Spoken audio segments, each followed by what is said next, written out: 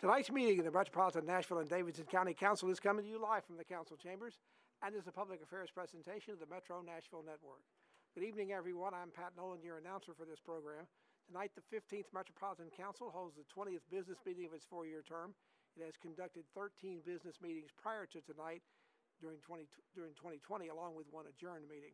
Because of concerns surrounding the coronavirus pandemic, the council tonight will again conduct its, its business virtually, operating for an 11th straight meeting under emergency rules.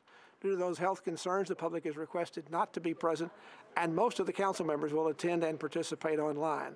The number of council members here in the chamber tonight is limited. Remember, the size of limits on meetings under the reconfigured phase two of Metro's reopening plan uh, and social distancing restrictions has been kept to 25.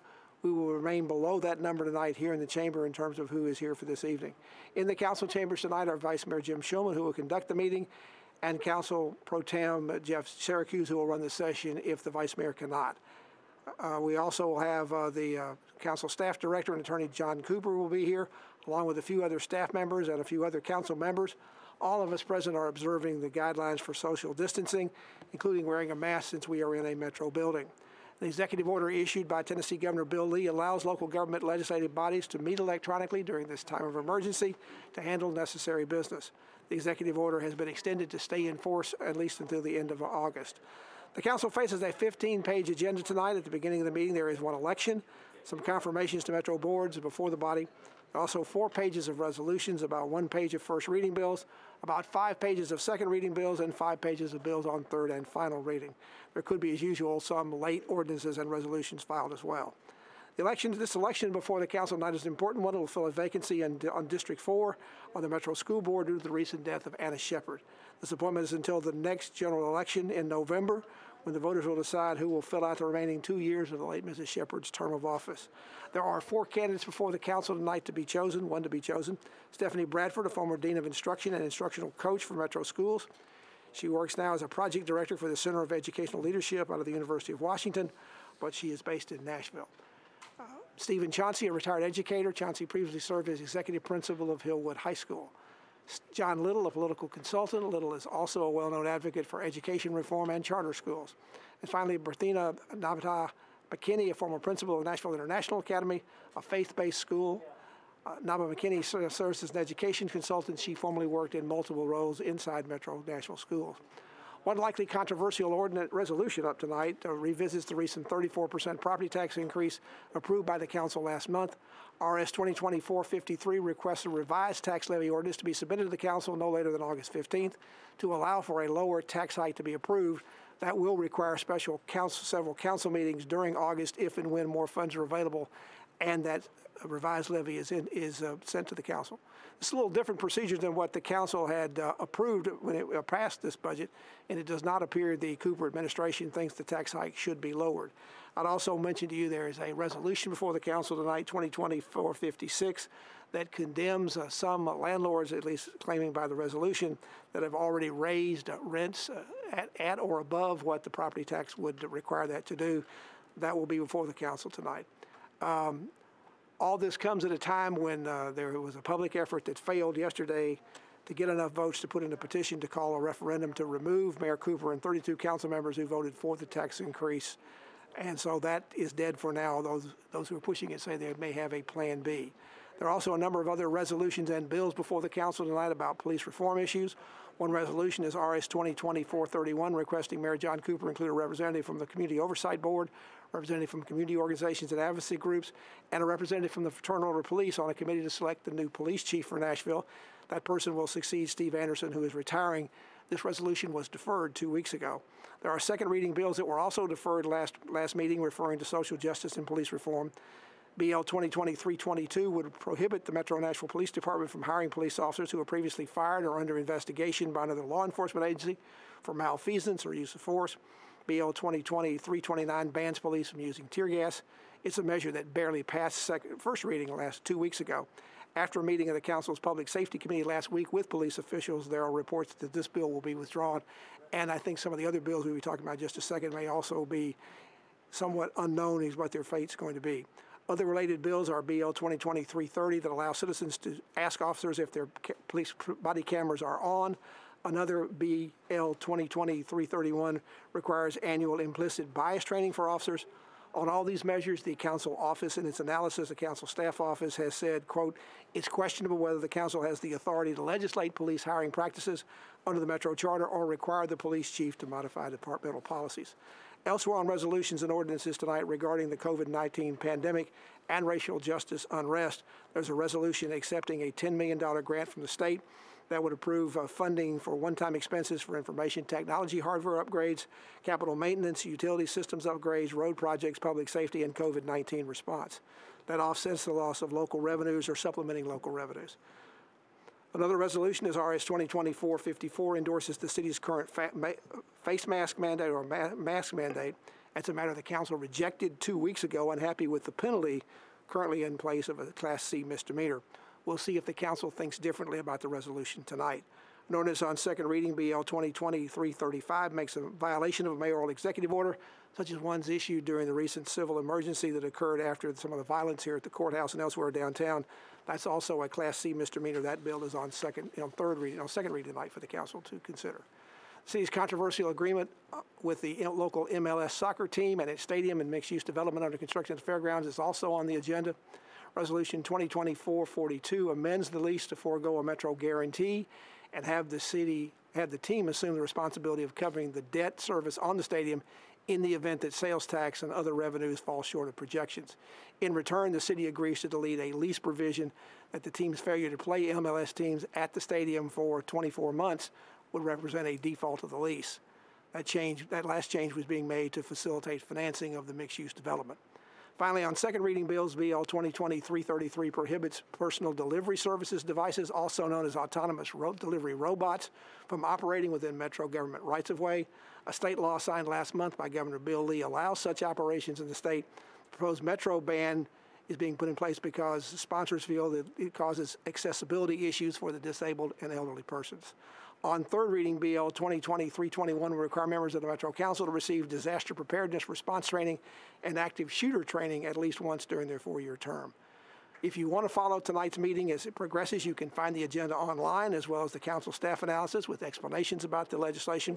Just go to the Metro Council portion of the Nashville.gov website, then to the Legislative Information Center. We'll also be placing the bill numbers on the screen when they come up for consideration so you can follow along and keep up with them while they're on the meeting agenda. Let's go now to Vice Mayor Jim Shulman. He'll be gaveling tonight's council meeting to, to order shortly.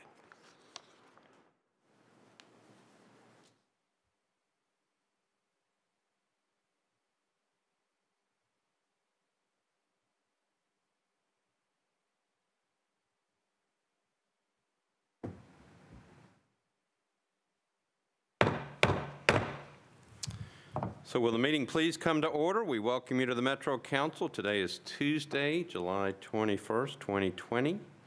Will all members of the council, as well as the public, please rise first for a moment of silence in remembrance of two very, very important people in this country, two icons in the world of civil rights who we lost this past week, the Reverend C.T. Vivian and Congressman John Lewis. Please join me in a uh, moment of silence.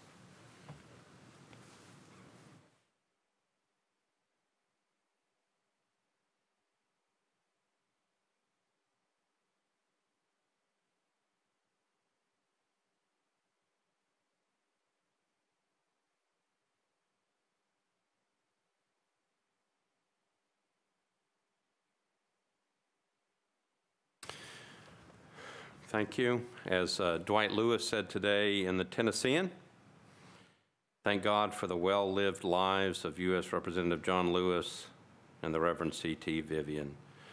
Amen. Amen. So please remain standing for the invocation and for the Pledge of Allegiance. The invocation this evening will be offered by retired Pastor Becky Yates, a guest of Council Member Kevin Rhoten.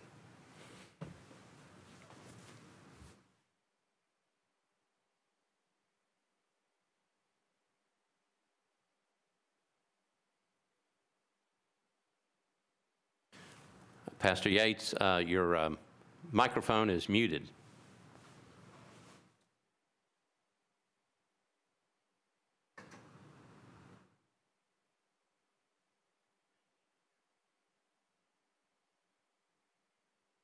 Oh, there she is.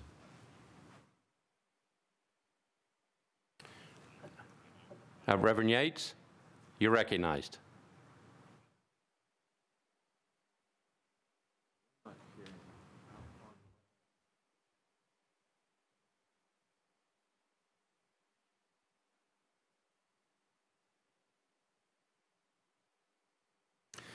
So council members, hold tight. Um, We can see uh, Reverend Yates. Reverend Yates, can you hear me?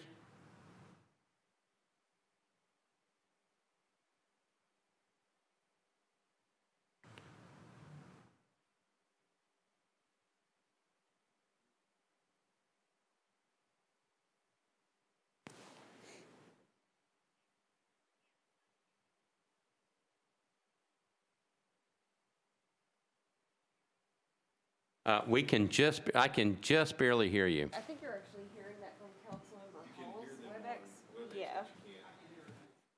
Okay. Can you hear, is there a way to hold that up to the microphone? Um,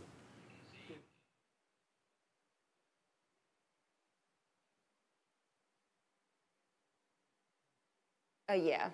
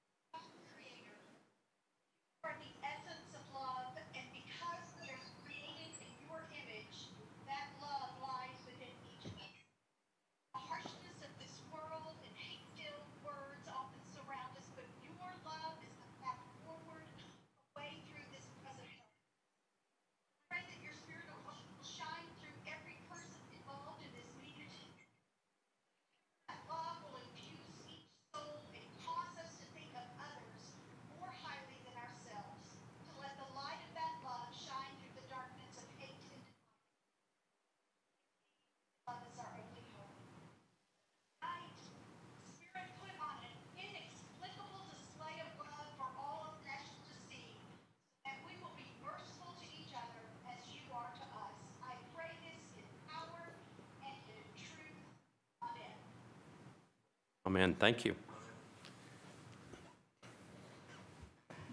I pledge allegiance to the flag of the United States of America and to the republic for which it stands, one nation, under God, indivisible, with liberty and justice for all.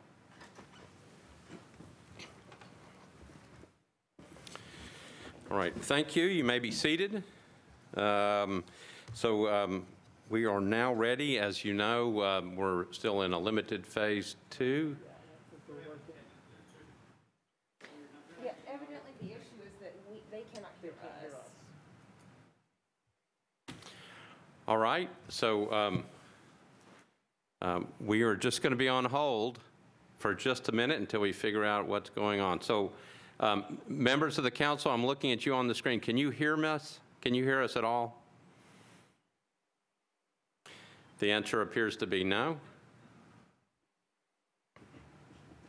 So uh, um, everybody just hold tight for just a minute.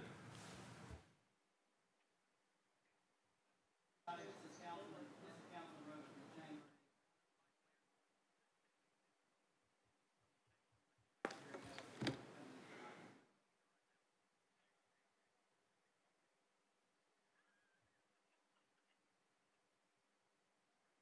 Just- I thought we might remind them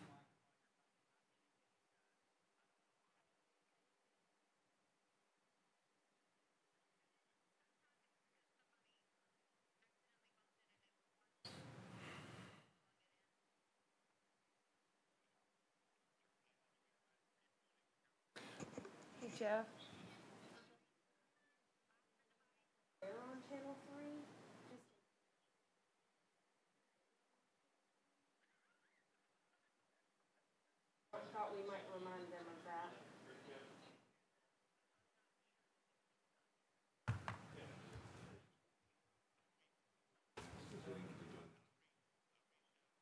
On here? I don't know if anybody can hear you. computer. Sure. Yes. Sure. On, uh, on, do you do you want to do it right now? Fine. Yeah, that's fine.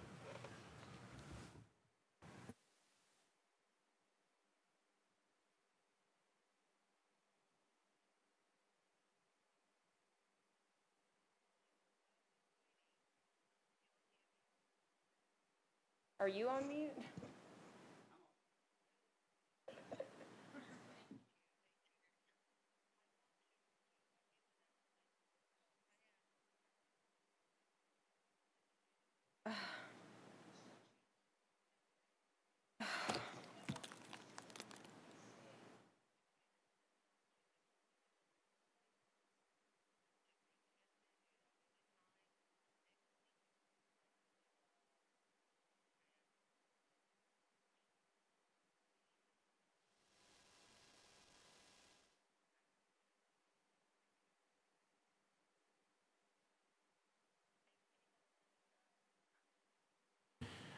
So in case uh, you're watching on Channel 3, um, we are having technical difficulties, and we can't connect between um, this, uh, the chamber and, and people out, um, the council members that are watching um, and participating virtually.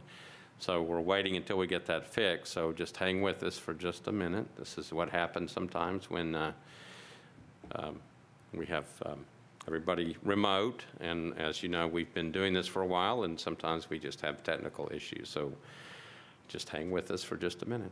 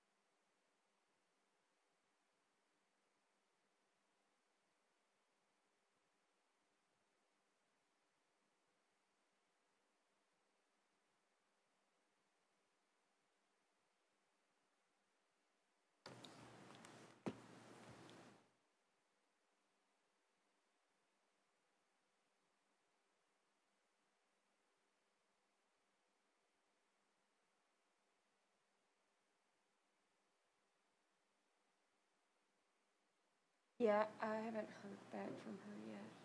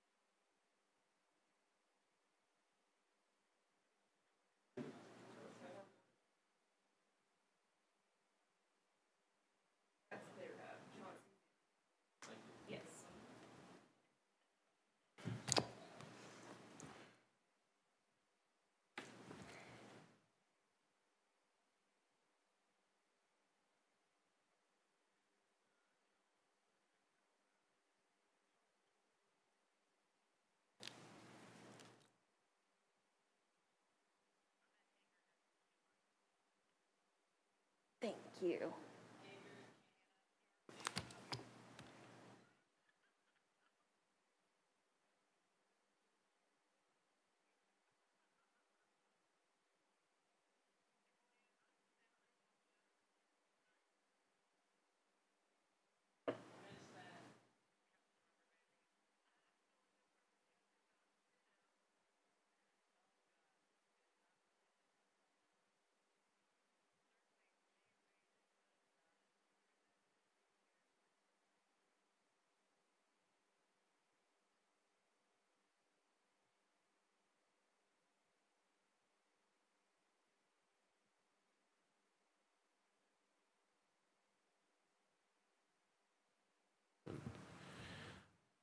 Again, if you are um, watching on Channel 3 and um, can, can hear us, we're having technical difficulties.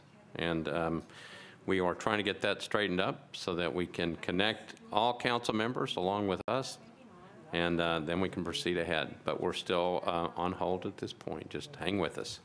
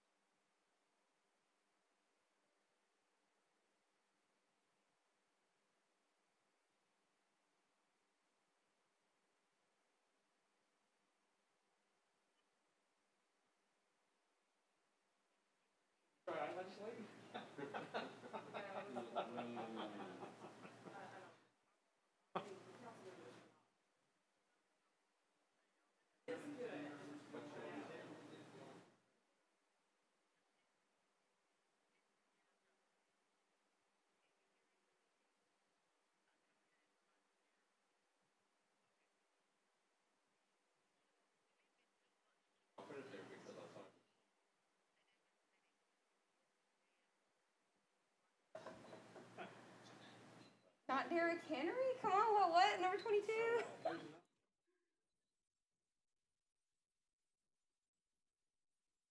don't have, no. Mm -mm. No, oh, nothing up here going on.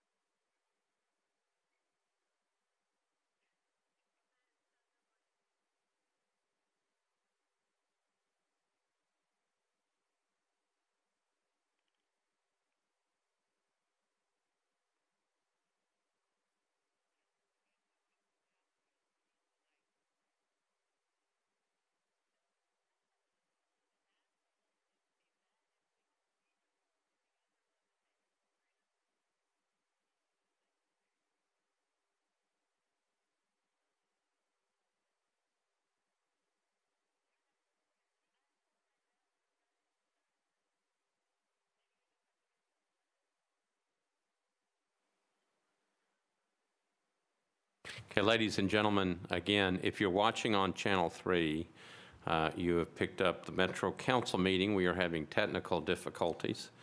Uh, We are trying to get those fixed. It is now five after seven. We've been kind of in this state for about 25 minutes. Uh, We're trying to get them rectified, and um, just hang with us for just a little longer. We're trying to figure out what is happening. All right? Thank you.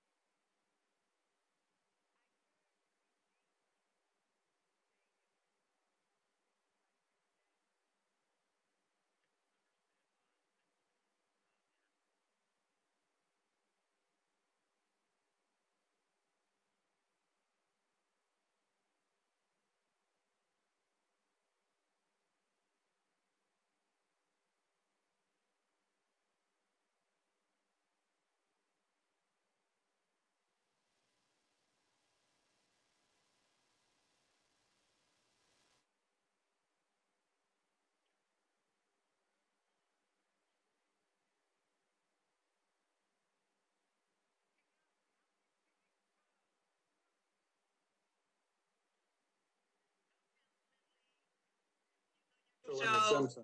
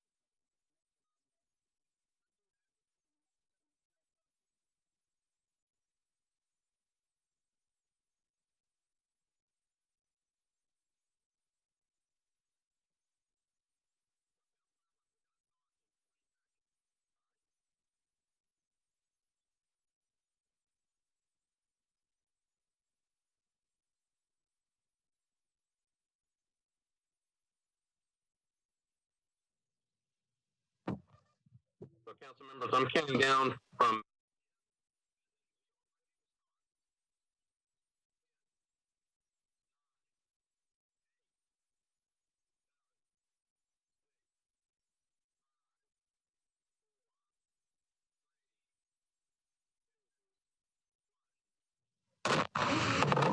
Uh, ladies and gentlemen, we are sorry for the delay. It is now 7:35. We have had technical difficulties, but you are watching the Metro Council meeting. Today is Tuesday, July 21st, 2020. Uh, we have already been through some of the initial, um, we've had a pledge of allegiance, we've had the invocation, we had a um, moment of silence to remember Reverend C.T. Vivian and Congressman John Lewis, and we are ready to proceed. So, um, Madam Clerk, I'm going to need to come over and we have to call the roll. So, um, Madam Clerk, if you would, uh, call the roll so we can take attendance.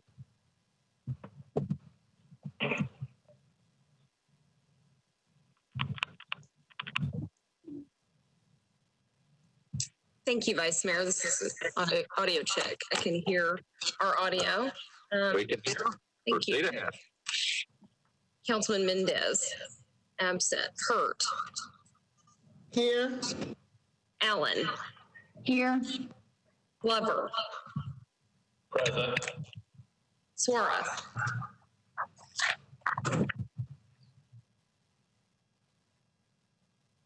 Hall is present. Toombs is present.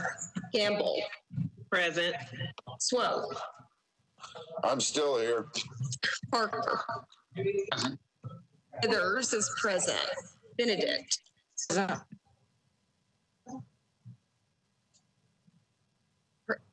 Um, Vice Mayor, did she say present? Councilmember Benedict. Present. Okay, And thank you. VanReece. Councilmember Sweet. Hancock. Present.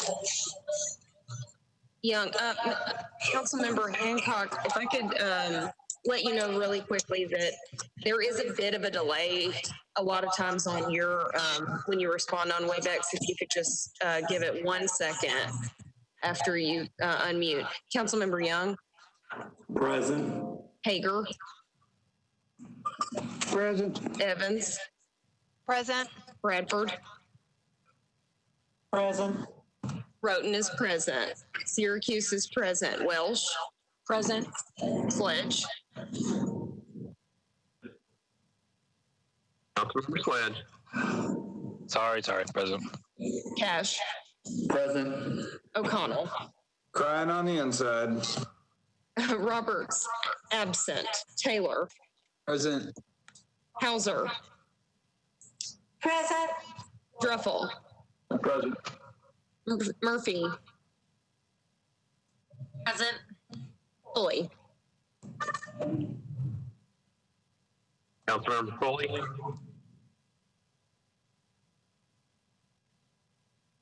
Johnston, Present. Nash, Nash is present. Vercher,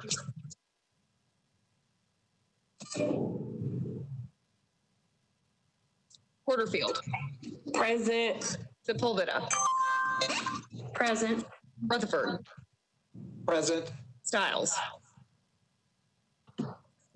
Present. Lee, Here. Henderson, Here. Rosenberg. Here. Vice Mayor, I'm going to call three names just to go back and, and confirm. Councilmember Suara, are you present?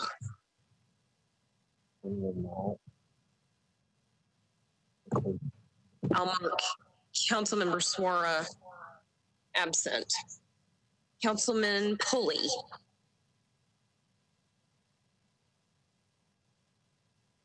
Will be marked absent at this time. Councilmember Vercher. is absent at this time, Vice Mayor. I'm present. Okay, Vercher, present.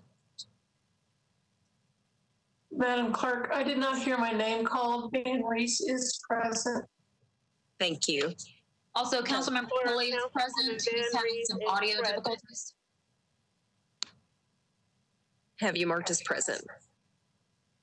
I have all members present except the following. Councilmember Suara, Councilmember Mendes, Councilmember Roberts, and Councilmember Pulley. We have 36 members. Councilmember Pulley is here. He's having technical difficulties with. Oh, I'm sorry. Yeah. I'm sorry, I couldn't hear you. Yeah. All right, so, um, members of the council, we have 30 members, 37 members present, so we have a quorum, so we can proceed. Um, we will be using, utilizing obviously WebEx completely tonight, so, uh, if you want to be recognized, uh, you will need to raise your hand. Uh, roll call votes, we'll be calling by roll. Um, we are trying to keep up with this. We have obviously a different type of, um, we're going to be working off a much smaller computer, so we're all going to be working on this together to make sure this works. All right, so just hang with it. Um, so, um, is there a motion for adoption of the minutes of the meeting from July seventh, 2020? So moved. And a Second. uh, without objection, the minutes of the meeting stand approved as written. Madam Clerk, are there any messages from the mayor? There are no messages from the mayor.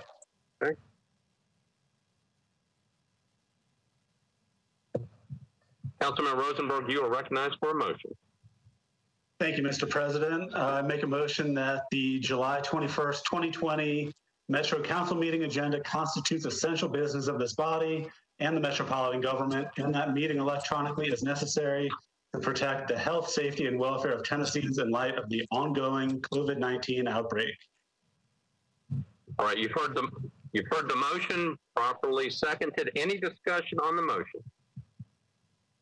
All right, I have a, I have a very small screen up here. I'm just checking to make sure there is nobody with their hands raised.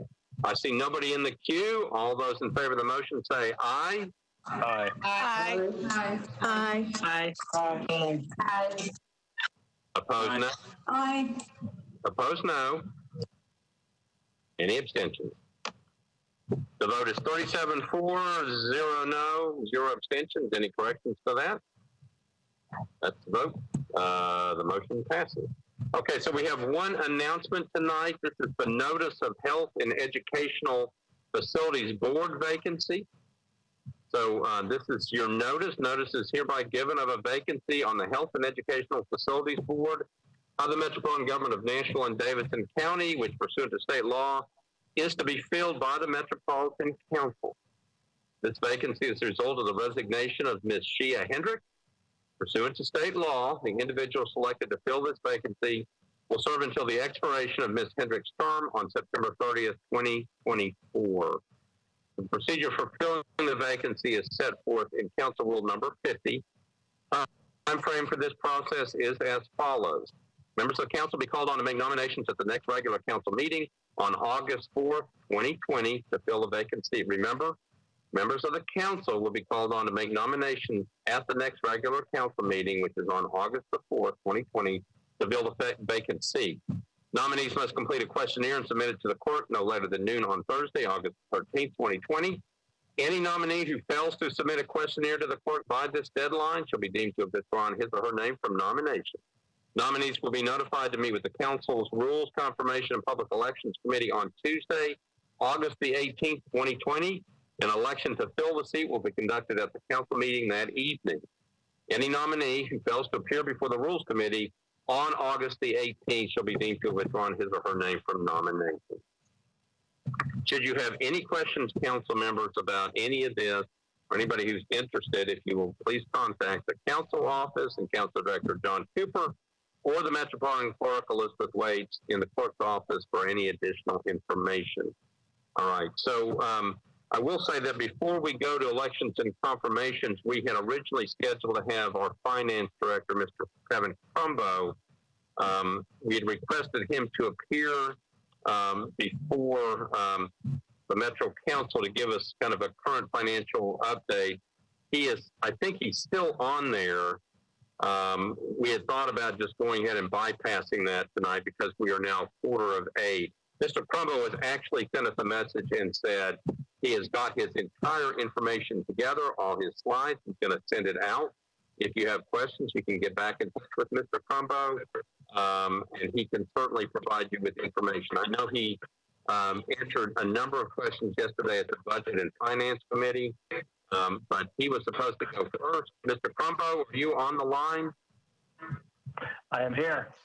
All right.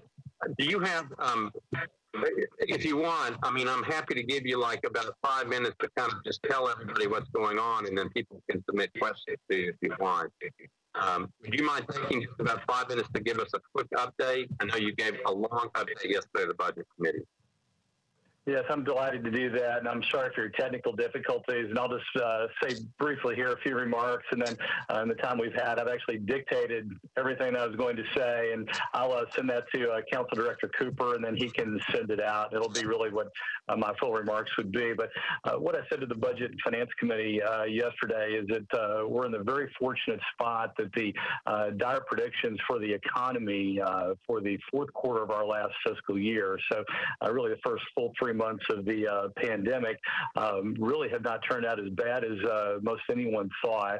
And by the numbers here, uh, we had been uh, forecasting about a $200 million decline in our activities taxes, uh, which are primarily our local sales options taxes, business taxes, and so forth. And uh, our actual results are turning out to be about half of that. Uh, which is you know very very good news for all the obvious reasons. And for those that kind of follow the economy and have heard this called the the V-shaped curve, meaning a big steep drop off and then followed by some sort of uh, recovery here over the summer months.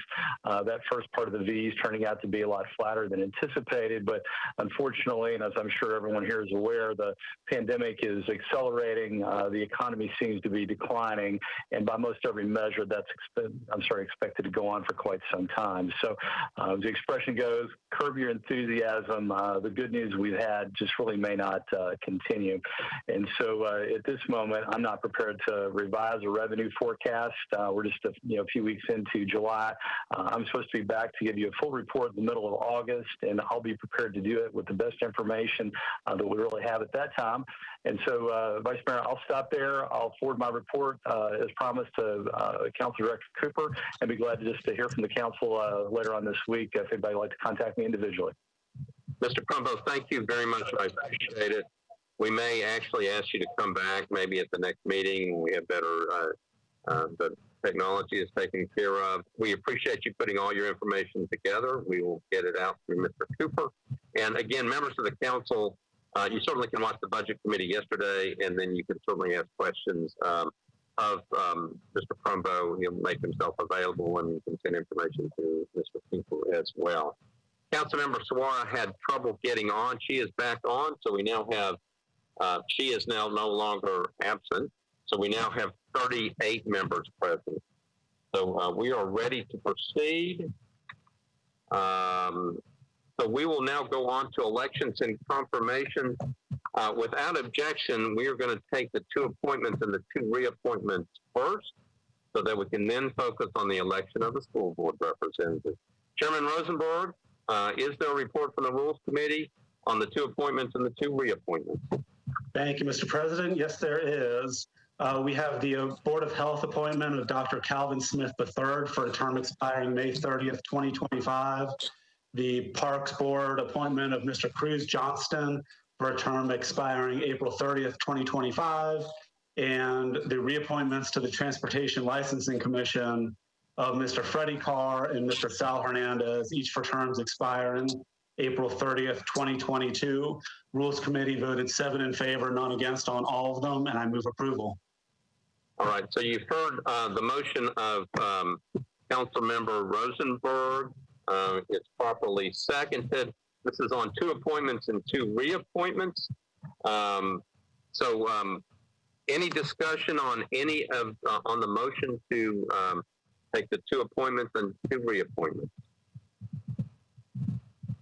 All right, seeing none, we are on the motion. All those in favor of the motion, please indicate by saying aye. Aye. Aye. Aye. Aye. Any opposed? Any abstentions? Hearing none, the vote is 38 for, 0 against, 0 abstentions. Any corrections to that? Um, then that's what the motion is. So um, we have appointed uh, to the Board of Health uh, Dr. Calvin Smith III, uh, also appointed to the Board of Parks and Recreation, Mr. Cruz Johnston, And to the Transportation Licensing Commission, reappointments of Mr. Freddie Carr and Mr. Sal Fernandez. Um, we appreciate you all. If you're still on the phone, we appreciate you hanging with us. We're sorry for the delay. And on behalf of the Metro Council, and behalf of the City of Nashville and the Metropolitan Government of Nashville and Davidson County, we appreciate your willingness to serve, and we congratulate you, uh, congratulate you on your appointment. All right. So thank you all. Now we're going to go back to um, uh, the first part of elections and confirmation. We're ready for to decide and work on the election to fill the vacancy of the District 4 school board seat. This vacancy is the result of the untimely death of school board chair Anna Shepherd on Monday, June 8, 2020. Pursuant to state law, the individual selected to fill the vacancy will serve until a successor can be elected at the November 3rd, 2020 general election. The nominees must reside in school district 4. The procedure for filling this vacancy is set forth in Council Rule number 49. Uh, nominees were notified to meet tonight with the Council Rules Confirmation and Public Elections Committee, and I understand that the Education Committee joined them uh, in the Rules Committee. We have four nominees tonight Stephanie Bradford, Stephen Chauncey, John Little, and Berthena Nabaa McKinney. Those are the four nominees. Um, so, um, Chairman Rosenberg, uh, do you have a report on the four nominees from the Rules Committee? Chairman Rosenberg.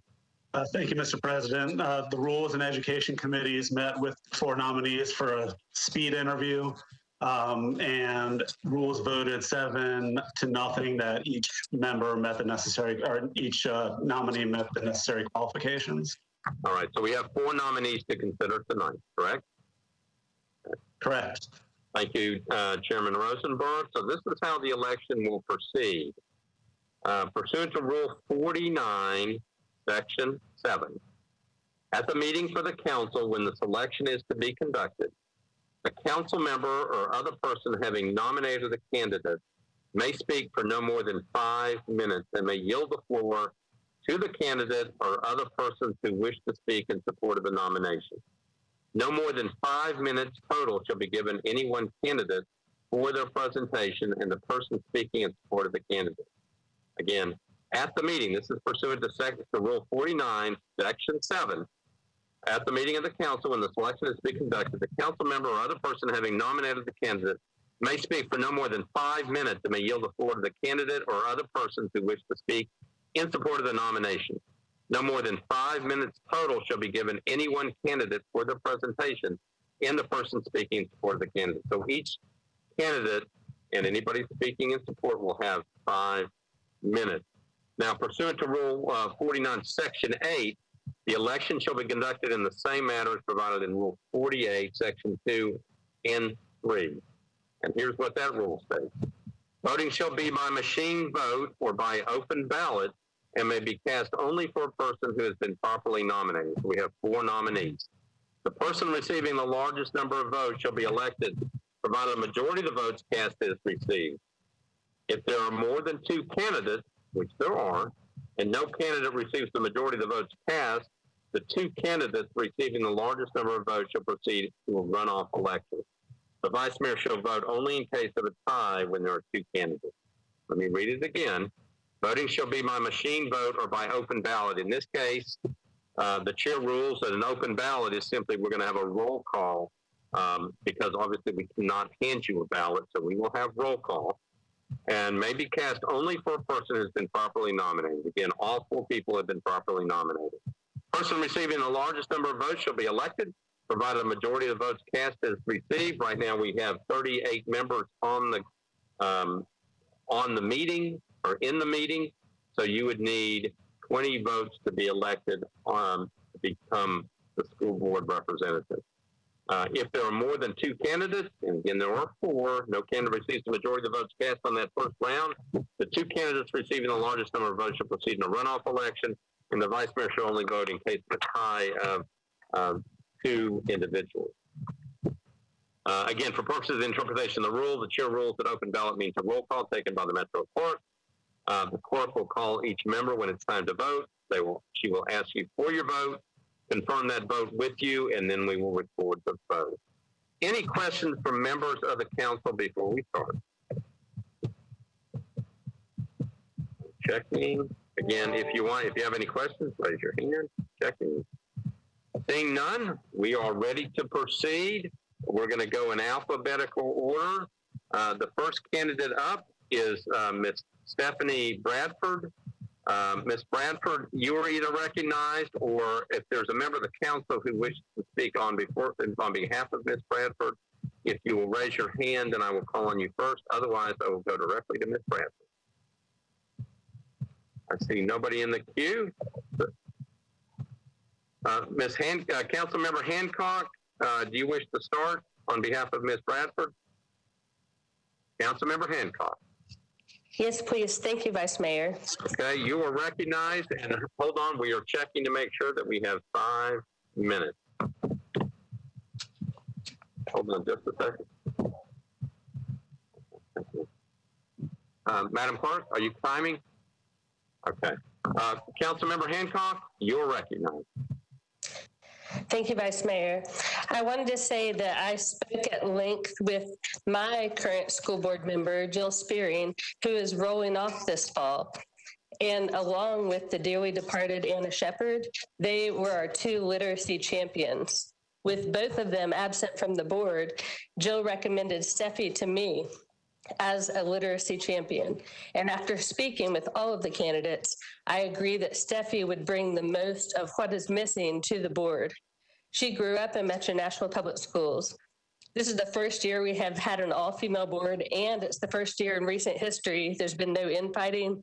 They've continued to make strong decisions despite the multiple trying circumstances. And I believe that Steffi will be a great addition to this board and help champion the literacy that so many of our students across the county desperately need. Thank you. Thank you, Councilmember Hancock. Um, anybody else, any other members of the council wish to be recognized before I go to Ms. Bradford? All right, I see, um, double checking really quick. I see nobody else in the queue. Ms. Bradford, you are recognized. Hello, thank you for this opportunity. My name is Stephanie Bradford, and as Councilmember Hancock said, I have a literacy background. I am passionate about MNPS. I am a product of MNPS, MNPS schools, a Nashville native. I have taught in the district. I have taught, I have been in the trenches working with our students. I am committed to our school district. As many of you know, I have emailed you talking about our literacy rates, and only 26% of our students are at grade level or above. I would like to help transform our schools to empower our students. We have 86,129 students, 12% students with disabilities, 18% of those students are English language learners. We have 139 languages spoken in our district. I am committed to ensuring that every student is successful in our district. I would like you to champion behind me as join a unified school board to move our literacy initiatives forward, to look at our curriculum, our policies, and our oversight, to empower our teachers, our students, our support staff. There are in MNPS, it literacy starts at the elementary level. We have to get this right at the elementary level.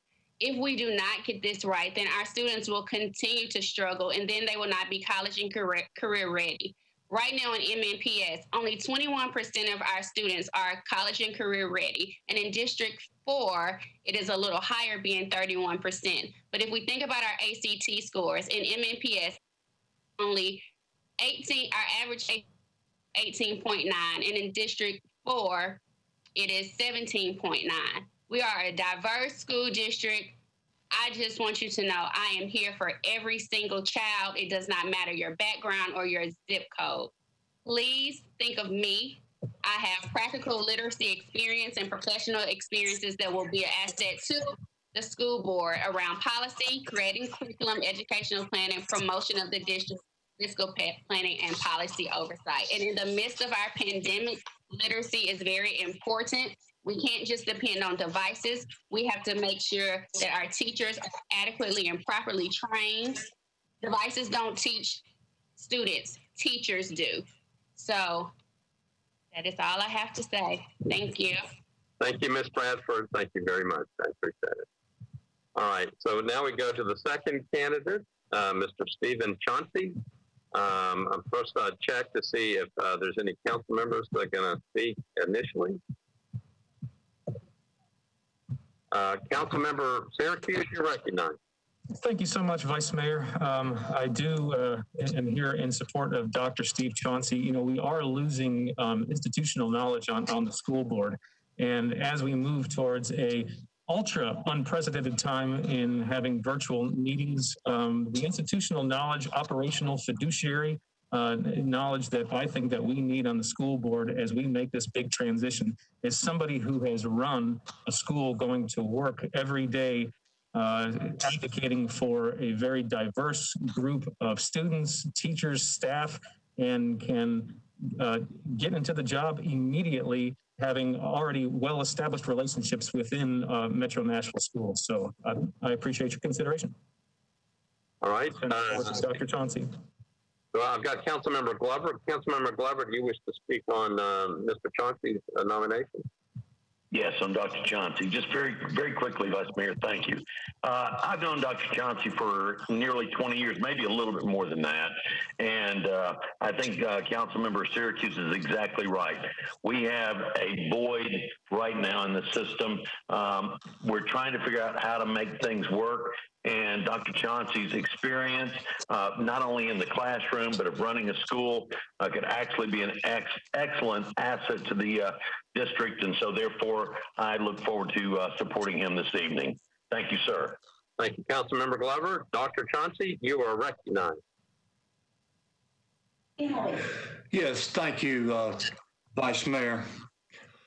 Let me first begin by uh, letting everyone know I'm the most senior experienced candidate to continue the great works of Anna Shepherd. I have extensive experience in all areas of Metro Nashville Public School System. After retirement, I was not sure my work was finished. I desire a school system in the city of Nashville that excels as part of my legacy. I make all decisions based on evidence which is data driven. I outlined and shared emails with all council members providing clear and concise data. MNPS is not attaining performance results for the amount of tax dollars spent. $933 million is the single largest expenditure in the city budget. 54 cents of every tax dollar demands results. I have managed and was accountable for budgets for all levels of purchases and expenditures in very large organizations. I also outlined and shared specific action steps to address the six performance indicators to move Metro Nashville Public Schools to a higher rung on the Tennessee Department of Education accountability ladder compared to surrounding counties and large urban districts in our state. As a former high school principal, these indicators were published by the Tennessee Department of Education, and it is imperative that upper management of MPS must have a relentless focus on these indicators to move the school system forward, no exceptions. Chronic absenteeism, academic achievement, student growth, English language proficiency, ready to graduate, and graduation rate there's no explanation why MNPS students cannot excel performance indicators at the same rate as our neighboring counties. I would like to focus a moment on student growth and chronic absenteeism. MNPS has 13,000 students a day from school are approximately 16% chronically absent, according to the Tennessee Department of Education. This issue must be addressed. There's minimal national research that supports charter schools outperform district run schools. $163 million, or 16% of the Metro Schools budget, is diverted from traditional schools to charter schools. I have no conflicts of interest. I have not even given the courtesy of a second look by the local papers or educational unions endorsing other candidates. I spent $7.50 for a pack of printing paper and $150 for what I consider the creative video. I'm experienced and know how to navigate through and resolve complaints from the public. I am clearly the most qualified, experienced candidate within the school system, knowledge at all levels.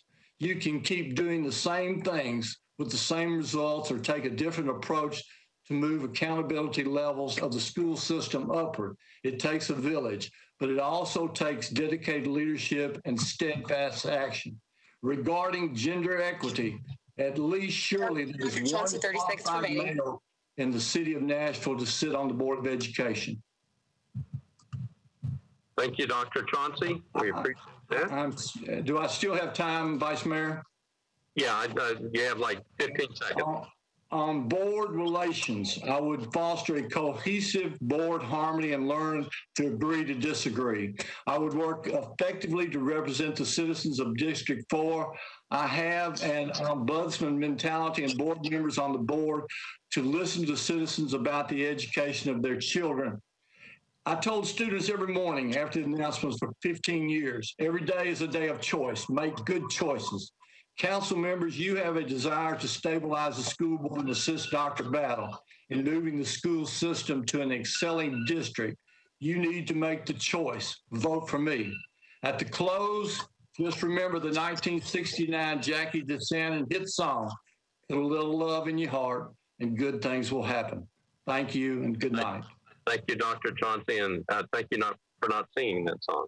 I appreciate it. All right, um, our next candidate is, um, well, before I get that, I do want to let you know that um, I am on actually uh, John Cooper's computer. They're trying to get him one set up. So if you're sending him messages about trying to answer stuff, it's not getting to him yet, but they're trying to get it all hooked up, and they should have it. You took a breath, I interrupted you. It's like, wait a minute, I ain't done. All right. Yeah, all right.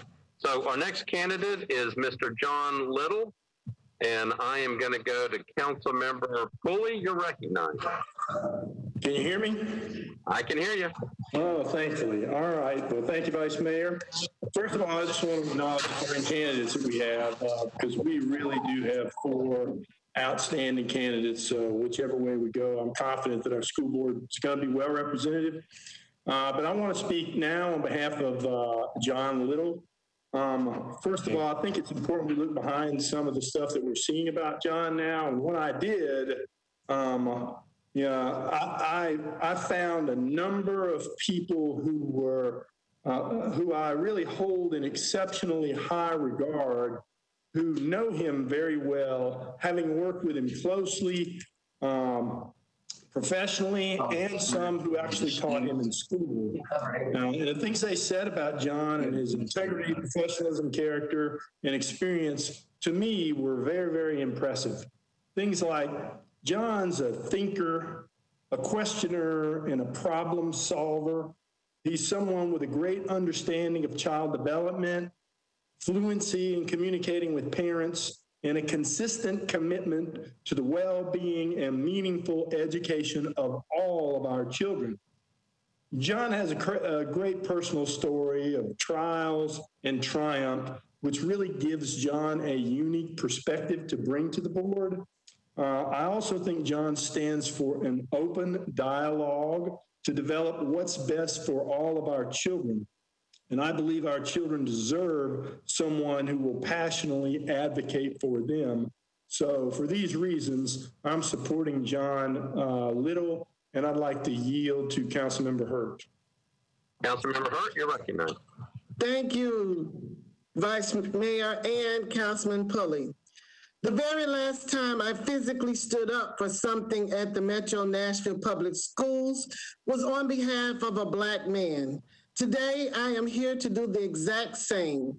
Different time, different day, but the same message. I've known John since his last days at Tennessee State University as a student. A young man, ambitious, passionate, on fire, and ready to go. Many of you know him or have seen him in the political arena, having interned with and a consultant for several campaigns. That was until he found his calling, a champion for the educational rights and opportunities for children. John has worked in all schools, successful schools, be it traditional, charter, or magnet schools. With him, it is not about school brands, it's about the kids who attend those schools. I am proud to support the nomination for my friend John Little today because today John is more than just a statistic. John has beaten the odds of a Black man graduating from high school, college, and graduate school for his master's in education. John is a husband, father, and what these kids see, they can be. John has the ability to bring a fresh voice to the school board, has worked alongside most of them, and will be a champion for teachers, employees, parents, and students as they work together to continue the Metro Nashville Public School system it was created and meant to be.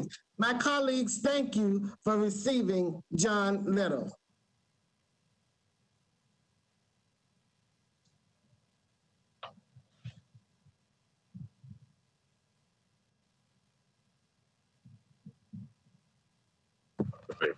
Mr. Little, you're recognized. All right. Um, man, thank you for those um, beautiful words. I think as I stand before the 38 council members, I just wanted to give a little background. I've spoken to many of you, and as you know, I've told you my story. I'm a Nashville native. I grew up in East Nashville, and I came from humble beginnings. Um, I was escorted out of my high school, um, sent to juvenile, and then made a big change in my life. It took me to the governor's office. It helped me work on behalf of kids across the state. It has brought me in charter schools, traditional schools, and magnet schools, and now brings me to the opportunity to stand before you and ask you for your vote and your support. And as I think about my life skills, I'm an expert in something that this city needs. Um, as Sharon talked about, this city needs my expertise on being a black man from East Nashville. 20% of our MNPS population are black males.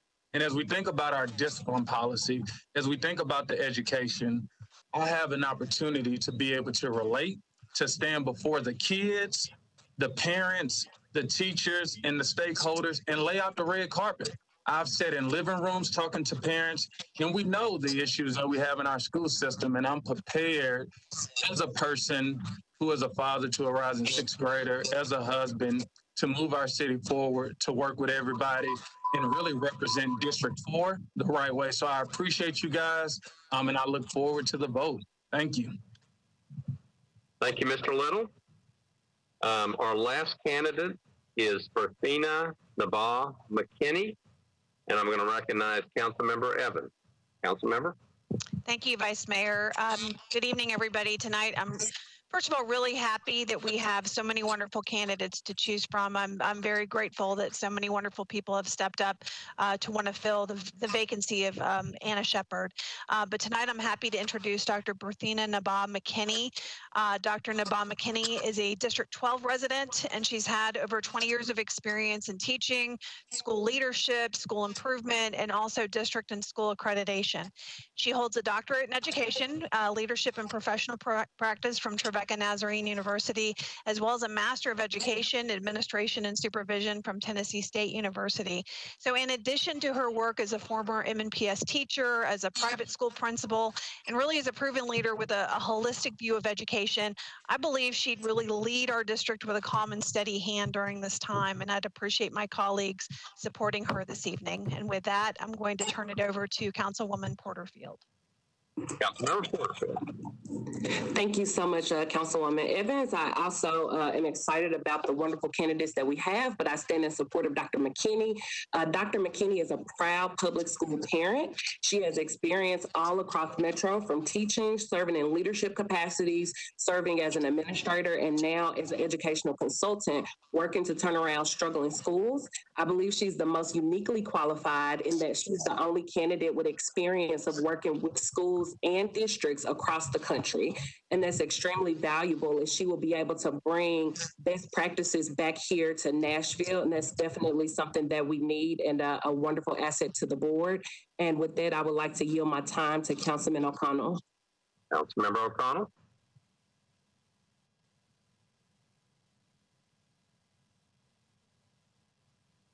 Councilmember O'Connell, we can't hear you.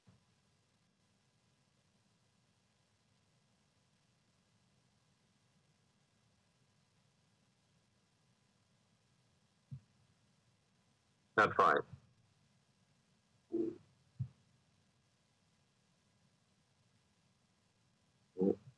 Councilmember O'Connell? All right, so uh, Councilmember O'Connell, we're going to go to, uh, I think, Councilmember um, Suara, and then I'll come back to you. Councilmember Suara, you're recognized. Uh, thank you, Mr. Vice Mayor. Uh, it's my honor to uh, uh, support Dr. McKinney for the uh, District 4 position. Um, I echo what my previous council members have said, but another area of experience that I want to highlight is the fact that she worked with accreditation uh, organization to actually help schools uh, turn around and get them accredited. Uh, the fact that she's working with schools across the country is also another plus. Uh, she has MNPS experience, but she also has private school experience. I think that when we're talking about what is best for our children and looking at diverse experiences and bringing all of that to the table as a mother, as a teacher, uh, uh, uh, all of that I think makes makes her a worthy candidate. And I ask my colleague to please support her uh, for the position. I will yield back to uh, Councilmember O'Connell. Councilmember O'Connell, you're recognized. Thank you, Mr. Vice Mayor. Is that better? I can hear you. Okay, very good. I'm, uh, apologies.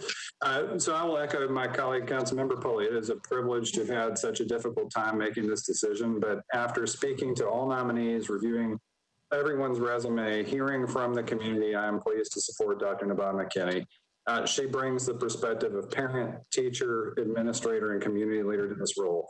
We've already appointed her to the Metro Action Commission, where her equity work will continue to be valuable at Metro schools, and her presence on the board will help the governance body better reflect the diversity of the students it serves. I hope colleagues will join me in voting for her. Thank you.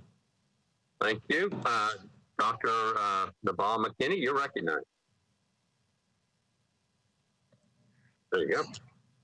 Can you hear me? We can hear you. All right. Um, thank you, Council Member um, Evans, Council Member O'Connell, Council Member Porterfield, and Council Member Suara uh, for your endorsement. Um, I, I, uh, I'm sorry, I got tongue tied. Um, so thank you so much for your support. I truly hope to serve and bring um, my my dedication and that my experience for education um, and the education of our children and families uh, uh, to our district and to serve uh, as best I can on the school board. Um, and I hope to bring that expertise in a way that that moves our district um, to meet the goals and objectives that we are looking for um, to, to raise educational outcomes across the district. Um, so I look for I look forward to working with you all in the Metro Council, as well as our state and local official, parents, students, uh, teachers, administrators, and support staff, and, and creating an environment that's supportive of all of our students in this district. Thank you.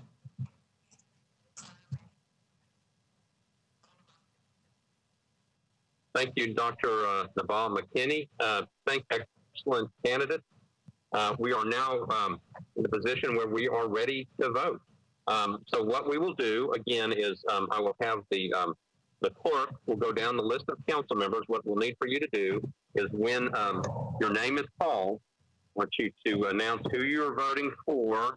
The clerk will then um, repeat it to make sure that it is correct, and then we will um, uh, then tabulate the votes after we go through. Now, remember, because we have uh, more than two candidates, um, um, again, we are looking, the person who is going to be selected has to receive a majority of those members voting. So again, the person receiving the largest number of votes shall be elected, provided a majority of the votes cast is received. We have 38 members voting, so it's got to be 20 votes. Uh, more than two candidates, again, which there are, no candidate receives the majority of the votes cast. The two candidates receiving the largest number of votes shall proceed to a runoff election. Any questions before we start voting? I am checking the list. I see nobody in the queue. Madam Clerk, are you ready to call the vote? Yes, I am, Vice Mayor. All right. Um, so we are recording uh, the vote. Madam Clerk, proceed ahead. Thank you, Vice Mayor. I have moved to the back of the chamber to reduce the feedback between the Vice Mayor's uh, computer and Director Cooper and mine. So uh, for members of the council who are here in the chamber, please go ahead and submit your vote through WebEx, just as everyone else who's voting remotely. Uh, Councilman Mendes is uh, absent at this time. Councilmember Hurt, how would you vote? John Little. John Little. Councilmember Allen. John Little. John Little. Councilmember Glover. Dr. Chauncey, Dr. Chauncey. Suara. Athena Nabaa McKinney. Dr. Nabama McKinney. Hall. John Little. John Little. Toombs. Stephanie Bradford. Bradford. Gamble. John Little. Little. Swope. John Little. Little. Parker. Stephanie Bradford. Bradford. Withers. Stephanie Bradford. Bradford. Benedict. Stephanie Bradford. Bradford. Van Reese. Stephanie Bradford. Bradford. Hancock. Stephanie Bradford. Young. Bradford. Bradford. Hager. Dr. Chauncey. Dr. Chauncey. Evans. Dr. Nabaa McKinney. Dr. Nabama McKinney. Bradford. Dr. Nabaa McKinney. Dr. Nabama McKinney. Rhoten. John Little. Little. Syracuse. Dr. Steve Chauncey. Dr. Chauncey. Welsch. Stephanie Bradford. Bradford. Sledge. Dr. Nabaa McKinney. Nabama McKinney. Cash. Stephanie Bradford. Bradford. O'Connell. Nabaa McKinney. Nabama McKinney. Taylor. Ms. Roberts is absent. Taylor. John Little. Little. Hausser. Nabaa McKinney. Nabama McKinney. Druffel. John Little. Little. Murphy. John Little. Little. Pulley. John Little. Little. Johnston. Nabaa McKinney. Nabama McKinney. Nash. Dr. Chauncey. Chauncey. Vercher.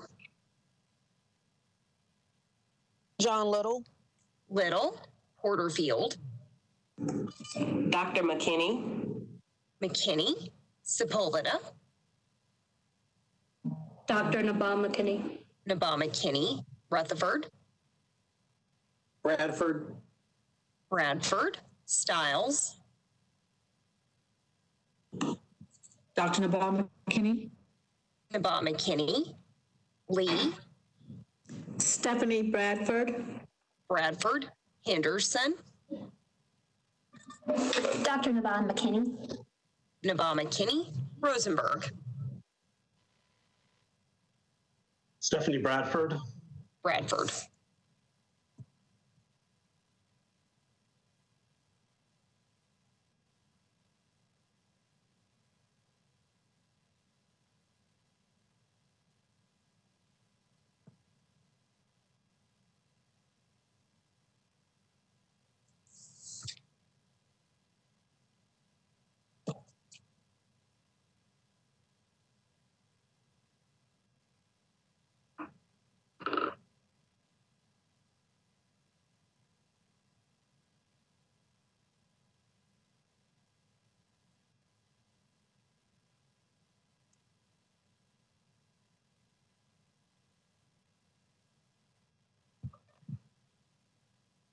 All right, so um, the votes are in.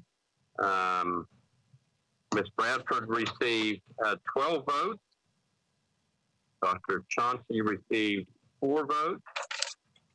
Uh, Mr. Little received 11 votes. And Dr. Nabaa McKinney received 11 votes. So uh, Bradford with 12, Chauncey with four, Little with 11, Nabaa McKinney with 11.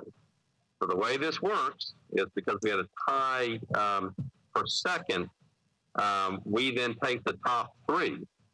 So uh, it would be um, uh, Ms. Bradford, uh, Mr. Little, and Dr. Nabaa McKinney.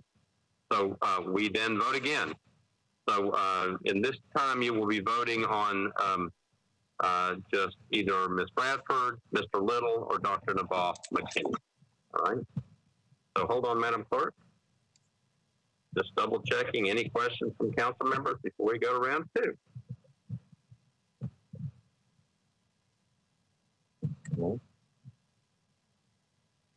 Okay, Madam Clerk. All the roll. Councilmember Mendez is absent. Councilmember Hurt. John Little. Little. Allen. John Little. Little. Glover. Bradford. Bradford. Suara. Nabaa McKinney. Nabaa McKinney. Hall. John Little. Little. Toombs. Bradford. Bradford. Gamble. Little.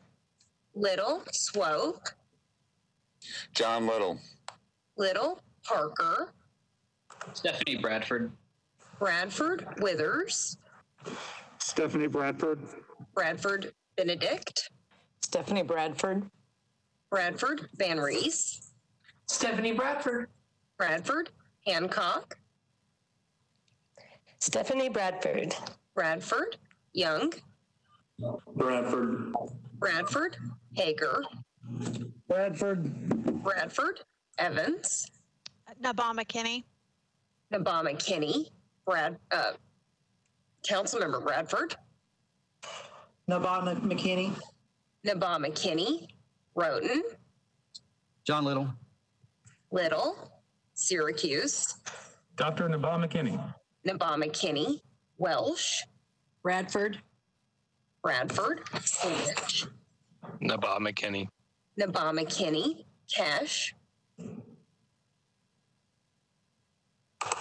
Sorry, Bradford. Bradford. O'Connell. Nabaa McKinney. Nabaa McKinney. Councilmember Roberts is absent. Councilmember Taylor. Little. Little. Councilmember Hausser. Nabaa McKinney. Nabaa McKinney. Druffel. John Little. Little. Murphy. John Little. Little. Pulley. John Little.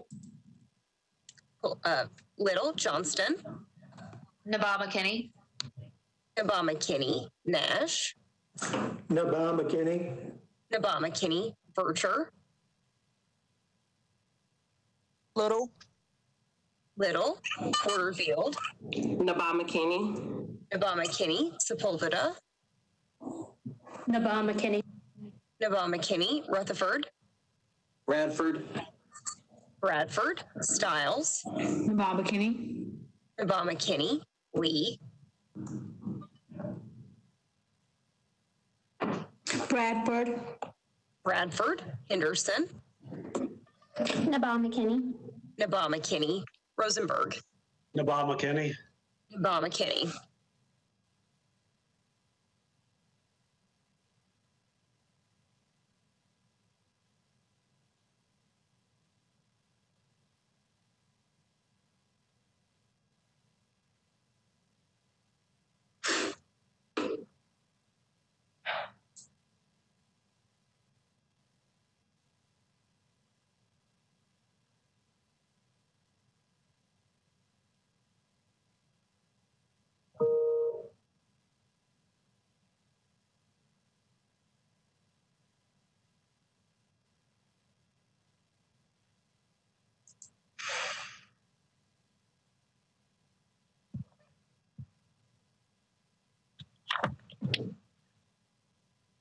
Running out of um, running out of sheets.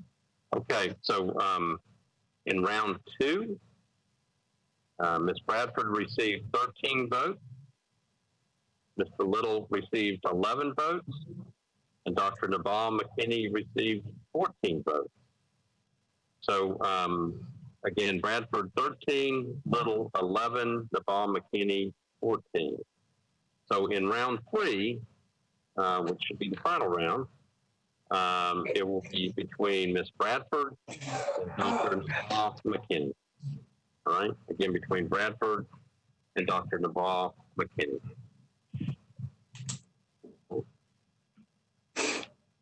Hold on just a moment.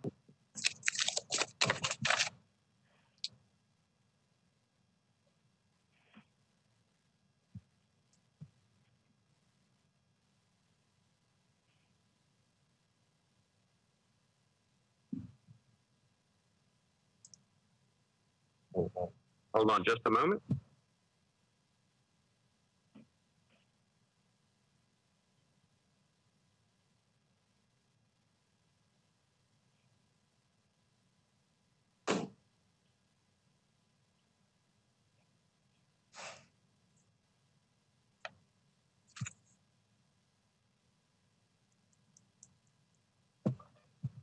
So Councilmember Roberts, are you now on the call? Yes, I'm on. Okay. So Councilmember Roberts, you can vote from now on. Okay. Um, uh, we are now on round three.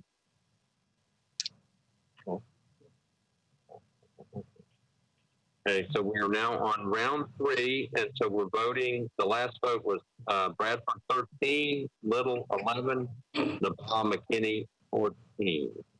So this is round three.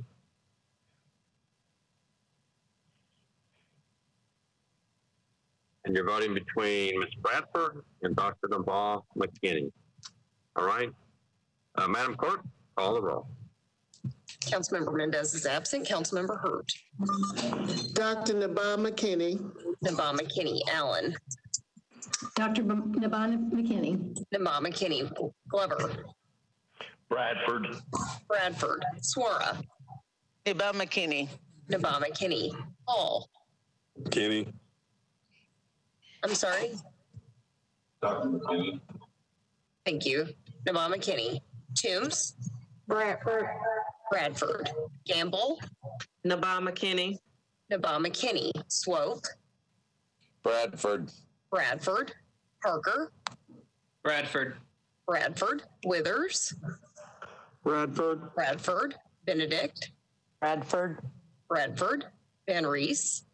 Bradford. Bradford. Hancock. Bradford. Bradford. Young. Bradford. Bradford. Hager. Bradford. Bradford. Evans. Nabaa McKinney. Nabaa McKinney. Councilmember Bradford. Nabaa McKinney. Nabaa McKinney. Rhoten. Nabaa McKinney. Nabaa McKinney. Syracuse. Dr. Nabaa McKinney. Nabaa McKinney. Welsch. Stephanie Bradford. Bradford. Sledge. Nabaa McKinney. Nabaa McKinney. Cash. Bradford. Bradford. Roberts. McKinney. Nabaa McKinney. Taylor. McKinney. Oh, hold, hold on. Madam Clerk, you skipped Councilmember O'Connell. Sorry. Point of order. Oh, O'Connell. I'm You sorry. skipped- you Councilmember O'Connell. Nabaa McKinney. Thank you. Councilmember Taylor. McKinney. Uh, go back to Councilmember O'Connell and then start so we can make sure we've got the vote recorded correct. Yes, Vice Mayor. Councilmember O'Connell voted for Nabaa McKinney. Is that correct? Councilmember O'Connell? That is correct. Thank you. Councilmember Roberts voted for Nabaa McKinney. Is that correct? Councilmember Roberts? That is correct. Councilmember Taylor voted for Nabaa McKinney. Is that correct? Councilmember Taylor? That's correct. Thank you. Councilmember Hausser? Nabaa McKinney. Nabaa McKinney. Druffel? Dr. McKinney. Nabaa McKinney. Murphy? Dr. McKinney. Nabaa McKinney. Pulley? Bradford. Bradford? Johnston? Nabaa McKinney. Nabaa McKinney. Nash?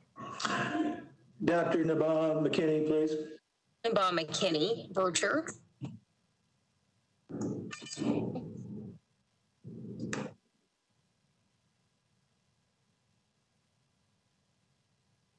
Councilmember Vercher? Brett McKinney. Nabaa McKinney. Porterfield? Dr. Nabaa McKinney. Nabaa McKinney. Sepulveda? Dr. Nabaa McKinney. Nabaa McKinney. Rutherford? Bradford. Bradford, Styles, Dr. Nabaa McKinney. Nabaa McKinney, Lee, Dr. McKinney. Nabaa McKinney, Anderson. Dr. Nabaa McKinney. Nabaa McKinney, Rosenberg.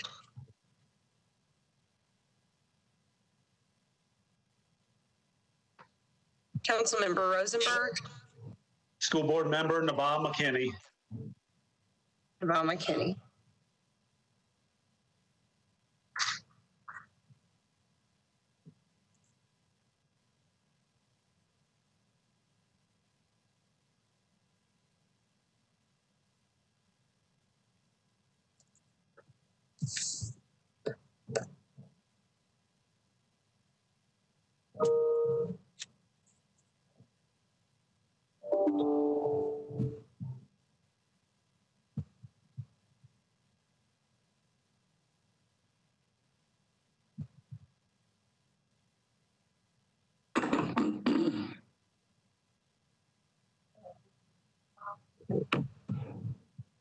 Uh, So council members, the vote on round three, final round, uh, Ms. Bradford received 14 votes and Dr. Nabaa McKinney received 25 votes. Dr. Nabaa McKinney, congratulations. You were just selected by the Metro Council to the school board. Congratulations.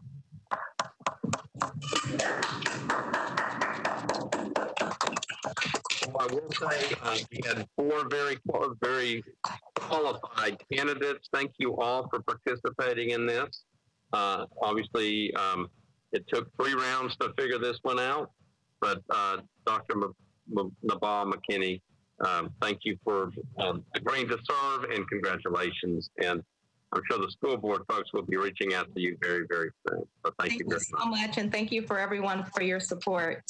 Um, I'd look to be in touch with all of you. Thank you again.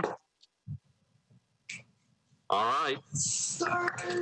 Thank you, council members. We are ready to proceed uh, to uh, the consent agenda, to resolutions uh, and um, resolutions that are not on the consent. Pull the proper information. All right, so I'm going to go through the list of items that are on the consent agenda. Please um, listen carefully. Um, so uh, starting on the regular calendar, I'm on page two. Resolution RS 2020-401 is on consent. 439 on consent. 441 on consent. 444 on consent. 445 on consent. 446 on consent. 447 on consent. 448 on consent. 451 on consent, 452, 454, 455, 456, 457, and 458. Get through them real quick. 401, 439, 441, 444, 445, 446, 447, 448, 451, 452, 454, 455, 456, 457, and 458 on consent. Does anything need to be bumped? Can I pull 455, please? Councilmember Johnston, um, 455 is bumped off of the consent calendar. Mr. President, I missed, did you have 440 on consent? No. Uh, Councilmember O'Connell, 440 is not on consent. Okay, thank you. Okay. Anybody else need to bump anything off? Any other hands? Okay. All right.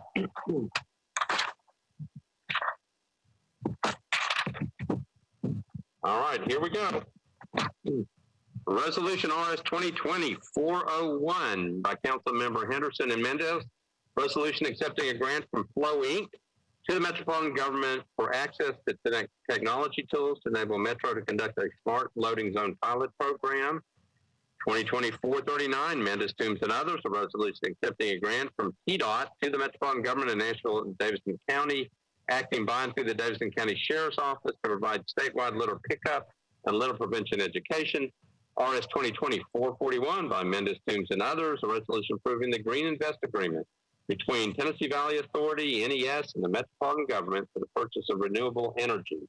RS 2020-444 by Taylor Mendes and others. Resolution accepting a grant from the Tennessee Historical Commission to the Metropolitan Government, acting through the Metropolitan Nashville Historical Commission to provide a conditions assessment and material analysis of four cast concrete structures in Centennial Park.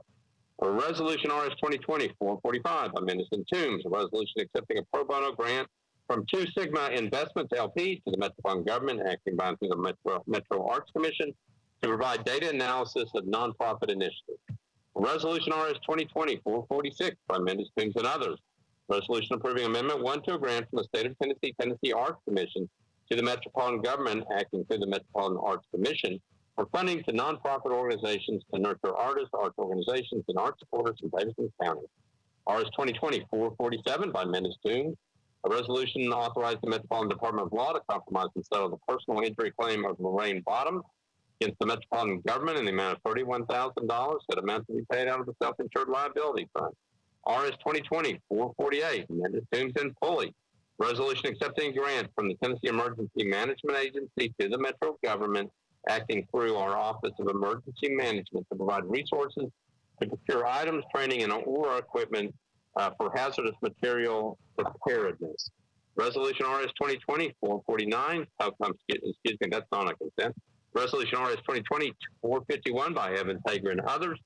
A resolution approving supplement one to an intergovernmental agreement by and between the state of Tennessee, Department of Transportation, and the Metropolitan Government of Nashville uh, and Davidson County acting by and through the Department of Public Works for the reimbursement of railroad crossing safety improvements at Andrew Jackson Parkway, railroad crossing number 348692G, state project number 19960-2568-94.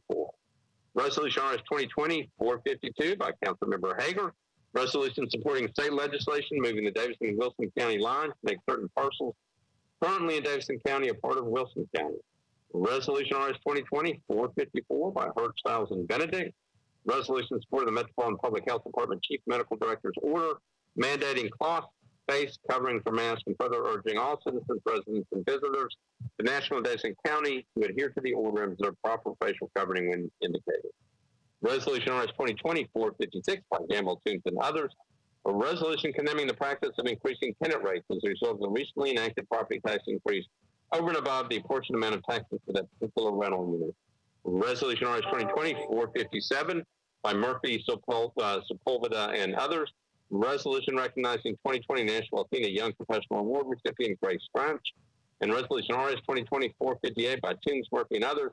A resolution recognizing 2020 National Athena Traditional Award recipient Key Bryant McCormick. Anything that I missed? Anything that needs to come off? All right, seeing none, we're now ready for committee reports. Going to go to affordable housing first. Councilmember Allen, you are recognized. Thank you, Mr. Vice Chair. Uh, Affordable housing, Uh, it's uh, 2020-456.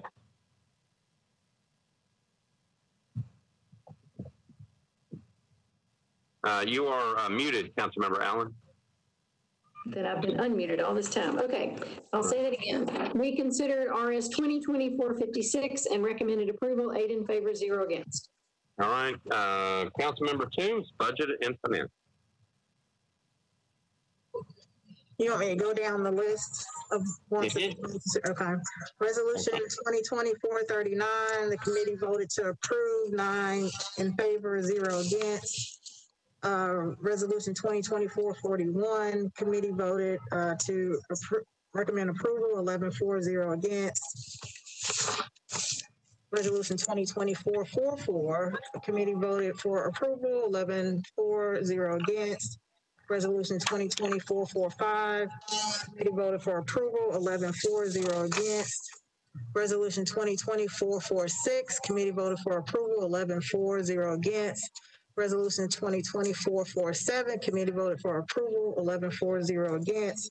Resolution 2020-448, committee voted for approval, 11 for, zero against. Resolution 2024-51, committee voted for approval, 11-4-0 against. Resolution 2024-55, committee voted for approval, 11-4-0 against.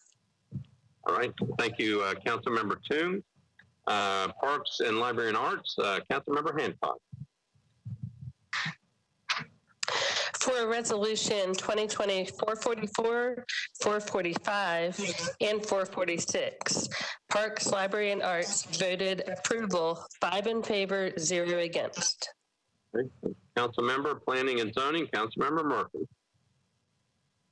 Thank you. All of ours were approved, 15 in favor, zero against. All right, it should be 444, 451, and 452. Okay. Uh, Public Safety, Councilmember Pulley.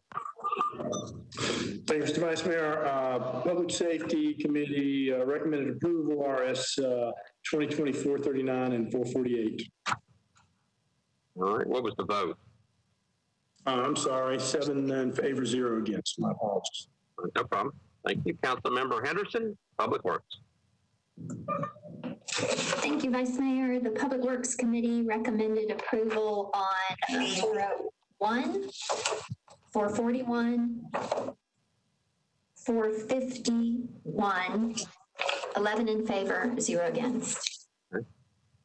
Thank you, Councilmember Henderson. Councilmember Rosenberg. Oh, well, let me go to um, Councilmember O'Connell, Traffic and Parking. Uh, we approved four in favor, zero against. That's uh, 401. That's correct. Okay, thank you. And now Councilmember Rosenberg, rules confirmations and public elections. Mr. President, on 454, 457, and 458, rules with seven in favor, none against. And with committee reports in, I move the consent agenda. All right, you've heard the council member move for approval properly seconded. Any discussion?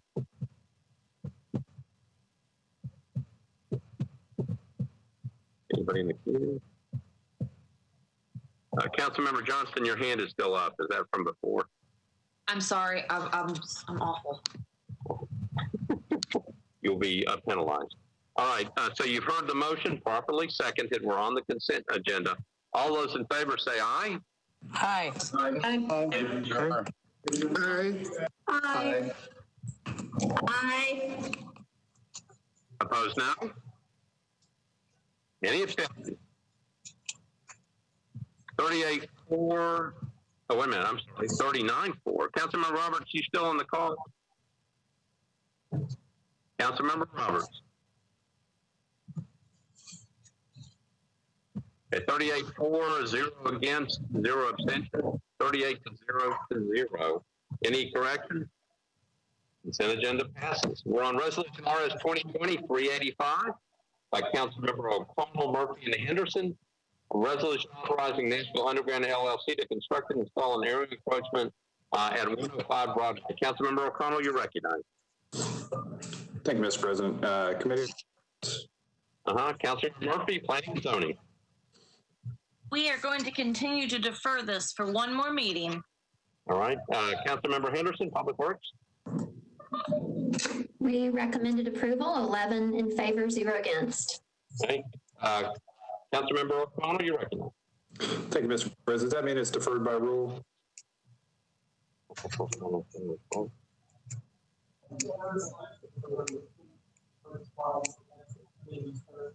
We believe it's the committee's first deferral, so if it is, then it's deferred automatically by rule. All right, so deferred one meeting. All right. Thank you. Councilmember. All right. Uh, we are now on uh, Resolution RS 2020-431 by Bradford Welsch and others. A resolution requesting Mayor John Cooper to include a representative from the Community Oversight Board, a representative from community organizations and advocacy groups, and a representative from the Fraternal Order of Police on a committee to select the next chief of police. Councilmember Bradford, you're recognized. Committee reports. Uh, looks like it's been approved by personnel. It's referred to public safety. Councilmember Pulley, you're recognized. Public Safety recom- uh, voted seven in favor, zero against to recommend a one meeting deferral. All right. Uh, thank you. Councilmember Bradford, you're recognized. I'd like to go ahead and go with a one meeting deferral, please. All right. So the motion is to defer one meeting. Uh, properly seconded. Any discussion? Seeing none. Anything? Okay, seeing none, all those in favor of the meeting deferral say aye. Aye. Aye. Aye. Opposed, no? Any abstentions? 38, zero to zero. Any corrections to that? One meeting deferral. Resolution orders 2020-440 by Councilmember Mendes and Toombs. A resolution accepting a direct appropriation grant from the state of Tennessee in the amount of $10 million. Councilmember Toombs, you recognize. All right, go for it. Um, committee report. Uh, it's yours, budget and finance. Uh, the committee, uh, recommended approval of the proposed amendment nine four zero against and recommended approval of the resolution as amended eleven four zero against. All right, Councilmember Toombs, you want to, what do you want to do? You want to take up your amendment? Yes, I do. All right, so Councilmember uh, Toombs moves her amendment, properly seconded. Back to you for an explanation of your amendment. So this amendment um, requires that before any of these funds are, are spent, that a plan be submitted to council and approved by council. Uh, It's in line with the previous amendment that was attached to the appropriation uh, of the 121 million COVID dollars. Okay, so you've heard an explanation of the amendment. Any questions on the amendment? Seeing none, all those in favor of the amendment say aye. Aye. Aye. Aye. Opposed, no? Any abstentions? Amendment passes 38 to 0 to 0. Any corrections to that? Okay, Councilmember Toombs, you're on your resolution as amended. Move for approval. So there's a motion to approve properly seconded. Discussion on the, um, Councilmember O'Connell, you recognize. Thank you, Mr. President. On this one, I wanted to just highlight, uh, you know, that amendment was offered in the spirit of the uh, language in the budget. The language in the budget, though, I want to be, I want to make sure everybody is aware. Councilmember Mendes has spoken to this before, but part of the issue is here, this is $10 million we're accepting from the state as part of COVID relief. We've also received 120 plus million dollars from the federal government that is supposed to relief efforts. I know our chair, who is absent tonight, set up that committee language out of frustration that the administration had was not moving. It was not an effort by council to slow down the process. We know staggering statistics of Americans who rely on mortgage payments. We literally are sitting in an account collecting interest right now instead of put, being put into the pockets and wallets and purses of extremely vulnerable Nashvillians right now as unemployment is spiking. We have a COVID 19 response fund set up by the administration that is running out of money sources. We could transfer five, 10, 20 million dollars of that CARES money into that fund right now, but we won't do it. And I'm losing sight of why.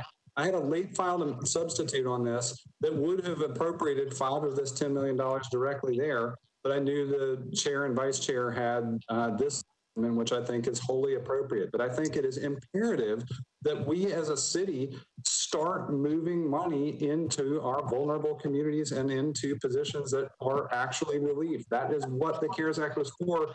And we have not used any of those funds to protect vulnerable populations right now. So I'm just I'm doubling down on the, the comments of the chair on this one, the urgency that we need to use to get this money out into the community to protect the economy, especially given Metro's fiscal circumstances is imperative and we should have moved three months ago. We should still move today. And so I just wanted to draw attention to that. Thank you, Mr. President. All right, thank you, thank you, Councilmember. Councilmember Toombs uh, for response. Uh, thank you, Mr. Vice Mayor. I echo the sentiments of, of Council Member O'Connell. I understand the frustration and, and wanting to get help to people as quickly as possible. I do want to remind the body that the judicial recommendations of that uh, that committee are due August third. So hopefully they'll they'll submit something that's that's good that's going to really address the needs of the community and the council can act on. All right, thank you, Councilmember Toombs. Uh, we've got Councilmember Porterfield. You're recognized. Uh, Thank you so very much, Vice Mayor. I just want to um, uh, say that I agree wholeheartedly with uh, Councilman O'Connell, and I do think that we need to move on this, and we need to make sure that we're prioritizing our most vulnerable communities to, to provide some, help provide some support with that CARES Act money. So thank you. All right, thank you. Uh, Thank you, Councilmember. Councilmember Styles, you're recognized. Thank you, Vice Mayor. It is not often that I feel that we need to double down on sentiments on the floor, but I think in this particular instance, we do need to move rapidly. This money was needed yesterday, beyond yesterday. And I also struggle to understand why we are failing the residents of this city, why everything seems to be very reactionary and we're not being proactive. Other people, other cities have received their money and have already distributed it. I would like to hear why. Thank you, Vice Mayor. Thank you, thank you, Councilmember Styles. Uh, Next person in the um, queue is Councilmember Johnston, you're recognized. I just had a point of clarification. Um, as a member of the COVID 19 Financial Oversight Committee, um, Council uh, Member Toombs is correct in that early August is when we have a preliminary report due, but that is not going to have detail. So um, I think that the detailed uh, report for our recommendations are uh, due in September. Um, so just wanted to clarify that.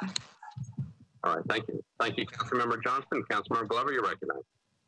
Just very quickly, uh, Vice Mayor, uh, one of the problems we have is we don't have businesses open. We keep opening, then we're closing, and that's some of the problem we're having as far as the the, the literal creation of the economic stress so many of our people have.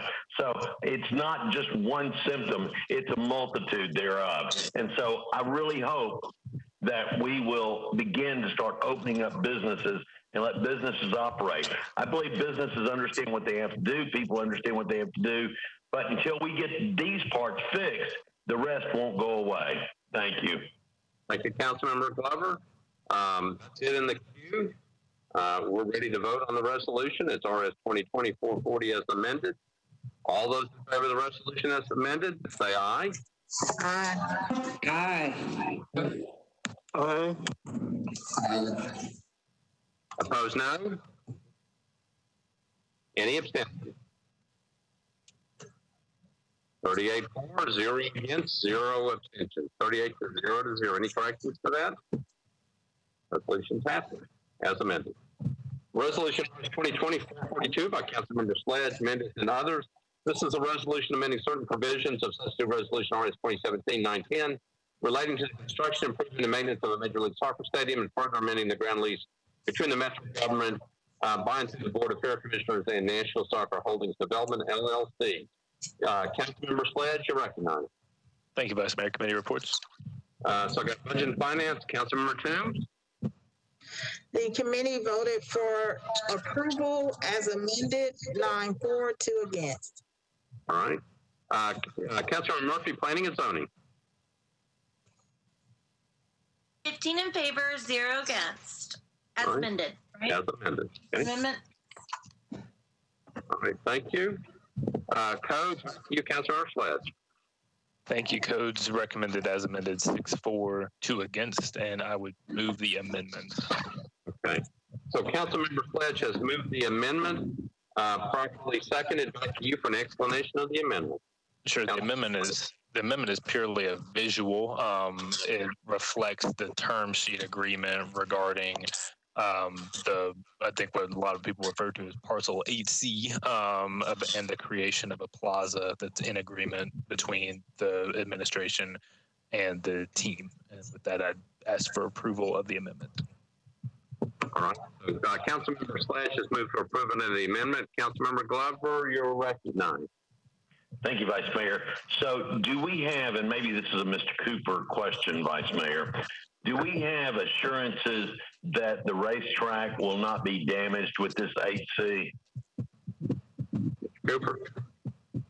Um, I would actually defer to the administration for that. It's my understanding that the revised layout of the 8C uh, moves it further away from the racetrack so that there would not be an impact to the racetrack, but I will let the uh, administration confirm that. Vice Mayor, would you mind if we ask the administration, can they confirm that, please, sir? So I'm looking, uh, so uh, Ms. Wiggins is on the phone, and I'm looking for Mr. Ja- Mr. Jameson has his hand up. I didn't see him before. Where is he? Not even on my list. Uh, Mr. Jameson, are you on the call?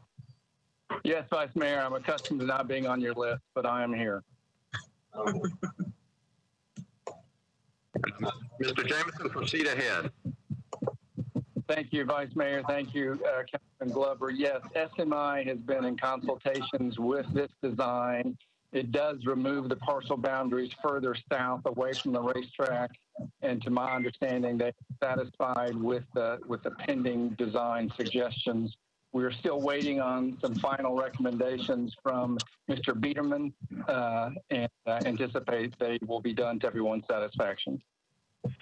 And in the event, Mr. Jameson, that um, something, I mean, the, the, the part that is all, I mean, well, there's a lot of parts that bother me, but this is certainly one of them that bothers me the greatest. That's racetrack.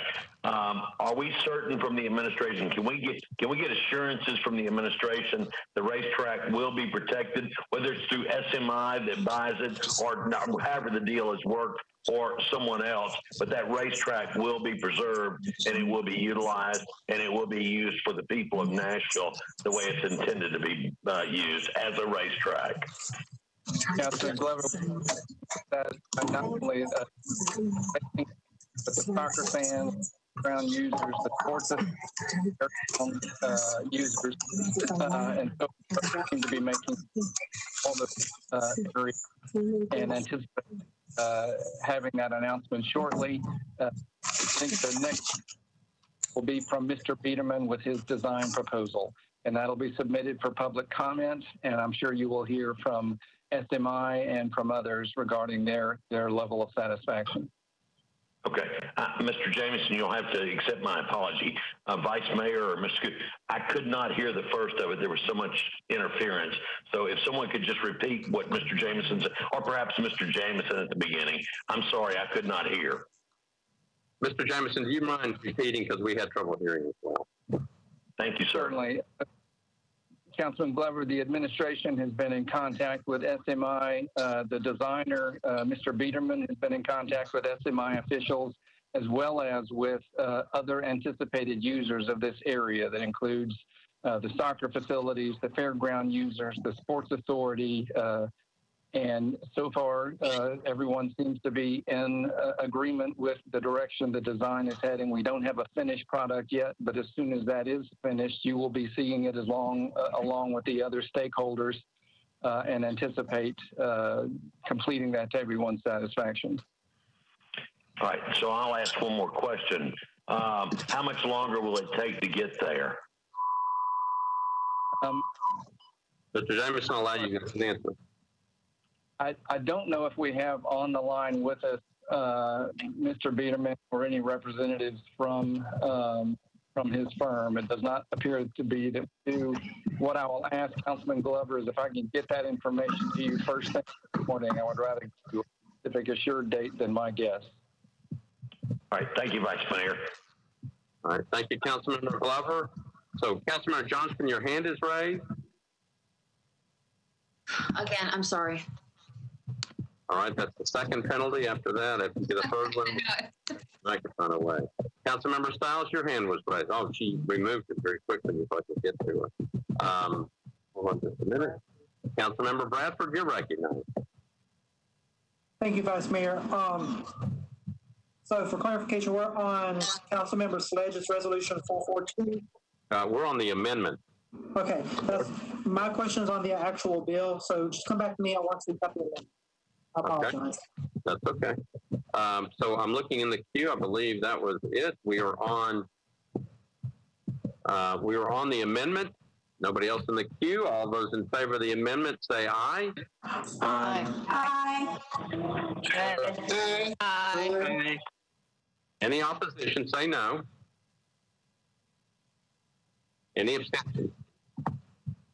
Vote is 38 to 0 to 0. Any corrections for that? Okay, the amendment passes. Thank you, Councilmember Sledge. You're on your bill as amended. Uh, Thank you. Your resolution as amended. Yeah, perfect. Thank, thank you. Um, so quick explanation on the resolution. This is a ratification of the agreement between the administration and Nashville Soccer Holdings, the, the team, um, on three main points. Um, the first of which is the removal of what was referred to as a backstop. Um, these were payments that um, could have been made by Metro regarding, um, depending on what the revenues were year over year in the deal. Those rev- those payments changed in years one through five and years six through ten.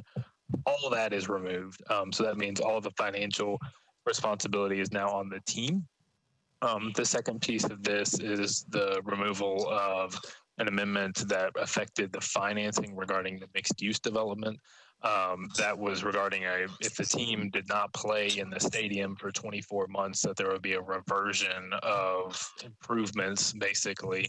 Um, the team has said that this has impacted their ability to obtain financing. Uh, in the negotiations between the administration and Nashville Soccer Holdings, they agreed to remove that amendment. Um, and then the final piece is what we actually just discussed um, the parcel 8C moving to create this plaza area um, that the two sides are in agreement with. I did explain in committee that there's a $200,000 per year lease payment for the mixed use development. I need to clarify comments I made on one of the committees. That's actually was in what we voted on previously. It is still in in the deal, um, but I just want folks to know that that had been agreed to prior. So the three pieces are backstop, uh, amendment removed regarding financing, and parcel 8C. So with that, I would ask for council's approval. All right, thank you, Councilmember uh, Sledge. Uh, we've got Councilmember Bradford. You're recognized. Thank you, Vice Chair. So I'm, I just want to speak for a moment in support of this. At the very beginning, I was very hesitant because I did support the initial um, Freeman Amendment as a protection for our city and our taxpayers. After speaking with, in committee with the um, sponsor and with other entities and seeing that this has support in mayor's office, that there are protections built in, that we are, Metro will get lease payments that we weren't already getting before, that this is going to benefit the community uh, benefits agreement. So I just want to go ahead and stand in support of this amendment, uh, this bill rather, and that I, I applaud Councilmember Sledge for his very detailed explanation of how this um, resolution protects Metro.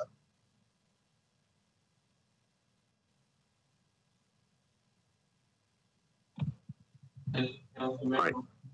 Thank you, Councilmember um, Bradford. We now have uh, Councilmember Young. Recognized. Thank you, Mr. Vice Mayor. Uh, a question for the administration.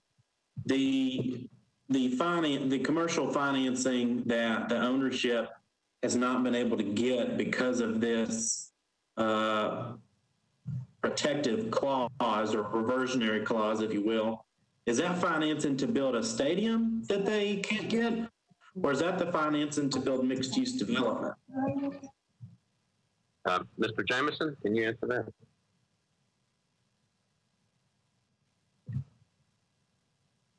Mr. Jameson?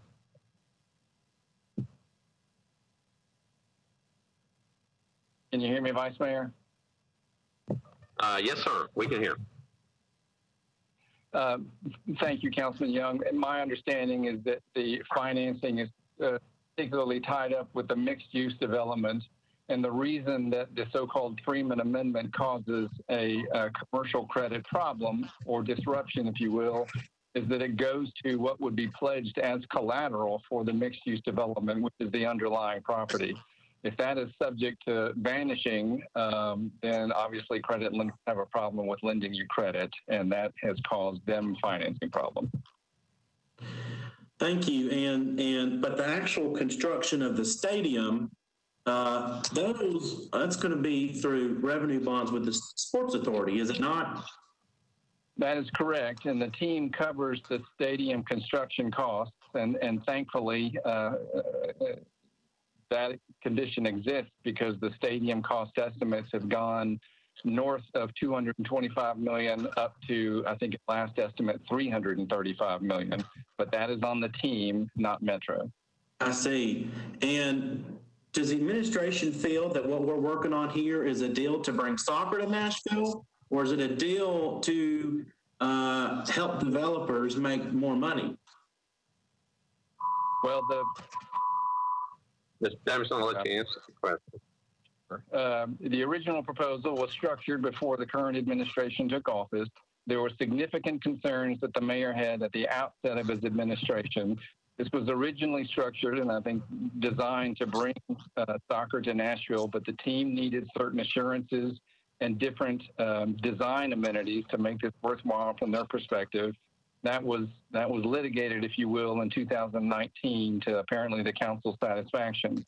When the mayor took office, however, he was deeply concerned by the guarantees that Metro was providing. You'll remember that we were guaranteeing at least $4 million a year for the first five years and another $3 million a year for years six through 10. And through negotiations that the mayor went through painstakingly in the first months of his administration, got us out of $35 million in cost guarantees, uh, single handedly, I might add. And uh, with that, it was deemed to be a sufficient improvement, I think, to the satisfaction of the council. And we intend to see soccer seen through in the coming. Let's see. Well, I'd like to go ahead and move for deferral for one meeting of this uh, because we need to get those finalized plans are apparently what we heard in codes committee uh, will be coming up very soon. And uh, removing this clause gives us quite a bit of leverage in order to make sure that those plans satisfy the council. So right. I'm going to move for one meeting deferral. Councilmember, Councilmember Young, you just uh, you were out of time, but I'm going to let the motion come through. Second. It's a motion to defer one meeting. Is that correct? Councilmember Young. One meeting. I heard a second. So we're on a motion to defer one meeting. Okay. Um, I've got, um, I had people in the queue, so I'm going to go back. Uh, Councilmember Sledge, I'm coming to you uh, since it's your resolution. Councilmember Sledge. Thank you, Mr. Vice Mayor. I'm going to move to table the deferral motion with a brief comment. Um, and uh, so hold on. So it's just a motion to table. So once you move something to the table, then I think we actually have to follow a particular rule. We do. All right, so it's Rule 35. So um, this is a motion to table. Um, a motion. The motion to table is correct. The motion, the motion to table may only be debated by the maker of the motion to table, and the maker of the motion against which the table motion is directed. So, um, all right, so uh, Councilmember Sledge, the way this works, we haven't had one of these in a while. Councilmember Sledge uh, has moved um, the motion to defer to the table. Um, so Councilmember Sledge gets to go. It's debated by three minutes. So the maker of the motion to table is Councilmember Sledge. The maker of the motion against the the motion is directed to the motion to defer. That's by Councilmember Young. Councilmember Sledge, you're recognized for three minutes, and then we will vote on the tabling motion. Thank you, Mr. Vice Mayor. So uh, while I understand the sponsors, con- uh, the motion makers concerned, we have debated and debated um, basically every aspect of this project for the last three plus years um, regarding what we should do with the fairgrounds. And in fact, it's been five years now since what I'll call phase one of the improvements, which was the park portion and the greenway portion at the fairgrounds. Um, I will remind colleagues that when the council voted on this portion in particular, the mixed use portion, there was an SP in place. So we have voted on zoning legislation um, on this bill on this parcel so that there is a plan in place. Um, we debated in codes and in fact in budget yesterday um, regarding deferral motions, and both those deferral motions were defeated. Uh, for anybody who has any questions, I would strongly encourage you to drive out to the fairgrounds um, and see the work that is going on. It is significant. It is massive. It is the grading for the actual stadium And quite frankly, with all the work that has been done, um, both in this council, through other parts of Metro government, and actually outside of Metro government regarding the community benefits agreement, um, the schedule for this development and for the stadium itself um, is right up against it. We heard in committee from the team essentially that every day of delay is an actual delay at this point. There's no wiggle room in the schedule. All that wiggle room's been used up. Um, this mixed use development, when we worked through it in council, was determined to be one of the things that A is standard operating procedure for new stadiums in areas that aren't already in developed areas because they help complement each other. And B, the more important thing to me, quite frankly, is that it has a, privately negotiated and agreed upon community benefits agreement on it. Um, there can be no action on that CBA, no tangible results from an agreement that includes affordable family housing, a daycare that is written into the agreement, um, a living wage that is written into the agreement, and several other benefits that, quite frankly, not only the city, but the state has never seen. Um, it is incredibly important to the community that is around it, um, and I would greatly uh, appreciate it being able to see this project move forward in a way that's comprehensive, that's cumulative, and that, quite frankly, just makes sense. So, with that, I would ask colleagues to vote yes on the tabling motion. Thank you, Vice Mayor. All right, thank you. Councilmember Young, you're recognized um, because you had the motion to refer. Uh, you've got three minutes on uh, the response. Thank you, Vice Mayor. Uh, once again, I will throw out to council that my intent is to get us to defer this one meeting, another two weeks, uh, because as we were told in, in codes committee, um, the, the plans of for this site are not finalized, and especially the specifics of uh, the majestic parcel 8C that everyone is so interested in. And you know, those plans are supposed to be ready before the next meeting, and I think it's only appropriate that the council is privy to those to make sure that we can live with those, uh, and that this resolution would would remove a point of leverage that we have um, with the billionaire ownership of the team. So I would ask that all we do is give this a little more time to make sure that we can all agree on and that we all like the actual plan that is being put together right now by the designers. Uh, and I would remind everyone that that at the end of the day, uh, it has been discussed many different times, but this is a very large project, uh, and it involves a lot of different uh, folks and a lot of money. And so it should be looked at multiple times as it goes through the process. And that's all I'm asking. Thank you, Mr. Vice Mayor. All right. Thank you, uh, Council Member. Um, so here's where we.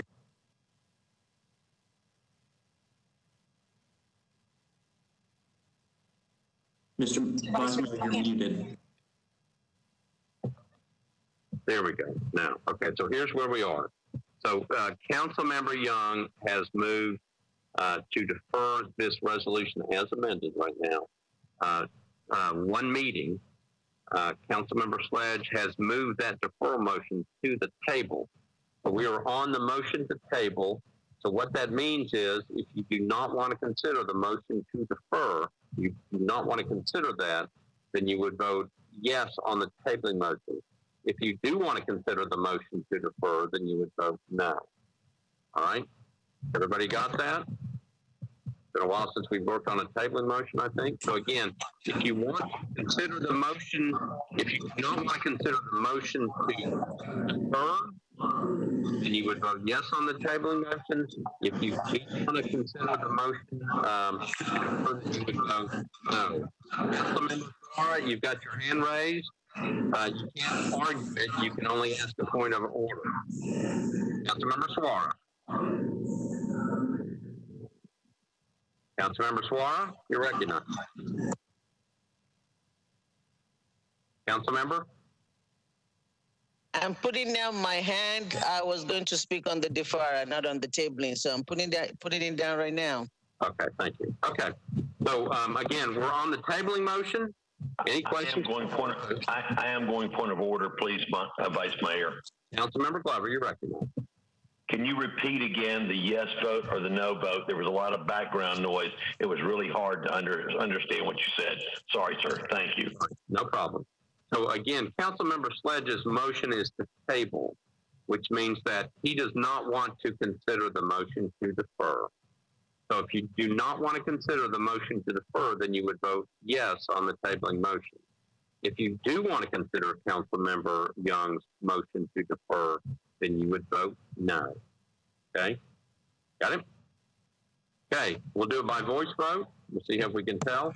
All those in favor of the motion to table, say aye. Aye. Aye. Aye. Aye. Aye. Aye. Aye. Uh, opposed to the motion to table, say no. No. No. No. Uh, any abstentions? Doesn't matter. So, uh, Mayor, Councilman Bradford abstains. I don't even think you can abstain on a motion to table. You can't. All right. So the motion to table um, prevailed. So we are back on Councilmember Sledge's motion uh, to approve Resolution RS 2020-442 as amended. All right. So we have people in the queue. Uh, I believe Barbara, Barbara and then Juan. You're recognized. All right, thank you, sir. Uh, Mr. Cooper, under the MLS rules, it's my understanding that the MLS determines who, where a team plays. We're not actually getting a, a, a team here. If the MLS decides they're not playing here, we don't have much recourse. Um, do you have any knowledge of that, please, sir? Uh, I'm not familiar with how M- MLS works um, internally. Uh, the the team is required to make the rent payments to cover the debt service on the stadium, whether the team is, is playing or not. Um, but I don't I don't know how MLS decides um, franchises and, and who plays. All right, in, in the event, and I'm just saying in the event, because I'm trying to figure out how we make sure we, we protect the taxpayers. In the event the team folds and who, who is ultimately responsible for the bonds, the revenue bonds that are taken out? Is, is the taxpayers removed completely or do they still have the liability should the team pull out? The Metro non-tax revenues would be pledged uh, towards, to, to back, as a backstop for the bonds. So if, if the team went away and, and did not make its uh, contractually obligated payments, and Metro would uh, be responsible for the debt service, and the Sports Authority would have to find a new tenant for the stadium. All right, so uh, Vice Mayor, just one final question then of Mr. Jameson, if I may. Is the administration aware that MLS is the one that makes the final decision of where these teams play? That in fact, we really don't have a say so in that? Mr. Jameson? Councilman Glover, Councilman Glover, I am unfamiliar with the regulation. I will be glad to verify that for you uh, first thing in the morning. All right, thank you, Vice Mayor. Council, thank you, Council Member. Councilman, Can you hear me? I can hear, I can hear you. Thank you. Um, I know there's a lot of discussion on the stadium, uh, and I know that, that I do agree that getting it right and making sure everything works for the taxpayer is, is paramount. But I do want us to separate that conversation from the subject of the resolution itself.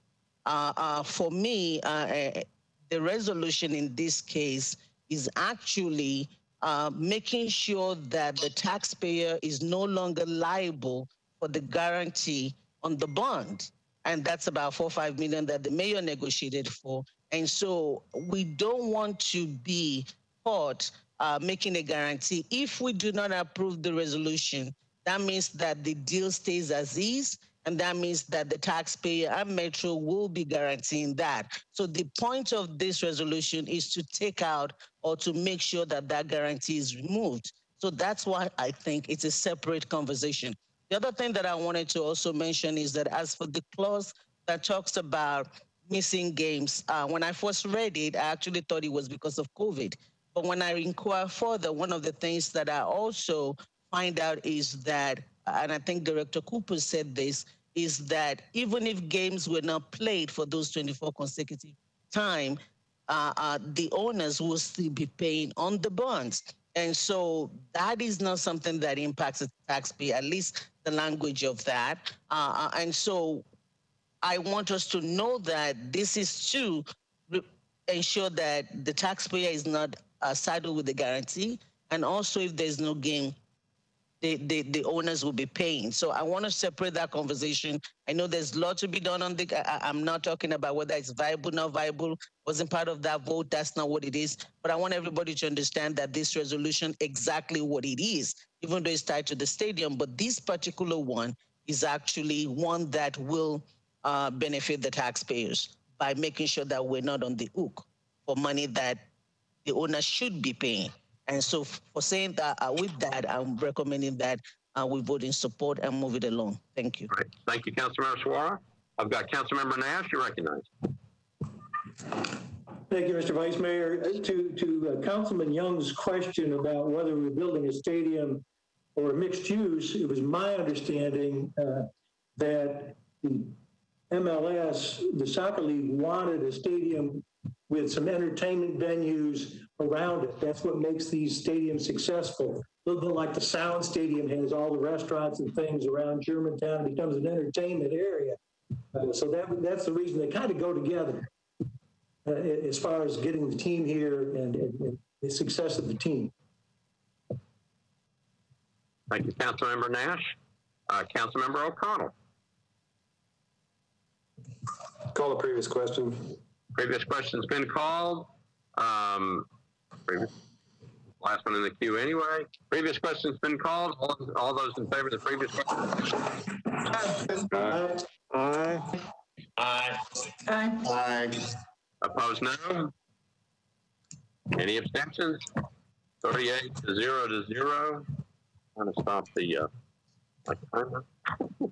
All right, so um, I believe we may have some negative votes on this. So uh, under the rules, under the rules, we go on the board. Well, we don't have a board, so we go on a roll call. So Madam Clerk, uh, need to call the roll.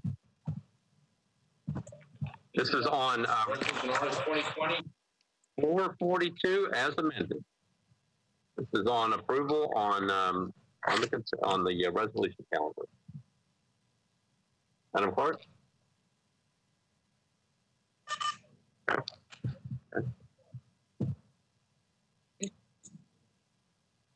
Councilmember Mendes, Councilmember Hurt, Yes.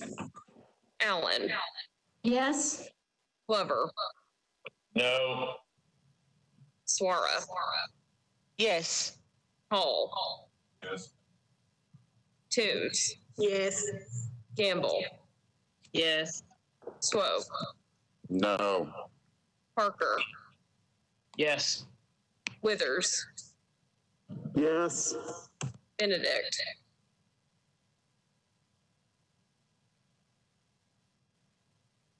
Councilmember Benedict, VanReece, Yes. Hancock,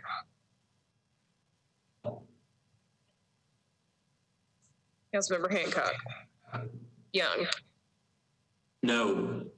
Hagar, No. Evans. No, I believe that was a no. that's right. Yes. That's Bradford, Yes. Rhoten, Yes. Syracuse, Yes. Welsch, No. Sledge, Yes. Cash, Yes. O'Connell, Yes. Roberts, Taylor,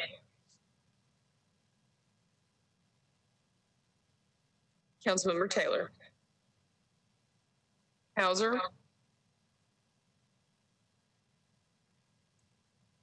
Councilmember Hausser, Druffel,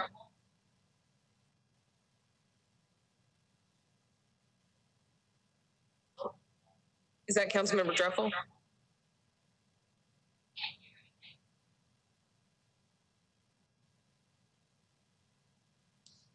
Can you hear me? Oh, do you mean Councilmember Druffel? I'll move on and come back to Councilmember Druffel. Councilmember Murphy? Yes. Yes. Is that correct? Yes. Councilmember Pulley?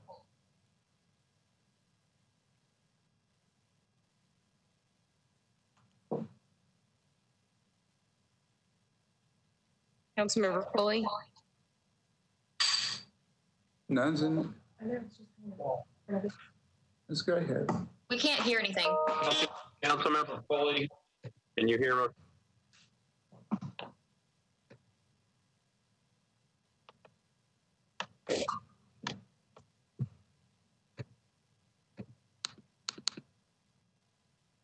Um, so, uh, Council, uh, Councilmember Murphy, can you repeat your vote?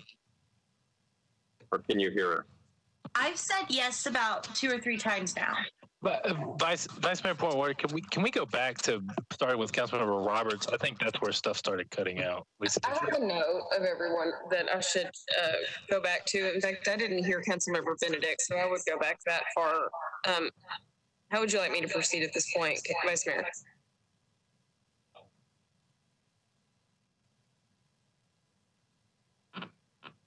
Um, I think uh, we never heard from Councilmember Benedict. Like, I'd like to start with Councilmember Roberts, who I believe is not on the call. I know that Councilmember Murphy has voted yes. Start with Councilmember Bennett, uh, Councilmember Roberts, go forward, and then we'll go back. Yes, Vice Mayor. Councilmember Roberts, are you on the call?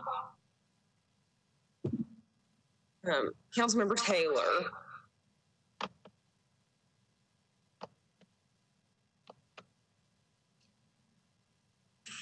Councilmember Hausser. Yes.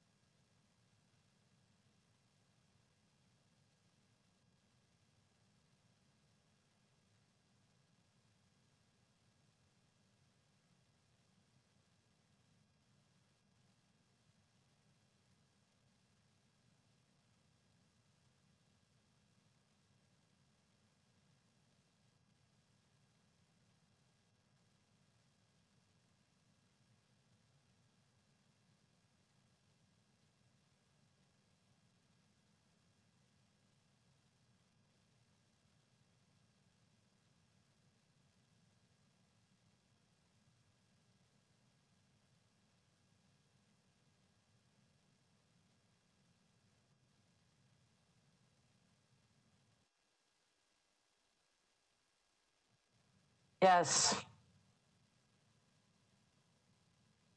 All right, Johnston, uh, are you back on? Councilmember Johnston.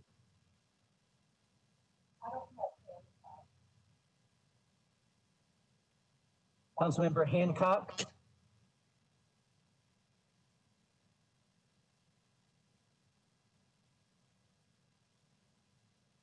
Councilmember Hancock.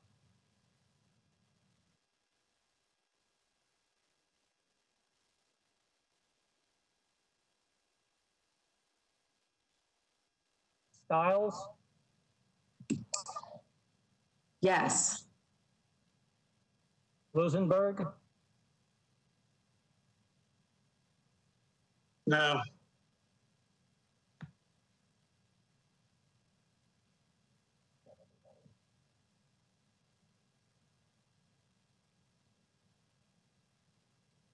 V- Vice Mayor, I'm back on the meeting. I don't know where we are. My connection went out here. get her vote. Councilmember Bertram, we're voting on uh, resolution RS twenty. As amended by council. How do you wish to vote? Vice Mayor, we can't hear you. It looks like you're muted. Okay, I'm muted. So count, so Councilmember Bertram, we're voting on RS 2020 442 as amended by Councilmember Sledge. Uh, Councilmember Bertram, how do you wish to vote? Um, yes. Okay, Councilmember Bertram votes yes. If you could ask Councilmember Johnston to raise her hand, what hand if she is a no. So Councilmember Johnston, can you hear us? Uh, would you, um, if you are, if you can use your raise your hand, um, if you are a, you want to say if she's a yes, uh, raise her hand or not? We'll just see if she's here. Councilmember, um, I'm looking for her on here. Councilmember Johnston, I found you. I think I'm back. I just had to log out and log back in. So can you hear me? Yeah, we can hear you. Okay. I'm a no. No? I- I'm assuming y'all are still on. No. No.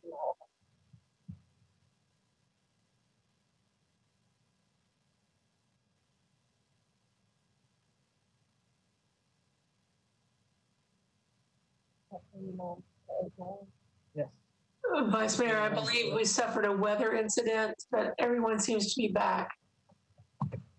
All right, so it's 29 to 8 So the vote on the resolution is, Vice Mayor, is it possible to, can you hear me now? This is Emily, Councilwoman Benedict. Councilmember Benedict? Yeah.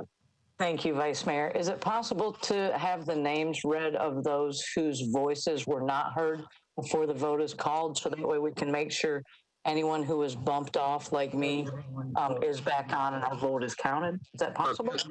Councilmember Benedict, we actually have a sheet with everybody's names on it, and so we have checked, and uh, we've got it. And Councilmember Benedict, she's listed. Councilmember Benedict voted yes. Thank you. Okay, so we've got, we actually have a sheet that has everybody's name, so we can actually check it. That's right. Was Councilmember Murphy a yes?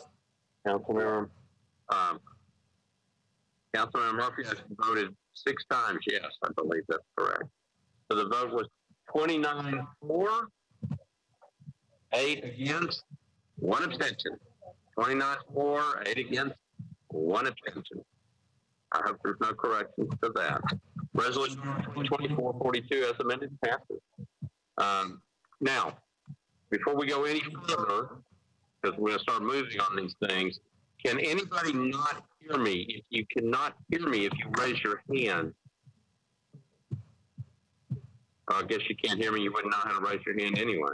All right. If you're having trouble, if you will text or either text me or whatever. This is um, very difficult. Okay. Meeting just on all. Yes, but I think it's back up.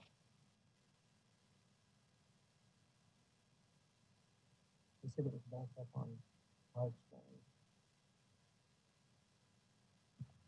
we're gonna we're gonna try to keep going.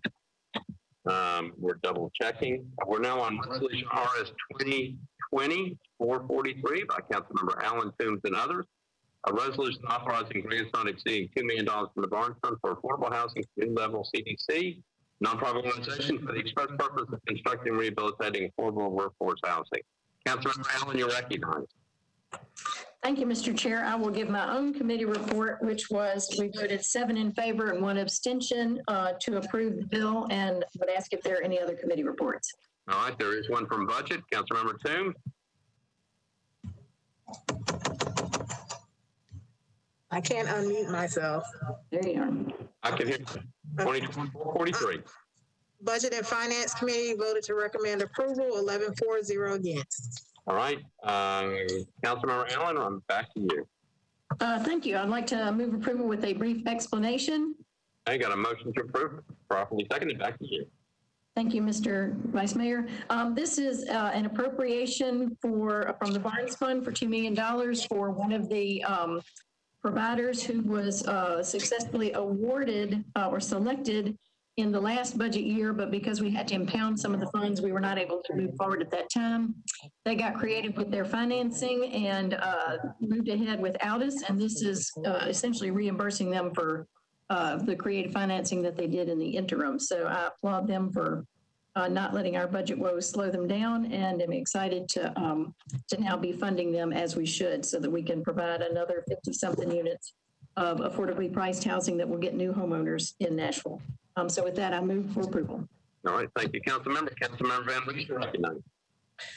Um, yes, I just wanted to acknowledge many of you heard on the, in the committee process that, uh, this project is in District Eight. It's in Madison on Williams Avenue, just off Gallatin Pike. Um, it fulfills, um, a lot of hard work by the community to create a mixed income neighborhood.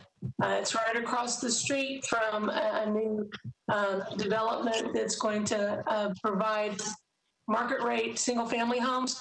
Um, also uh, across the street is a, a new business that's going to be building a brand new campus uh, for uh, folks that'll be making uh, six figures or more by working there. Uh, further down the street, you have the Elks Lodge and the Patriot Place um, uh, location has been extremely successful in helping keep uh, veterans uh, from the homeless uh, environment that they had suffered. Um, a lot of hard work has gone into it with uh, Buffalo Valley and uh, MDHA on um, uh, Patriot Place. Uh, these are neighbors to uh, two significant um, developments of neighborhood.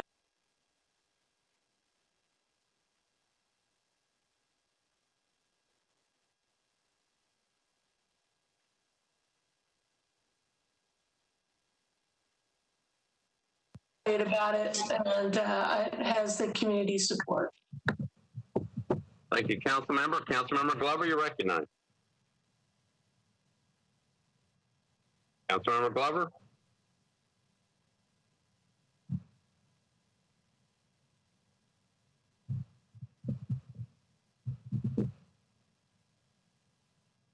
Councilmember Glover, obviously we can't hear you. You may need to reboot.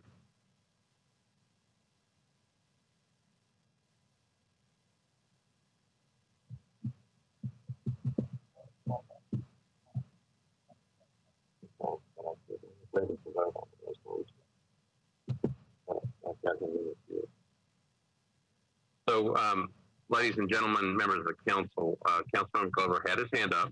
Uh, we, he's the last person in the queue. Uh, we're going to try to figure out what his question was, um, and then we'll be ready to vote on the resolution.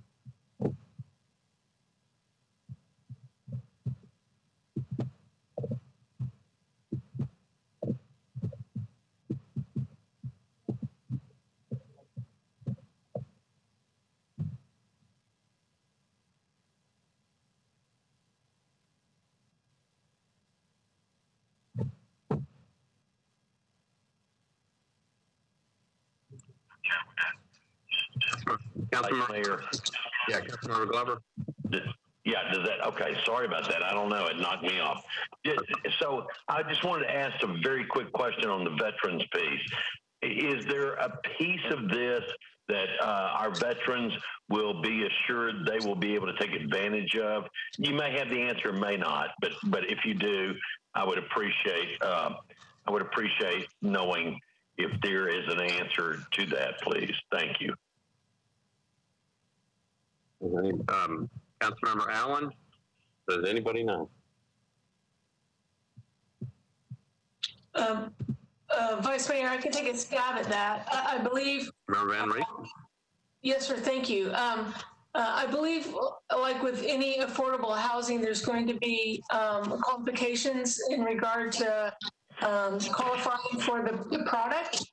And uh, I know that they'll work hard to make sure veterans apply that they have um, all the ability to participate. Uh, I would love to see um, uh, current residents, for example, of Patriot Place that have um, a window of opportunity uh, to own their own home in the neighborhood that they've become accustomed to. I'd love to see that transition. Um, and I think that everyone's going to work really hard to make sure that it's so hard to find affordable homes to buy, not just to rent. And so this is what makes this particular piece all that more appealing. Um, but you can uh, address uh, uh, afterward just to make sure that they have as many possibilities as possible for people who may be wanting to buy these homes. All right, thank you, council member. Councilmember Glover, does that answer your question? Yes, I, I think it does. I, I would simply say, I mean, anything we can do for our veterans, I hope we do everything we can to support our veterans. Thank you, Vice Mayor. All right, thank you, Councilmember Allen. You're the last person in the queue. Thank you. I would just add to that, I understand from Hannah Davis that they will be doing outreach to veterans to recruit them into the home ownership program. So that's, that's further uh, answer to Councilman Glover's question. All right, thank you. We are ready to vote on Resolution RS 2020-443 by Councilmember Allen. It's been properly seconded. All those in favor say aye. Aye. Aye. Aye. Aye. Aye. Opposed, no. Any abstentions? Uh, I believe uh, Ms. Hausser has to abstain. Councilmember Hausser, did you? Yes, yes, I, I have to abstain on this one. All right, so the vote is 37 to 0 to 1 abstention. Any corrections to that? 37 to 0, 1, resolution passes. We're on, if you're keeping up with the calendar, we are on uh, page 4, Resolution RS 2020-449 by Councilmember Henderson, a resolution approving the intergovernmental agreement between the Metropolitan Government, the Department of Homeland Security, the Federal Emergency Management Agency, and the Federal Insurance and Mitigation Administration for approval of the Information Sharing and Access Agreement. Councilmember Henderson, you're recognized. Uh, Thank you, Vice Mayor. Uh, The administration had a late filed amendment, and I attended rules uh, regarding that. So I guess I need a um, committee report from rules. Uh, regarding the Councilmember, amendment. Councilmember Rosenberg. Well, Thank you, Mr. President. Uh, Rules did not have an issue with this late file. All right, so uh, Councilmember Henderson has a late filed administration amendment. Uh, Can you give me just a brief explanation, and then I'll see about suspending the rules? Um, I- On the amendment or the, the bill? No, on the amendment, just the late file, so people know Okay. what. At best I understand, it's just a small technical amendment. I don't know if Mr. Cooper could uh, describe it more particularly. The amendment adds some additional language that FEMA wanted into the agreement. It does not change anything substantively. Councilmember Henderson has uh, moved to suspend the rules to get a late filed uh, amendment in. Any objection to the uh, late filing of the um, amendment? Seeing no objection, Councilmember Henderson, you're on your amendment. Uh, Do you wish to move it? Yes, sir. I'd like to move the amendment, please. Okay, so Councilmember Henderson moves the amendment, Second. properly seconded. Any discussion on the amendment? Seeing none, all those in favor of the amendment say aye. Aye. Aye. Opposed? Opposed, no. Any abstentions? Amendment's on, 38 to 0 to 0. Any corrections to that? Seeing I'd none. like to move the bill as amended. Councilmember, uh, so Councilmember Henderson has moved a resolution as amended, properly seconded. Any discussion? Seeing nobody in the queue, all those in favor say aye. Aye. Aye. Aye. Opposed, no. Any abstentions? Bill passes 38 to 0 to 0. 2024-49 as amended. We're on resolution RS 2024-51. Oh, I'm sorry, RS 2020. And my screen has gone down. We can still hear you, Vice Mayor. Hear me? Hold on. Okay, I'm back up. There you go. Thank you. Good thing I didn't say anything too bad. All right. So we're on um, uh, Resolution RS 2020-450 by Councilmember Druffel and Men- Mendes and others. Resolution approving the intergovernmental agreement and between the state of Tennessee Department of Transportation and the Metropolitan Government, acting by and through the Department of Public Works for the reimbursement of railroad crossing safety improvements at Post Road Railroad Crossing 348-02858F. Uh, Councilmember Druffel, you're recognized. Yeah, I move for a, a one meeting deferral. Okay, let's get the committee report real quick. Budget and Finance, Councilmember Toombs. Budget and Finance voted to defer for one meeting, eleven four zero against. All right, Planning and Zoning, Councilmember Murphy. Voted to defer uh, one meeting, 15 in favor, zero against. All right, thank you, Councilmember uh, Henderson, Public Works. Public Works, 11 in favor, zero against. Uh, for deferral. Yes, sir. One meeting deferral. right, there you go. Councilmember Druffel has moved to defer, properly seconded. Any discussion? Seeing none, all those in favor say aye. Aye. Aye. Aye. Aye. Aye. Opposed, no. Any abstentions? 2024-50 is the third one meeting. We're on Resolution RS 2020-451 by Councilmember Evans, Hagar, and others. Resolution approving supplement one to an intergovernmental agreement by and between the State of Tennessee Department of Transportation and the Metropolitan Government acting by and through the Department of Public Works for the reimbursement of railroad. Okay. All right.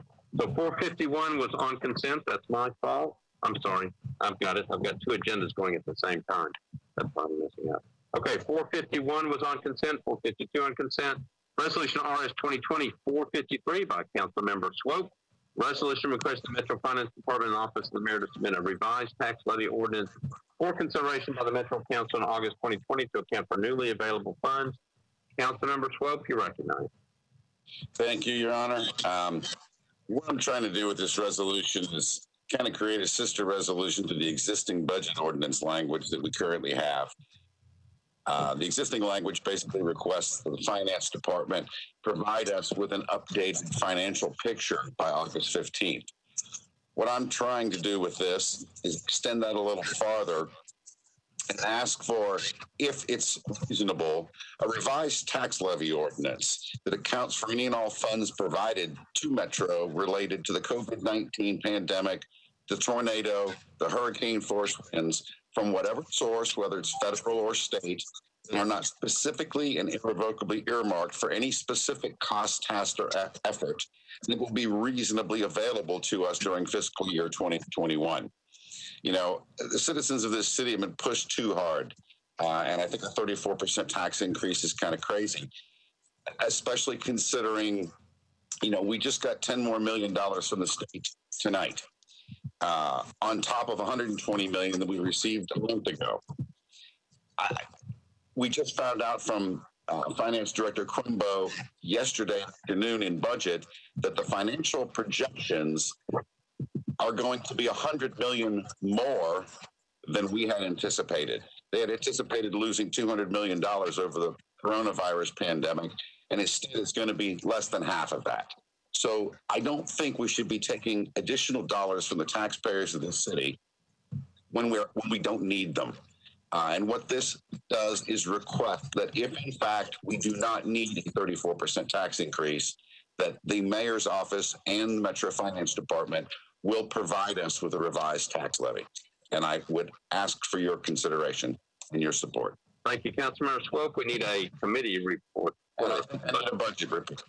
Councilmember Toombs, you recognize. Budget and Finance voted to recommend approval, ten for, one against. All right. So Councilmember uh, Swope has moved approval, properly seconded. We've got people in the queue. Councilmember Glover, you recognize. Thank you, Vice Mayor. Just very quickly, I appreciate Councilman Swope doing this. Uh, in the event the administration is not going to prepare something for us, I have let uh, our legal know, and we are working on a bill because it'll take three readings, and I think that's correct, Mr. Cooper. If I'm incorrect, please correct me. Uh, however, I believe it'll take three readings, and I've got one that is ready or that will be filed for the next meeting. So I would, I appreciate Councilman Swope uh, making this move. Thank you, sir.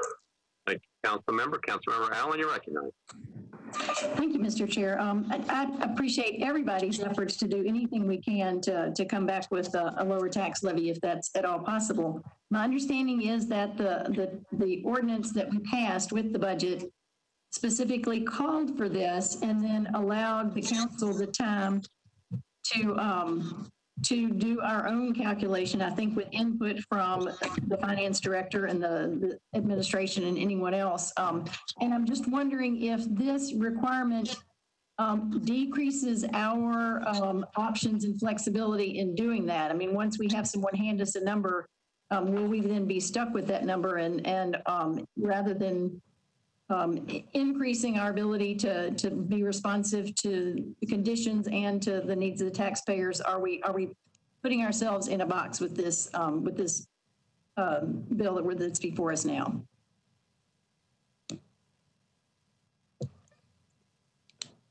Um, I'm going to go to council member Swope. Uh, Thank you, Your Honor. Um, As, uh, and thank you for the, for the uh, comments, Ms. Lady Allen. As uh, Director Cooper said yesterday, um, this, this doesn't really change what we already have in play with the current budget ordinance. Rather, it adds to it. So in, in my humble respect, it, it doesn't corner us at all. It actually opens, uh, opens a larger door for us to operate with. Councilmember Allen. Um, yeah, I, I appreciate that opinion. I just, uh, I just wonder if, um, once a number is seen by the general public, if, I mean, people tend to, to grab onto numbers, you know, if then we're, we're stuck with that number and if we have other things we want to consider, if that will become more difficult for us because it, it's published before we have our opportunity, um, to further debate. So I'm, I'm, um, I appreciate the effort, but I'm not sure I'm going to be able to support this just because I, I like keeping options open. Thank you. Councilmember O'Connell. Call the question. Previous best question's been called. All those in favor of the previous question say aye. Aye. Aye. Aye. Opposed? Opposed, no? All right, the previous question prevails. There you go. We are on uh, resolution um, RS 2020 uh, 453 by Councilmember Swope. Uh, We'll try to do it by voice, voice vote first. All those in favor of 2020 453, say aye. Aye. Opposed, no? No. No. No, no, no, no. Okay, uh, we're on the board, but not on the board, we're on the roll call. Uh, Madam Clerk, uh, the roll.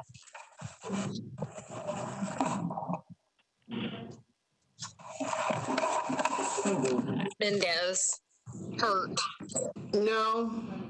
Allen, No, Glover, Yes. Suara, No. Hall, Yes. Toombs, No. Gamble, No. Swope, Yes. Parker, No. Withers, No. Benedict, No. VanReece, No.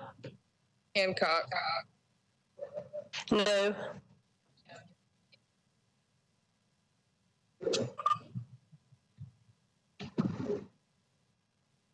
Councilmember Young, Yes.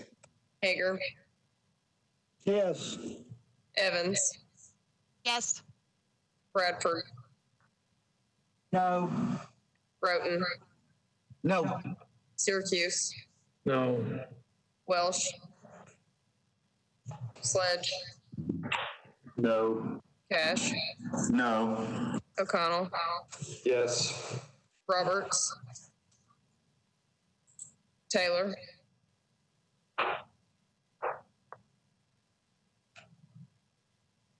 Councilmember Taylor, Hausser, No. Druffel, Yes. Murphy, No. Pulley. Is that a yes? Yes, that's a yes. Thank you. Johnston, Yes. Nash, Nash is a yes. thank you. Vercher, Porterfield, No. Sepulveda.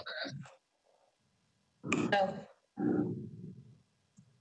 Mark, no. Rutherford, Yes. Styles, No. Lee, No. Henderson, Yes. Rosenberg, Yes. Councilmember Taylor, Councilmember Vercher.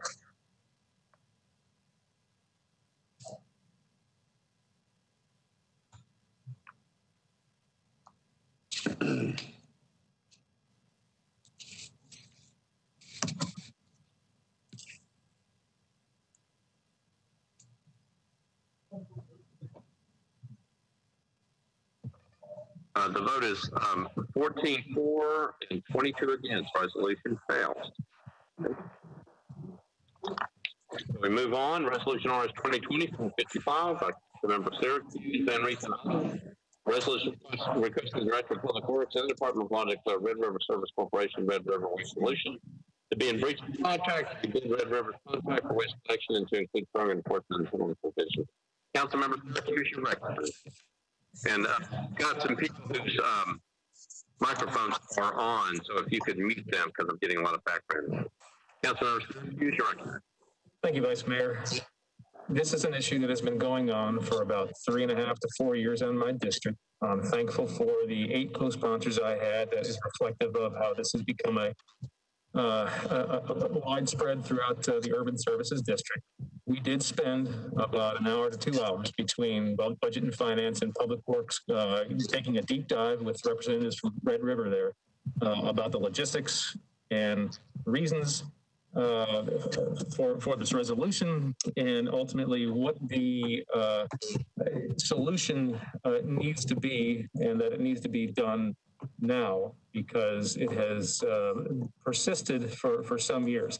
That said, I'm filing this. It is tersely worded, but um, I do not have the expectation that Public Works or legal will immediately cancel the contract. I do have a glimpse of hope that there will be some uh, operational change that will in, improve things. Um, I'm going to continue to work with Public Works and, and Red River on this, but this is filed to support Public Works and legal to take whatever means necessary to, to resolve this. So I, I appreciate it. Thank you, Councilmember Syracuse. Any committee reports, Budget and Finance, Councilmember Toombs. Sorry. Budget and Finance voted to recommend approval, 11 for, zero against. Councilmember Henderson, Public Works.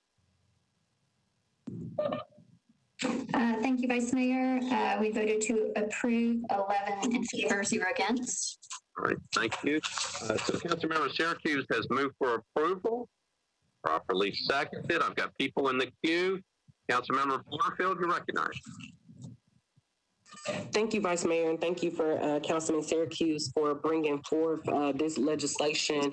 Um, I was glad to sign on to this because this has been a very uh, a big problem in our district. Um, uh, I've been serving on council now for about 14 months, and this has consistently been a problem. And I know some of my colleagues have expressed that this has been a, a, a problem for the last three or four years. Uh, trash pickup day in my community is on Friday. Friday. Um, our constituents have gotten so used to their trash being picked up on Saturday that I am often called and asked if our day has been changed uh, because they know that they are, are not getting picked up on Friday. Um, as of right now, uh, at about 6:15 p.m., I still have at least one street in my district that has not been picked up from last Friday's uh, pickup. We are consistently seeing uh, initially our Friday pickups were going to Saturday. Now we are seeing pickups happening on Monday and on Tuesday of the following week. Uh, every single weekend is consumed with constituents calling, texting, emailing, and tagging on social media because this problem has uh, become so such a big issue. Uh, we're consistently seeing one side of the street picked up and the other side of the street not picked up. We're seeing houses skipped um, and it just it, it's it's not acceptable. And I'm I'm thankful that Public Works has tried to work with Red River to address this issue. And uh, ultimately, whatever needs to be done needs to happen because uh, what we care about is our trash getting picked up in a timely fashion.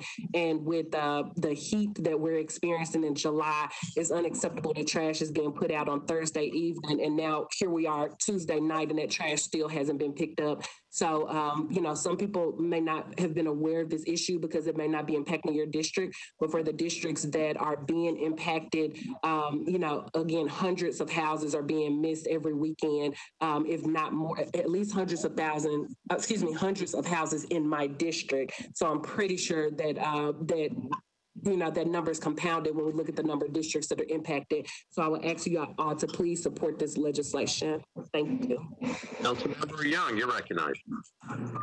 Thank you, Mr. Vice Mayor. Uh, I, I, think it's worth pointing out that this is not a one-sided problem. Um, that I really don't think that all the blame here should be falling to the contractor, Red River.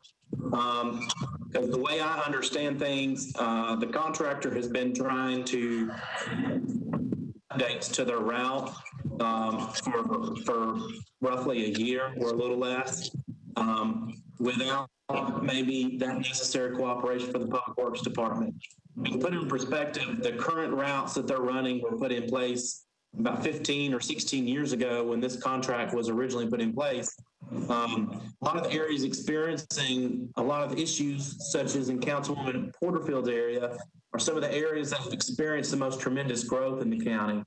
Um, I, am certainly not saying that the issues that she's experiencing are acceptable, but I, I do think it's worth noting that uh, maybe some more effective cooperation and participation from our public works department uh, would have been gotten the ball rolling on this sooner. I mean, right now they're only allowed to pick up garbage four days a week. Uh, they need to go to a five day week schedule. And my understanding is that Public Works has now given the okay to make routing changes. And I think this vendor should be given that chance to do so I'm, I'm really hesitant for this council to take drastic action um, like this because I, I guess my my question then, and maybe this is for Mr. Cooper, is if this does get canceled, then where does that leave us as far as the trash collection that we've now canceled with, with this vendor? I mean, I, where does that leave those residents and their trash getting picked up? Uh, Councilmember Metro would have to um, negotiate an emergency contract with someone uh, to pick up the trash. Um, that would be difficult, but but I, that would be the only remedy at this point. Right, and I think that's why I would just encourage us uh, to really really give this rerouting another shot. But uh, I appreciate. It. Thank you, Vice Mayor. Councilmember Hart, you're recognized. Thank you, Mr. Vice Mayor. I concur with Councilman Young. In the discussions last night, I was asking those questions about changing the routes and, and adding more days. Um, and, and no one could really say why that had not been done for them to have used this vendor for 15 years, and this was a problem specifically and only with the vendor, then it seems to me that it should have been incumbent upon Public Works to do something about it. So for there not to have been uh, rerouting and, and changing with the growth and, and adding on additional drivers and trucks and um, days in order to address it. Um, I, I think, I just don't think that it is 100% on the vendor. And uh, a lot of times it's always, it looks easy from the outside, but on the inside, you don't ever know.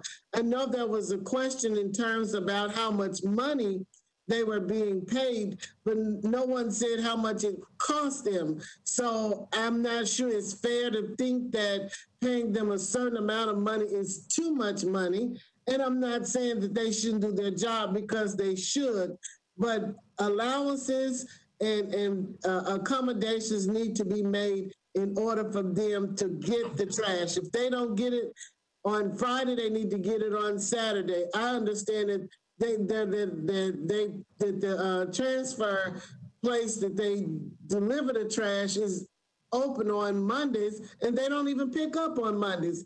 And that doesn't make sense. So they need to get something done. And, and I would just think that um, they need the first priority is to make sure that the trash is picked up by any means necessary. All right, thank you, Council Member. Council Member Rutherford, uh, you're recognized. Uh, thank you, Mr. President. Um, I was happy to sign on to this resolution uh, when I first read it. Uh, it. It's impacted my district, and um, I hear uh, on this every week, um, and it's been very consistent in terms of hearing from constituents on this. And my district, uh, only a small portion is in the USD. So I can only imagine what Councilmember Syracuse uh, goes through in his district. But I also don't believe that cancellation of the contract uh, will be the end result of this. I just think a strong stand needs to be made by the council, and that's how I view this. And I encourage uh, my colleagues to support it. Thank you. All right, I'm going to go back to Council Member Syracuse. Uh, you recognize. Thank you, Vice Mayor. There is no district council member who has been more engaged in the logistics and the operations of Red River from their CEO down to middle management in this county. And to, for the council member for District 11 to uh, say that there is issues with public works, there's a little bit of misinformation there, especially from somebody who's in the general services district who doesn't even uh, in, in, engage in this.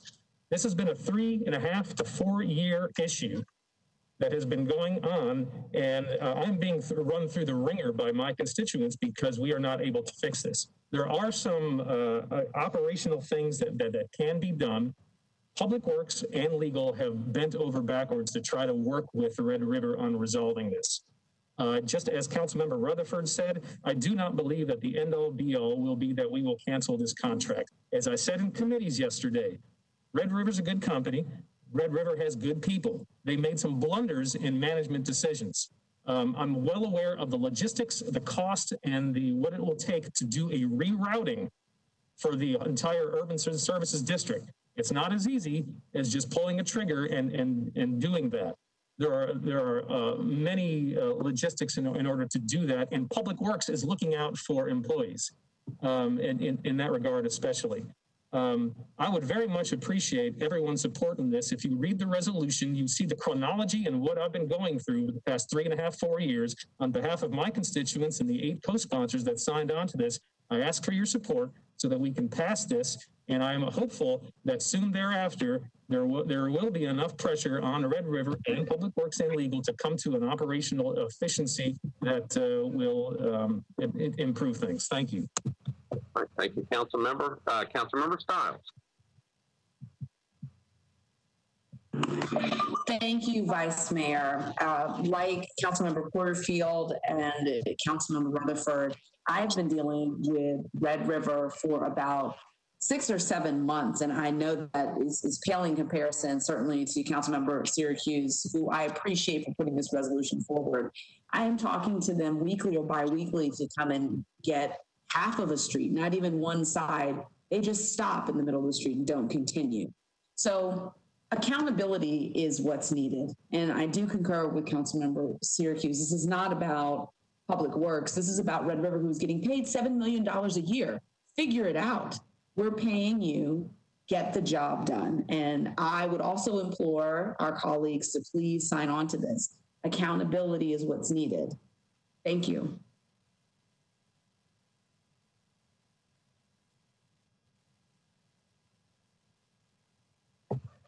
Councilmember Johnston?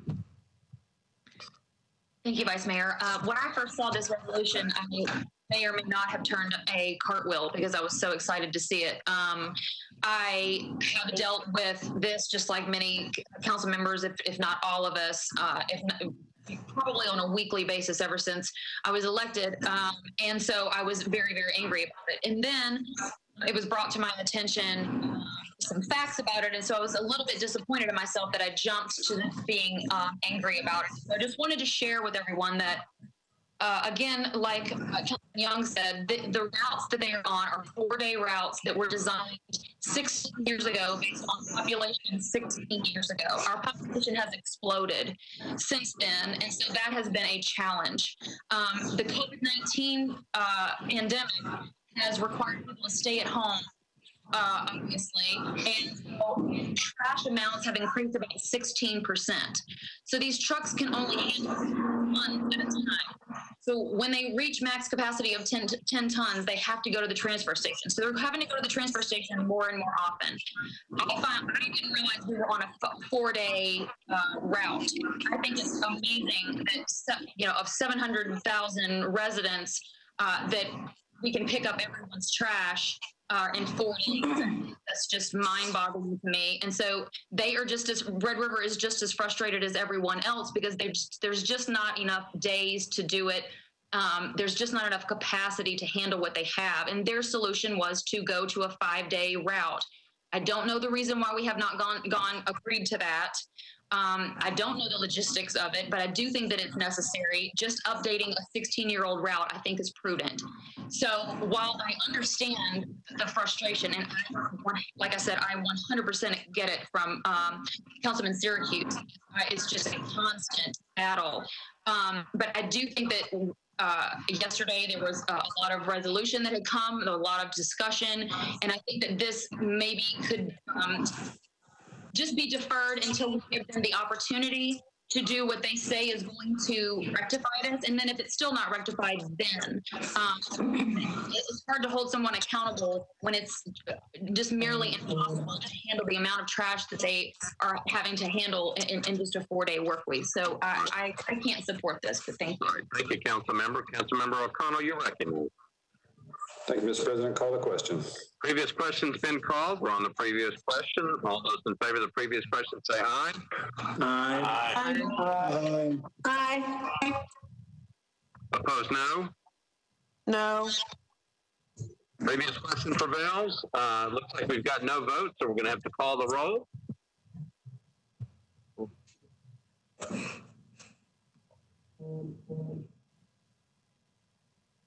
All right. So, um, uh, Mr. Cooper is letting me um, uh, take a voice vote and see if there's a few no's. So let's try it that way. If there's too many, then we'll do it the other way.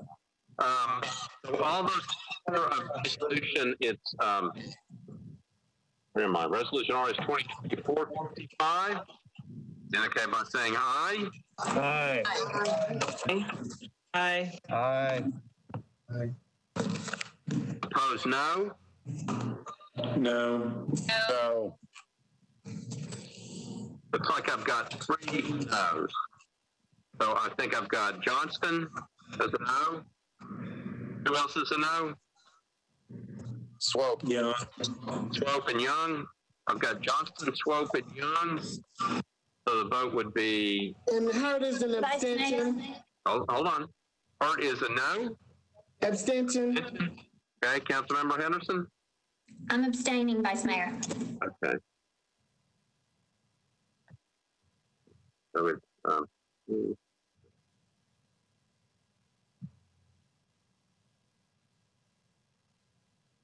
Thirty-three to forty-four. So the vote would be thirty-three for, three against, two abstentions. Thirty-three to three to two. Any corrections to that? Resolution passes. All right, so we're now on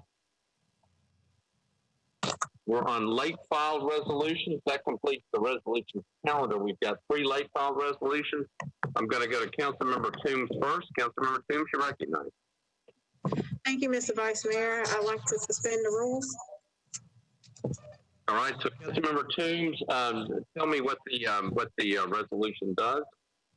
This is a, um, it's giving grant funds from the Administrative Office of the Courts to the Music City Community Court, which operates out of the McGruder Center in 37208 North Nashville. Um, the funds will be used to complete the build out of the space in the McGruder Center. The grant funds actually run out on August the 31st. So if we were to delay voting on this, there wouldn't be sufficient time to complete the construction of the space. All right, thank you, Councilmember. Councilmember Rosenberg, uh, Rules Committee, did they look at this? Uh, yes, Mr. President, we did and did not have an issue with the late filed nature. Okay, thank you, Council Member. Council Member Tombstone is going to move to suspend the rules to get this in front of us. Any objections to suspension of the rules? Um, so I've got people with hands up, but I don't know if that's from before. Now, Councilmember Vercher, Councilmember, oh, now they're taking them off. Okay, any objections to suspension of the rules on this? Seeing none, uh, Councilmember, so the rules are suspended. Councilmember Toombs, you're recognized on your uh, late file resolution. Motion to approve. Move for approval. Move for approval, properly seconded. Any discussion on the resolution? Seeing none, all those in favor say aye. Aye. Aye. Aye. Aye. Aye. Opposed? Opposed, no? Any abstentions? The resolution uh, passes 38 to 0 to 0. Any questions to that? Resolution passes. Thank you, Councilmember Toombs. Late file resolution, Councilmember Porterfield, you recognize.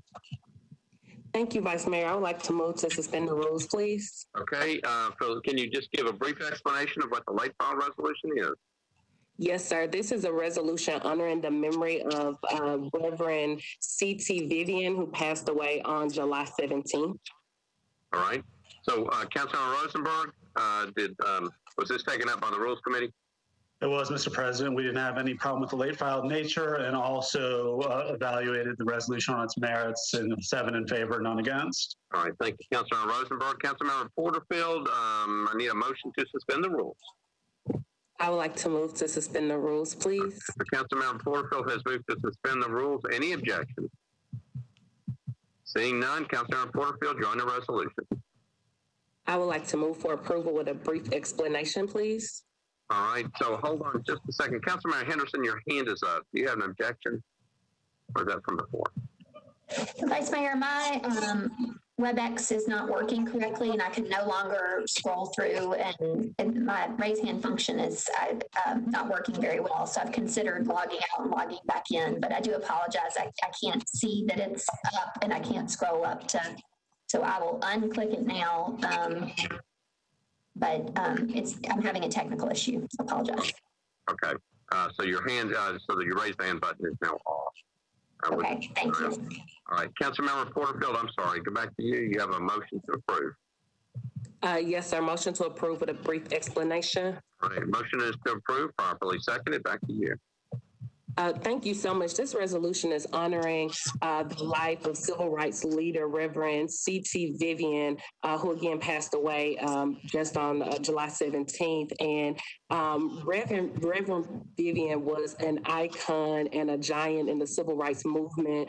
Uh, he studied at uh, American Baptist Theological Seminary right here in Nashville. Um, he worked with Reverend uh, Lawson. He worked with Dr. King. When you uh, look at that iconic picture of Diane Nash on the courthouse steps uh, confronting Mayor Ben West, uh, that is Reverend Vivian standing right beside her. And they were the ones um, who worked in the, the, the city in and who confronted the mayor to um, and got the mayor to acknowledge the racial discrimination uh, that was happening in our city. And the mayor did agree to desegregate uh, our lunch counters in the city. Uh, he did go on to do many, many monumental things, um, including joining CORE, which is the Congress of Racial racial equity um, uh, on the Freedom Rise to Mississippi. Uh, he was a nonviolent protester and he was a, just a phenomenal individual. So, uh, Vice Mayor, I'll leave it at that. Uh, other people may want to speak to acknowledge his legacy as well. And I just ask uh, that we acknowledge him and, and that uh, the body will support. Thank you, Councilmember. Councilmember Allen.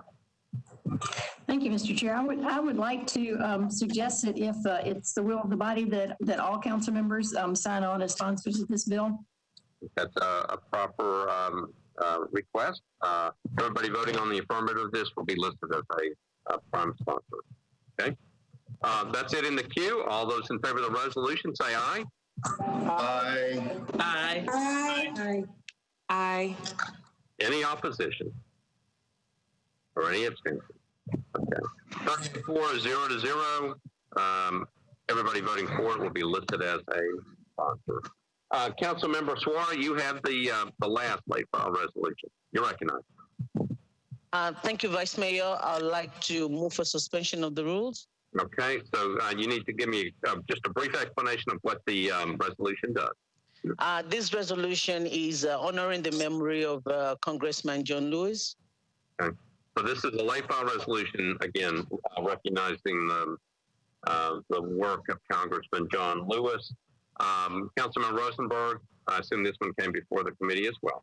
It did. We were all good. Also voted seven in favor, none against on the resolution. So Council members, uh, Suara has moved for suspension of the, of the rules. Um, just a second, I'm back on. Councilmember Suara has moved for uh, suspension of rules. Any objections to it? Seeing none, um, Councilmember Suara, you recognized on your late follow. Thank you. Um, coincidentally, on July 17th, we lost uh, two icons of the civil rights movement, uh, Reverend Vivian and the late Congressman John Lewis. Uh, John Lewis need no introduction to most of us because he's a national icon. But I think because he had Nashville connection, uh, he came to school to American Baptist College. He went to Fisk University. Uh, he was part of the sit-ins that uh, uh, Councilmember Porterfield just spoke about, and he went on to do a, a lot as a congressman uh, from Alabama. And so I, I, think it is befitting for this uh, uh, body to recognize uh, Congressman John Lewis for his contribution, not just to Nashville and, and placing Nashville as one of the uh, place for civil rights movement, but what is he's done nationally. Um, and so I move for approval, and I ask that everyone supports the, the resolution. All right, thank you, Councilmember Suara. Uh, Councilmember Allen, uh, recognized for the same reason. So, yeah, same request here, please. Okay, uh, so uh, anybody voting with the uh, on the affirmative uh, will be listed as a sponsor on this resolution as well. Thank you, Councilmember Suara. we're ready. Councilmember Hurt, you recognize. Thank you, Mr. Vice Mayor. I want to thank uh, Council Ladies Porterfield and Council Lady Suara for uh, moving forward with these uh, legislations and resolutions for these icons. Uh, but wanted to also say that since uh, John Lewis was such a legendary, nationally and internationally respected uh, Congressman, and that the Minority Caucus is looking for other ways to honor him, and just wanted to let the council know to, to, to stay tuned and look forward. And we uh, expect and, and hope that you will join with us as we move forward in a more celebratory way and uh, magnificent way in honoring uh, the life and legacy of John Lewis. Thank you. Thank you, Councilmember. Councilmember Porterfield.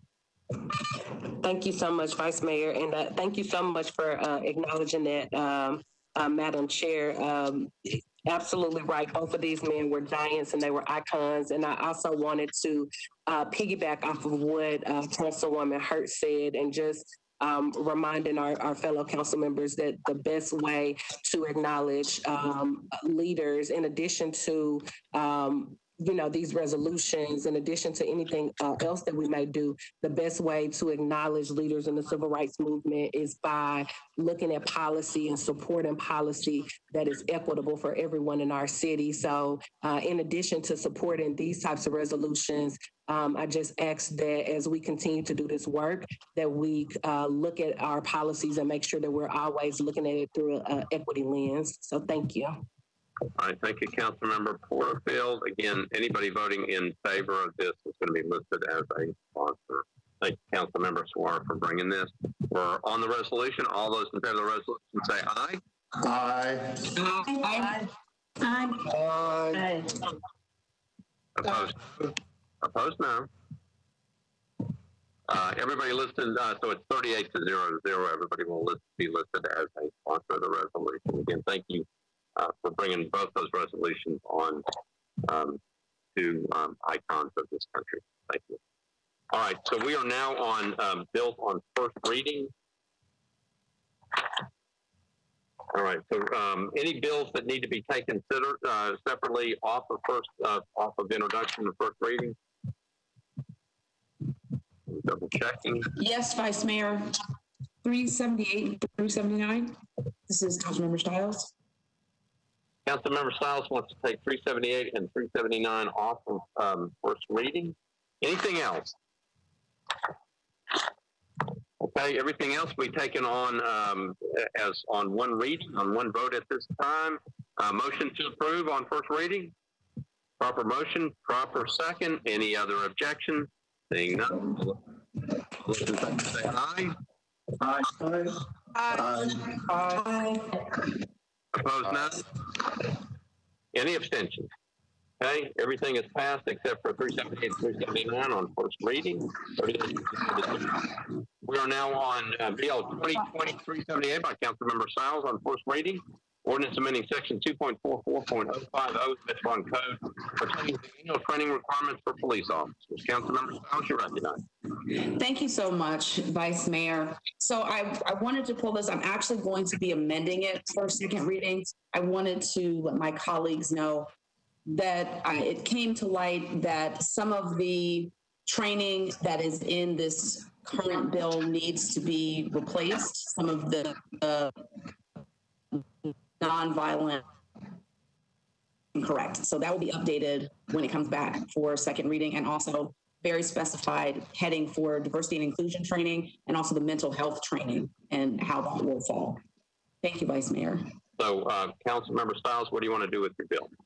I would like to, I would like to move the bill going to be coming for an amendment in two weeks.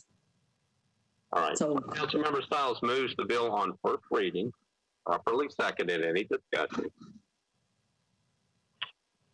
One discussion. Councilmember Nash, you're recognized. Thank you, Mr. Vice Mayor. Uh, I, I wonder if the uh, Lady Styles has uh, met with anybody at the police department to discuss this, uh, this bill? Councilmember Styles, and remember, we're just on first reading. This hasn't even gotten to first reading yet. Councilmember Styles, you're recognized. Thank you, Vice Mayor. I, I wanted to get this prepared so when we do get to second reading, it could, it could move along smoother. Um, to Councilmember Nash's question, yes, I actually spoke with uh, Deputy Chief Mike Hagar as well as Kay Loki about this, and so they're aware of the changes that I'm making as a result of our conversations. Uh, Councilmember Johnston, you're recognized. Councilmember Johnston? Uh, you're still muted. There you go. Never mind. Never mind. Okay. Councilmember O'Connell, you're recognized. Call the question, please. Previous question is called on uh, 2023-78. All those in the previous question say aye. Aye. Aye. Aye. Opposed, no. Previous question prevails on BL 2020-378 on first reading. All those in favor of on first reading, please indicate by saying aye. Aye. Aye. Aye. Opposed, no. No. No. Right. Uh, um, Okay, so it passes on first reading in a voice vote, um, there are, um, so the bill passes on first reading. Bill 2023-79 by Councilmember Styles, an ordinance amending chapter 5.16 of the Metropolitan Code to require certain information the application for business tax license. You recognize on 2023-79 for first reading. Thank you, Vice Mayor. So this bill will enable us to actually capture all contact information moving forward. When we have been disseminating these executive orders, many of the businesses didn't get them in real time. And when I asked for business information in my district from the county clerk's office, I was informed that they aren't required to collect a phone number or an email address, which makes it harder to communicate with businesses. So this bill will make it mandatory to collect all that information. So when we're trying to communicate or, or track down business owners, we'll be able to do so. And I would like to move to approve. Councilmember Styles has moved to approve her bill on first reading. Properly seconded. Uh, Councilmember O'Connell, you recognize. Call the question. Previous question is called for. All those in favor of the previous question say aye. Aye. Aye. Bills, We're on your bill on first reading, 2023-79. All those in favor say aye. Aye. Opposed? Opposed, no. No. Oh, there is a no? Okay. Um, but voice vote, uh, it is approved on first reading. On the first reading. Takes the bills on second reading. So we have a consent calendar. We have a lot of bills on consent calendar. Um, so let's mark them down. Um, BL 2020-337 is on your consent. If you're following on the calendar, it's on page eight. 337, 338, 339, 340, 341, 342, 343, 344, 345, 346, 347, 348, 349, 350, 351, 352, 353, 354, 355, 356, 357, 358, 359, 360, and 361. All on consent. So 337 all the way through 361 are on consent on second reading. Anything that needs to come off of there? Seeing none, uh, I'm going to read um, these on on second reading. Uh, BL 2020-337, Mendes Sledge and Toombs, ordinance approving Amendment 1 to the contract program management services between Gobbell Hays Partners and the Metropolitan Government. Spent the contract for 28 months, 2023-38 by Councilmember. Ordinance providing on-street designation. We've got a lot of uh, feedback, so make sure your microphones are uh, muted. Uh, ordinance providing honorary street designation of Pastor Percy J. Parkway for portion of Street. 2023-39 by Gamble, Minnis, and others. Ordinance authorizing the acceptance or acquis- acquisition of easements by negotiation or condemnation for the purpose of construction, operation, and repair of a proposed stream bank stabilization project along White Creek South of Old Fox Hickory Boulevard, BL 2023-40, Welsch, Murphy, and Henderson. Ordinance authorizing the Metropolitan Government of National Days to negotiate and accept permanent and temporary easements for the Dumas Drive Stormwater Improvement Project for properties located at 3329 and 3331 Dumas Drive, 2023-41 by Murphy Henderson Hagar. Ordinance authorized the Metropolitan Government negotiate and accept permanent and temporary easements for the Bighorn Drive Stormwater Improvement Project. Three properties located at 4881, 4885, and 4889 Bighorn Drive. BL 2023-42 Rutherford, Murphy, and Henderson. Ordinance authorizing the Metropolitan Government to accept new water and sanitary sewer main, fire hydrant assemblies, sanitary sewer manholes, and easements Properties located at 6424 and 6434 Pettis Road. PO 2023-43 by Murphy and Henderson. Ordinance authorizing the Metropolitan Government to abandon existing public sanitary sewer mains, sanitary sewer manholes and easements, and to accept new water and sanitary sewer mains, fire hydrant assemblies, sanitary sewer manholes and easements. Property located at 3864 Logistics Way. 2023-44 by Gamble, Murphy, and Henderson. Ordinance authorizing the Metropolitan government to abandon existing public water main and easements and to accept new water main, sanitary sewer fourth main, and easements for property located at Lowe's Lane, uh, BL 2023-45 by Sledge, Murphy, and Henderson. Ordinance authorizing the Metropolitan government to accept the sanitary sewer manhole property located at 2080 12th Avenue South, 2023-46 Parker, Murphy, and Henderson. Ord- ord- Ordinance authorizing the Metropolitan government to abandon existing public sanitary sewer main, sanitary sewer manholes, and easements uh, to raise existing sanitary sewer manholes and accept new public sewer main, manholes, and easements.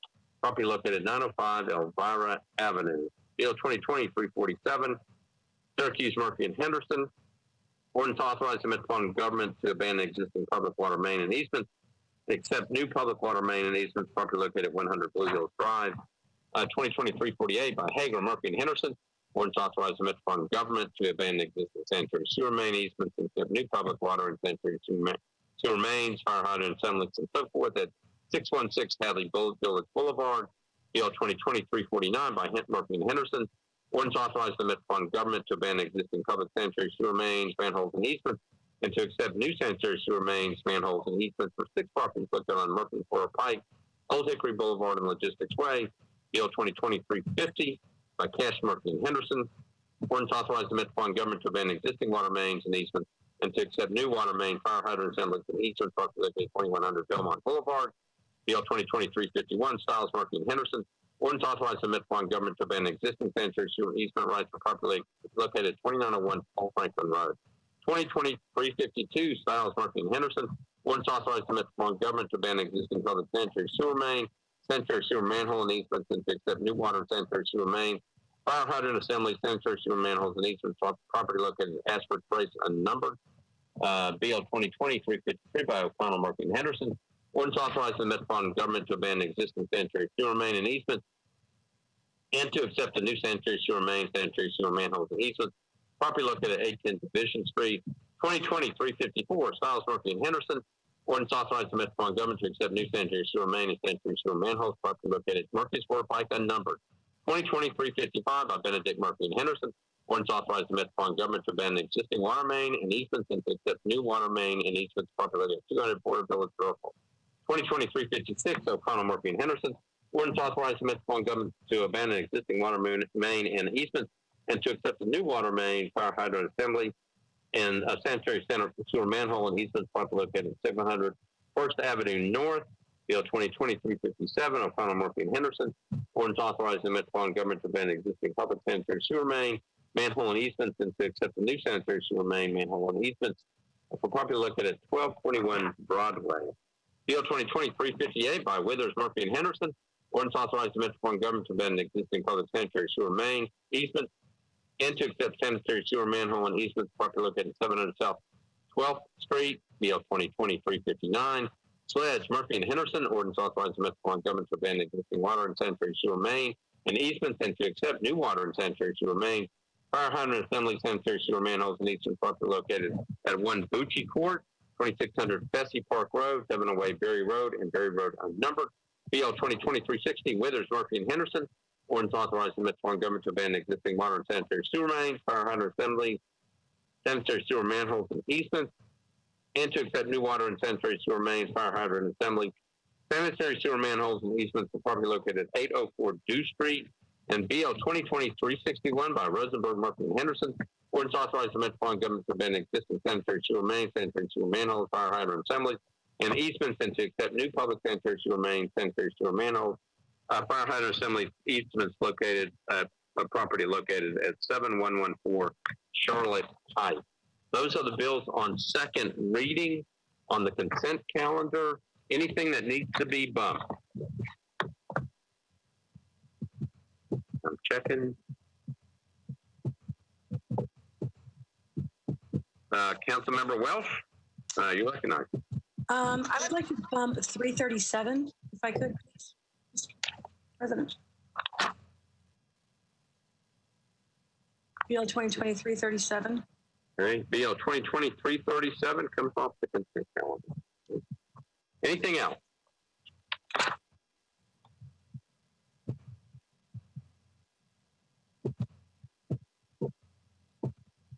Okay, Uh, seeing none, uh, committee reports. I'm going to go to Council Member Toombs, Budget and Finance. For Bill 2020, 338 and 339, the committee voted to recommend approval, 11-4, zero against. Okay. Um, codes only had the 337, so I'll come back to them. Planning zoning, Councilmember Murphy, you're recognized. Everything was approved 15 in favor, zero against. Okay, I've got 339 all the way to 361. Uh, Councilmember Henderson, Public Works. Thank you, Vice Mayor. For the 24 bills numbered sequentially from 338 to 361, Public Works recommended approval, 11 in favor, zero against. All right, thank you, Councilmember Henderson. And if you won't mind, would you move approval of the consent item? I would move approval of the consent calendar, please. Councilmember Henderson has moved for approval on the consent agenda on second reading, properly seconded. Any discussion? Seeing none. All those in favor say aye. Aye. Aye. Opposed? No. Any abstentions? 38 to 0 to 0. Any corrections? All right, uh, consent agenda passes. All right, we're now on bills on second reading. We're on substitute bill BL 2020-147 by Councilmember Murphy. Uh, ordinance to amend chapter 2.196 and section 2.222.040 of the Metropolitan Code regarding lobbyist registration. You're recognized. Thank you, Vice Mayor. Committee reports. And budget and finance, Council Member Chin. We're on uh, 2020-147.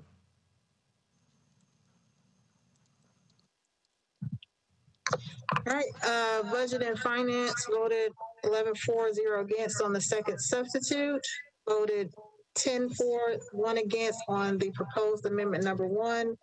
And for the proposed amendment number two, the committee did not recommend approval, three, four, five against, one abstention.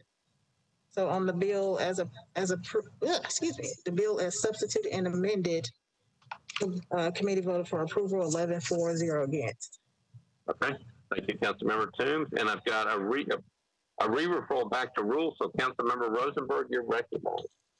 Thank you, Mr. President. Uh, rules voted seven in favor, none against the substitute, three in favor, four against the First Amendment, didn't vote on the Second Amendment, and voted seven in favor, none against the bill as substituted. Okay, thank you. Okay, Councilmember Murphy, you're back on your bill. Thank you. Um, I feel like we've gone over a lot of pieces of this because we had the special committee back at the beginning of this month, or rather the last day of, of June.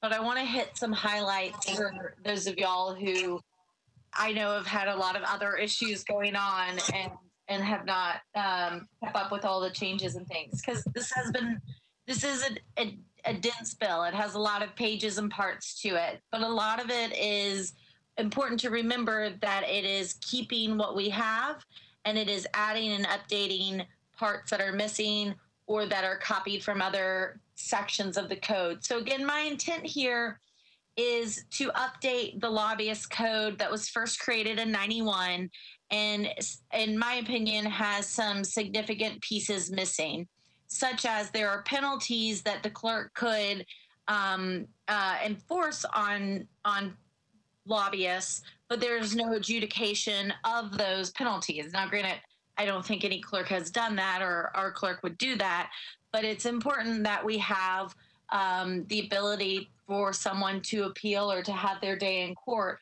when accused of something like uh, like violating this code. Also, um, to draw your attention back to the audit that was done of the lobbyist processes and procedures, it pointed out that that there was um, that we needed to have more formal policies, procedures. The audit pointed out that there were enforcement challenges, and it pointed out that the clerk and the Metro Council and the Department of Law needed to work together to clarify roles and responsibilities on enforcements, investigations, and violations of this section of the Metro Code. And so, with that, um, when rewriting this and kind of copying and pasting and doing a whole lot of research, as most of y'all have heard, I've worked on this for several years on and off. I have probably a banker's box full of research of other cities, states, and other places um, that have similar concepts that that we have in this code currently and as substituted. Oh, I'm sorry, I didn't move my second substitute. Let me go back and do that. All right, so Councilmember Murphy, we are eventually going to tell you to do that, but um, Councilmember Murphy has moved for second substitute.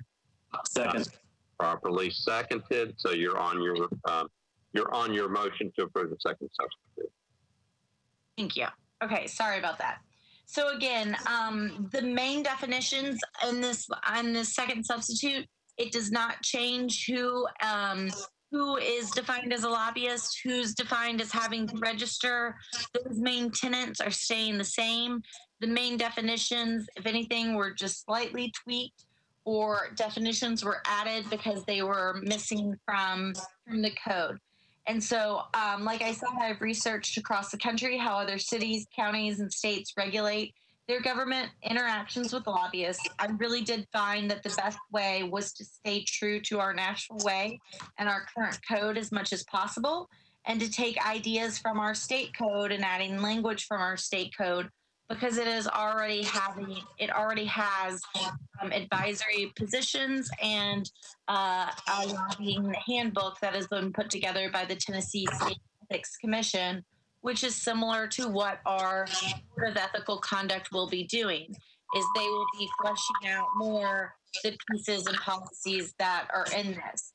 And so um, I have met with and incorporated suggestions from the Metro Clerk uh, like I mentioned, parts of the the audit of the clerk's process, Metro Legal, the Board of Ethical Conduct, the lobbyist community, the Chamber of Commerce, and the design professionals community, and many others um, have put uh, have given me a lot of suggestions that have been incorporated into this. And so, um, with that, I again ask and move approval of my second substitute, and I am happy to answer any and all questions that I can, or to defer to um, our legal team to help with that. All right, thank you, Councilmember Murphy. I'm going to go to Councilmember VanReece. You're recognized. Uh, thank you, Vice Mayor, and uh, thank you again, uh, Councilmember Murphy, for uh, your due diligence um, in regard to this. I know it's become quite a labor of uh, passion for you to get this right, and I appreciate that. I also appreciate uh, the input of um, my fellow council members in regard to the discussions that took place in, in committee. And um, uh, I believe that there are going to be um, some additional ideas uh, brought forth uh, if this passes tonight on third reading uh, under a late filed amendment. And so uh, with that, I want to pull uh, the amendments one and two for they're not numbered, but both amendments at this time and try to um, work on the best intentions of both of those documents into um, an answer that is more clear and in line with the intent. Um, and uh, I'm kind of giving a heads up uh, that I'll be asking for suspension of the rules on third reading to do that. Um, but uh, I appreciate the opportunity to keep working on it. And uh, I don't want to uh, belabor uh, conversations that we've already had. I think we're very efficient. And so I withdraw these particular things for action today and hope to bring something back on third reading. All right. Um, thank you, Councilmember VanReece. So we have no amendments in the package for. So we're on, we're just on the second, the motion to um, place the second substitute on the bill, so we're not on the bill yet. All right, so I've got uh, Councilmember Hurt, you recognize. Just on the second substitute. Um, I actually, um, I think mine is, is in regards to the bill itself.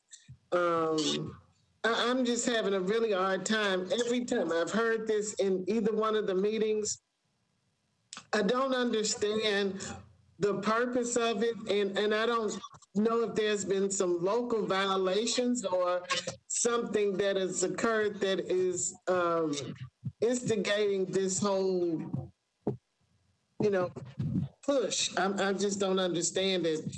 And, and, and I'm just trying to wrap my head around it and trying to see the purpose of it. All right, Councilman. Mr. Mr. President, can we make sure that we're on the the discussions on the second substitute? Yeah, so um, I was going to say, Councilmember Hurt, do you want me to come back to you on the bill? Yes, I said when I started out that I thought it was more about the bill and not the second substitute. Okay, all right. So we'll go on, any, just on the second substitute. Councilmember Welsch, you're recognized, just on the second substitute. Oh, I'm sorry, my um, hand was up from before. Okay, um, so uh, I'm looking, um, that's it, Councilmember Glover, on the second substitute. You're on the bill. No, sir. Uh, No, sir, I'm sorry, I forgot mine was up. Okay, all right. Okay, so uh, that's it in the queue. Uh, we're on the second substitute, voting on the bill, uh, voting on the second substitute. All those in favor of the second substitute, say aye. Aye. Aye. Aye. Opposed- Opposed, no. Any abstentions? 38 to 0 to 0. So, um, Councilor Murphy, you have passed your second substitute. You're on um, your um, second substitute bill 2020 147. You're recognized for a motion on that bill. I would like to move for approval with a brief explanation. Okay, so the motion is to approve, properly seconded. Um, back to you. Great, thank you. Again, this, the second substitute that we just put on this bill is the culmination of uh, years of research and, and working with our legal team and our past legal team to get here. And um, I, I originally filed it in January and requested um, a deferral of it till May so I could get input from organizations. I got some of that input in late June and then got some more last Monday that um, I've incorporated a lot of. And I really appreciate working with groups like the Chamber, who we we tweaked out some better clarifying language when it came to revolving door policies. Um, working with the um, the design professional communities of architects and engineers, tweaking what ministerial um, and administrative actions mean. And so I appreciate that work that has gone into it. Again, has there been something to trigger this? Well, the audit clearly says that we need to update this legislation. What also clearly says we need to update this legislation is the fact that there is no way to file a complaint on a violation of this part of the code. And if there were some way to file a complaint or one of the punishments were doled out by the clerk currently, then the person who who was found in violation has no way to have their day in court. And so that's what is so important about this bill is that it sets up for the Board of Ethical Conduct to be the kind of adjudicator of this. And also, it creates their job and responsibility to work out some of the nuances of this bill. Um, so they can provide advisory opinions. They can provide the manual and the handbook that further explains this part of our code and regulation that literally has been required of the clerk's office to be done since 1991 and for some reason it just was it never happened. And so i think once we get that part of this in order and working um, then then a lot of the uncertainty is going to be cleared up. And so that's why it's important that we move forward tonight because the Board of Ethical Conduct does have a big job ahead of them, which I have told them I am more than thrilled to help them work on and develop because of the research I've done um, and, and get this done and in place by July, I'm- I mean, not July, January 1st. And so, again, if there are any specific parts, I'm happy to touch on those. But again, at the end of the day, we are not changing some of the basic tenets of this legislation or of the current code, meaning we are not touching who is a lobbyist, who has to register. Those definitions are clear in our code, and we're sticking with it. All right. Um, uh, Councilmember Hurt, I'm going to go back to you because you said you had questions on the bill. Okay. Councilmember Hurt, you recognize. Well, I, I just don't understand the purpose. I mean, is it a paid lobbyist or is it a paid consultant? What's really the difference? And if there have not been any violations of it, then again, I just don't see the uh, purpose of it. And, and, and it's just, I'm having a hard time understanding. And I appreciate the work that the sponsor has put on it and the passion that she has with it, but I just, am failing to understand myself. So, uh, Councilmember Hurt, are you asking a specific question or are you just making a statement? Well, I'm, I'm making a statement, but it is a question in terms of what's the difference in a paid lobbyist and a paid consultant if someone is using the the knowledge and experience that they have um, in order to assist someone else and get paid for doing so um, and and just trying to get a better understanding. So needing that explanation, and I just heard what she said. All right, so I'm going to go to Mr. Cooper for an explanation. The word consulting is not actually in the bill. Um, there's no mention of consulting. Um, a consultant would be someone who is paid to provide advice or assistance to a particular company, or person. That is perfectly fine under under this bill. It's it's only if you're trying to influence someone in the legislative or executive branch of the government on behalf of that client that, that you, you would be lobbying. So how do does that get proven? You know, I, I mean, it, it sounds like I, I don't know how you would prove that. So again, I guess that's why I'm I'm not able to really truly understand the entire the purpose of this. Because it would be uh, one person's against the other. And if someone is actually trying to do that then we really get into some illegal activity. Um, not just violation of this rule but some fraudulent and most beyond unethical well, the, it would be complaint driven. So if, if someone felt that um, someone was engaged in lobbying activity and wasn't registered, then they could file a complaint. And then it would be up to the Board of Ethical Conduct to determine whether that person's activities met the definition of lobbying. And so we do not have any complaints of, as of now, correct? Uh, I handled one 17 or 18 years ago. Um, that's the last one that I can remember. There may have been another one in somewhere in there, but um, no, there have not been any. But there also hasn't been a, a process set forth in the code for how to go about filing a complaint. And maybe the process hasn't been there because there hasn't been a need for it. But thank you very much. Thank you, Councilmember Hurt. Um, go next to Councilmember Glover. Call the question. Councilmember Glover has called the previous question. We're on the previous question. All those in favor of the previous question say aye. Aye. Aye. Aye. Opposed, no. No. No. Previous question prevails. Point of order, Mr. Vice Mayor. Can I, after the previous question has been called, can I still move to defer? No. No, previous question, we're on the vote. Um, previous question has been called. We're on the vote on the bill. Substitute Bill BL, uh, second substitute BL 2020-147. Um, we're voting on the bill. All those in favor of the bill say aye. Aye. Aye. Aye. Aye. Aye. No? No. No. Abstain. Right.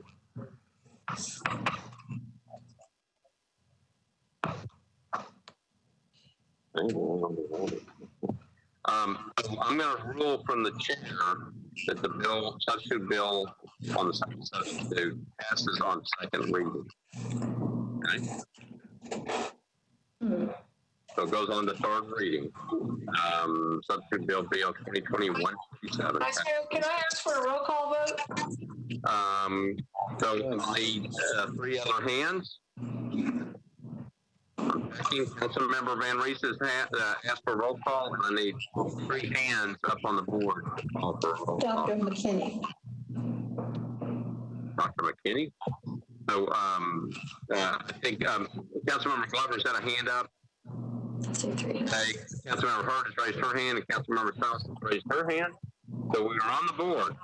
Again, we're on. Sorry, I like. Point point of order, Mr. Vice Mayor. Doesn't that roll call have to be requested prior to the vote being taken? No, it does not, Councilmember Young. Uh, the rules say that it can come right after. You do it. You've already declared the vote. You've already declared the vote. Councilmember Murphy, the rules say that once the vote is declared, if there's a question on the vote, that a hand can go up and then there's three sponsors and then you can take the roll call vote.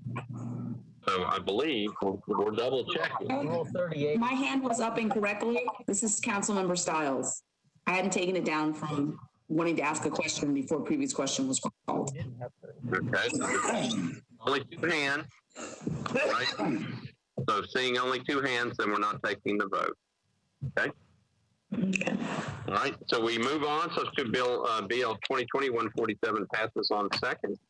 Uh, we are now on um, BL 2020-235 by Councilmember Mendes Henderson and others. Ordinance amending Metropolitan Code Section 2.62.040F and Metropolitan Code Section 12.56.170 to increase special event permit fee. Councilmember two, uh, no, Councilmember Anderson, you're recognized. Uh, Thank you, Best Mayor. Did you recognize me when I sound went out? Councilmember Henderson? Yes. Councilmember Henderson, you're recognized. Yeah, you're recognized because you're the second sponsor on this bill. Councilmember Henderson is not there. Um, Thank you, sir. Um, I was, uh, I'm going to move to uh, defer indefinitely, please. Second. Okay, let's get a, um, just a committee report. Well, committee report, so it went to Public Works. Uh, can you give me the committee report there? Um, We moved, uh, we approved an indefinite deferral, 11 in favor, zero against. Thank you, Councilmember Henderson. And Councilmember Henderson has moved to defer this bill indefinitely, properly seconded. Um, any discussion on the motion to defer indefinitely? Seeing none, all those in favor of the motion to defer indefinitely say aye. Aye. Aye. No? Aye. Any abstention? 38 to 0, zero. The bill is deferred indefinitely. We're on BL 2020-322 by Councilmember Hurt, Toombs, and others. Ordinance amending Chapter 2.44 of the Metropolitan Code to prohibit the Metropolitan Nashville Police Department from hiring police officers who were previously fired or under investigation by another law enforcement agency for malfeasance or use of force. Councilmember Hurt, you're recognized on your bill 2322. Thank you, Mr. Vice Mayor. I certainly appreciate um, you giving me this chance. And I want to thank Councilman Pulley for hosting a separate meeting with the police so council members could discuss the proposed legislation uh, regarding the police and hopefully come to a place where we all can be comfortable with how we move forward together. You know, over the past week, we've heard from hundreds of citizens and demanding to defund the police, demilitarizing the police, and all of those things. And I just wanted the people to know that they were heard. The biggest issue with the community and law enforcement is a matter of trust. So I want to, um, I guess, ask for uh, committee reports first. All right, so, uh, personnel, uh, Councilmember Taylor, I think you got the committee report. Yes, I'm back. Thank you, guys. Um, committee report for, um, 322, um, four in favor, two against, zero not voting. Thank you, Councilmember. Uh, Councilmember Pulley, public safety. Public safety recommended approval, four in favor, three against. Okay, uh, Councilmember Hurt, you're recognized. Um, Thank you, Vice Mayor. I move for approval with a brief explanation. All right. And that, and that is, is that I have had the opportunity to have some conversations after our meetings, and the police department has indicated that they are comfortable with this um, bill moving forward with a slight amendment. And I have agreed to that. We'll discuss it and make the amendments on the third reading for it to go through. And then basically, that change is replacing the word exonerate to no finding of wrongdoing related to the accusation.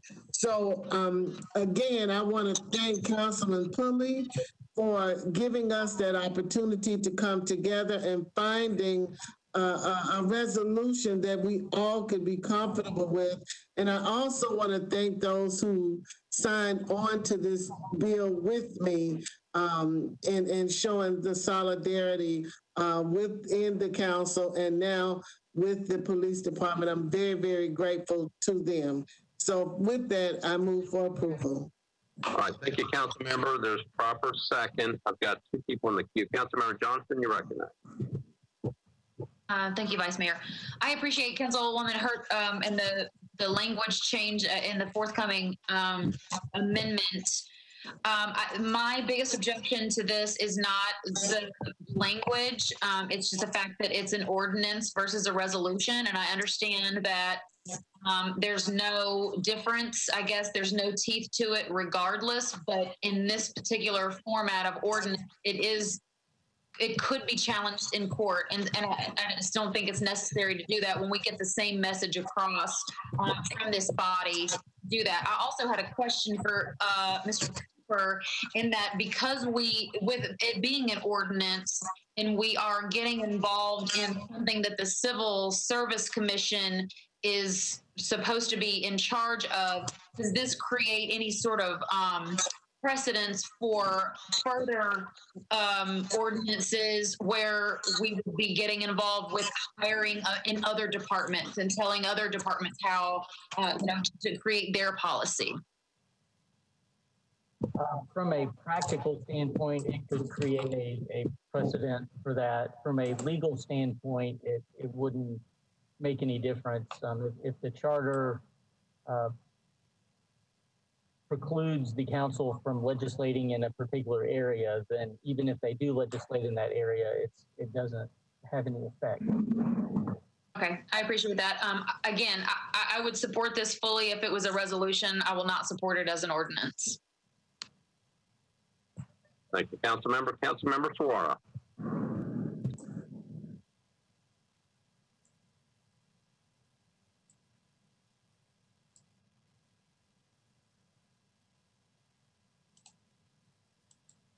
Sorry, Vice Mayor, I was trying to unmute myself. Uh, uh, thank you, Vice Mayor. Uh, I just wanted to uh, say a few things in support of the of the uh, ordinance. I know there were a lot of conversations, both in rules and in personnel, and I know that uh, the definition or the the the preference of whether it should be an ordinance or whether it should be a resolution was discussed. from my experience on this council, I've heard so many times when we talk about resolution just being non-binding. And so for me, making this an ordinance make more sense. I'm particularly uh, even uh, more impressed and even willing knowing that the, the police department is in favor. From the conversation from both of the committees, everybody agreed that we do not want bad players on the force. This bill is only talking about bad players. And if we're talking about uh, strengthening the trust between the community and police, this will show, um, it will go a long way uh, to show that this council is speaking to that. And this is something supported by the police department. This is something supported by this council. This is something that we're saying collectively, considering everything going on uh, um, at this time. I think this would send a strong message. And from what Director Cooper says in the afternoon, if we do it as a resolution, we do it as an ordinance, if it does not, uh, if, if the civil service did not go with it, it will still show the intent of this body. And I think showing the intent of this body in, in the strongest way possible uh, with the support of the police department uh, is the route that I think we should go. And I ask that we support it. Thank you. Councilmember Pulley, you recognize. Thank you, Mr. Vice Mayor. Um, I appreciate the sponsor and her desire to, uh, to do this. And I know we have, uh, I, don't think any of us want, uh, the, the, and the police department as well, want to hire somebody, uh, under these standards. We're looking for top quality people here. Um, there, there's a little bit concern about the ordinance from a legal perspective.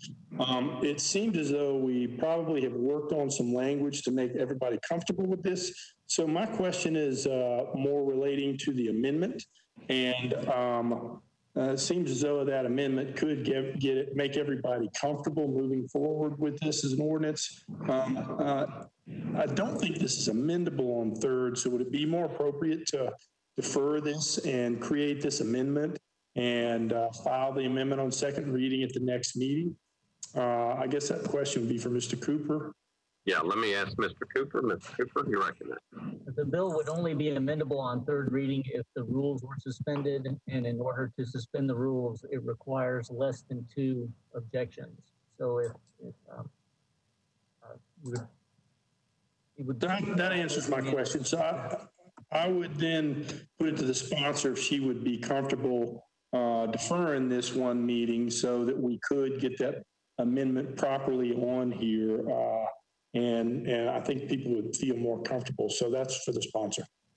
Uh, Councilman Hurt, I'm going to go back to you. Yes, well, I, I am appreciative again that the police um, understood and, and acknowledged the intent of the ordinance. And because this request for us to make that amendment came after us having the meeting uh, yesterday, uh, Thursday, I guess yesterday and the meeting uh, to know last Thursday and the meeting that we had today in public safety. Uh, and if I heard Mr. Cooper correctly, we could make the amendment and suspend the rules at the next meeting. Is that not correct? That's correct. So I would like to move forward with it so the police won't change their minds. so thank you very much. And I appreciate all of the comments that everyone has said. And thank you. Councilmember Pulley, I'll go back to you. Uh, that answers my question. Thank you. Um, Councilmember Hurt, you were actually next in line. Yes, basically, that's what I wanted to say is that the intent that they ordered by, by filing the ordinance obviously impacted the police to the point that they were willing to accept it and offered the amendment for me to accept. So we both came to that conclusion. And, and I think that this is the beauty of what it is that we do. Because me presenting it in that way and knowing that we were strong in, in it, several other council members joining us, I think the police, maybe we should see, can we do something to come to some type of compromise? So to me, I am grateful to them and thank you all so much for um, supporting it. All right. Um, thank you. Councilmember Glover, you're next. Call the question. Councilmember Glover has called the previous question. Uh, we're on the previous question. All those in favor of the previous question say aye. Aye. Aye. Aye. Aye. Aye. Opposed, no. Previous question prevails, so we are voting on BL 2020-322 on second reading. Uh, all those in favor of BL 2020-322, say aye. Aye. Aye. Aye. Opposed, no. No. No. No. Can I request roll, roll call, please? Yeah, that one's, um, uh, so I can make the decision on that one. That one's too close for me to call. And so we're, um, we're going to be on a roll call vote. Uh, this is BL 2020-322 on second reading. Uh, Madam uh, if you would, call the roll. Windows. Hurt. Yes. Allen. Yes. Glover. No. Suara. Yes. Hall. On BL 2023 22. No. Toombs. Yes. Campbell. Yes. Swope. No. Parker. Yes. Withers. No. Benedict. Yes. VanReece. Yes. Hancock. No. Is that a no? That's a no. Han- uh, thank you. Young. No. Hagar. No. Evans. No. No. Bradford. No. Rhoten. No. Syracuse. No. Welsch. Yes. Sledge. Aye. Cash. Yes. O'Connell. Yes. Roberts. Taylor. Yes. Hausser. Yes. think that I hear you vote yes. Yes. Druffel. No. Murphy. No. Pulley. No. Johnston. No. Nash. Nash votes no. Vercher. Yes. Porterfield. Yes. Sepulveda. Yes. Rutherford. No. Styles. No. Lee. Abstain. Henderson. Yes. Rosenberg. Yes.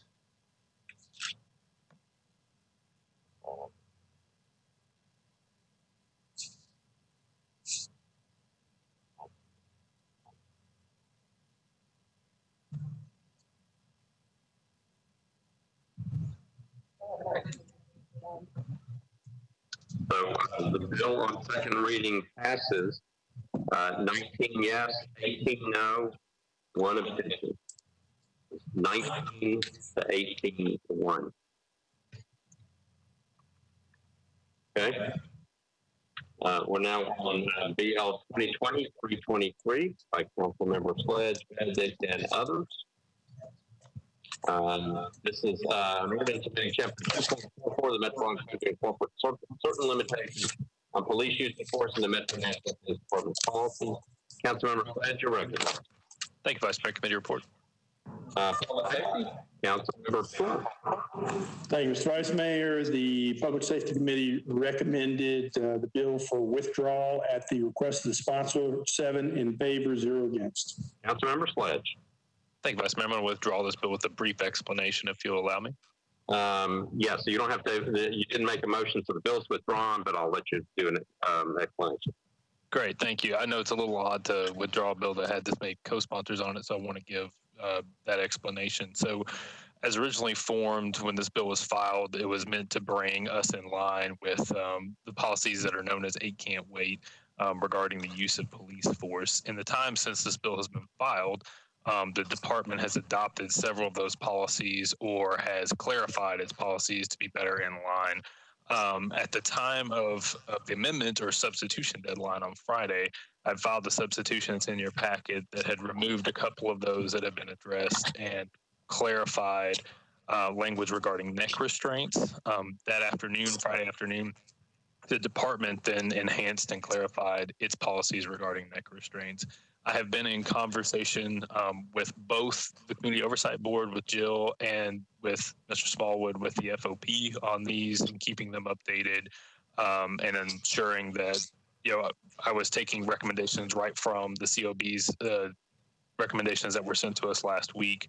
Um, they do have a couple of additional recommendations, primarily one that was not addressed in the in the bill um, regarding shooting at moving vehicles. Um, so I informed that all parties involved, and we've had very amicable, you know, discussions throughout this. That my main goal in this was to ensure that we were uh, creating a new um, standard essentially so that when the task force that the mayor has brought together regarding police force begins to discuss um, that they aren't this isn't part of the negotiation everybody is in agreement that these sorts of policies should be in place um, the movement that the department has made on that and the recommendations that the cob has made over the last few weeks indicate that and that is my uh, reason for withdrawal thank you vice mayor Thank you, Councilmember Sledge. Okay, we are now on, um, uh, we're now on BL 2023, uh, that bill is withdrawn. 323 is withdrawn. BL 2020-324 by Councilmember Murphy and Allen. Ordinance amending section 7.16.110 of the Metropolitan Code to revise the measurement method for retail liquor establishments for the minimum distance requirements needed to obtain a certificate of compliance. Councilmember Murphy, you recommend. Thank you. Committee reports, please. Looks like the Councilmember Ford. Thank you, Mr. Vice Mayor. Public Safety recommended approval of the bill as amended, seven in favor, zero against. All right, Councilmember Murphy, you recommend. Thank you. I'd like to move the amendment, please. Okay, Councilmember Murphy has moved an amendment properly seconded. Back to you for an explanation of the amendment. I'm actually going to let um, uh, Cooper uh, explain the amendment because there was a little confusion um, on my end because I had two amendments submitted to me. And if he doesn't mind just making sure that I don't want to explain the wrong one. One dealt with offense, Uh, and Mr. Cooper? one didn't. So Uh, Yes, so this amendment uh, provides that the retail liquor store could not be within 100 feet of a school or college following the customary path of travel. And then it defines what that means so that uh, in the event there is a a offense, it's, um, I don't have the amendment right in front of me since um, I'm using a different computer, but the uh, uh, Councilmember Allen may have more information than I do, but it, it would be the normal customary path of travel. And if there's a fence, it, it would clarify the, that you measure to the opening of the fence, then to the building. Councilmember Allen. Councilmember Allen. Uh, There, am I unmuted now? Sorry. No, You're unmuted. There you go. Okay, yeah, yeah, Mr. Cooper has, has explained that correctly. Essentially, what the, what the bill and the amendment together do is to say that there has to be, um, the, the, the standard distance requirement is 200 yards, and that would be measured from the front door of the store to, um, in the past, it had been to the, um, to the property of the school itself. Um, and what this, uh, bill does is says if there is, um, uh, no access to the property until you get to a quote, access point, then that is what the distance that has to be 200 yards, but in no case would it be less than 100 yards from the front, front door of the liquor store along the cat path of customary pedestrian travel uh, to the property line, and that, that would be a minimum of 100 yards. So with those, the, with that amendment and the um, clarification of where the access point is as the first place where you could step onto the property in an opening in our fence. Um, that, that hopefully clarifies. All right, uh, Councilmember Murphy, back to you. Thank you. And so if you remember um, from one of our previous meetings, uh, I had a similar bill trying to to work on setting up a basically the same beer public hearing for liquor stores, and this turns out to be kind of a better way to get uh, a means to the ends that we are working on. So I appreciate Council Lady Allen working with me on this to develop a better policy. And so with that, I would like to move the amendment and would appreciate your support on it. All right, so we're on Councilmember Murphy's amendment. It's been properly seconded. I've got Councilmember Johnston. Are you in the queue? Okay, Councilmember, uh, well, that's it. Okay.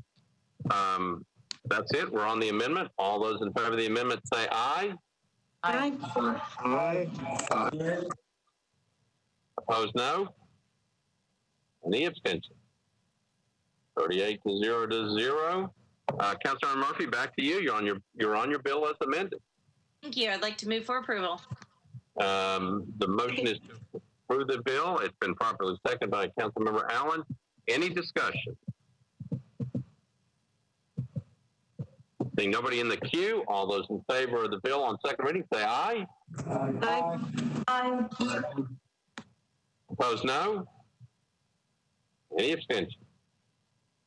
It passes 38 to 0 to 0.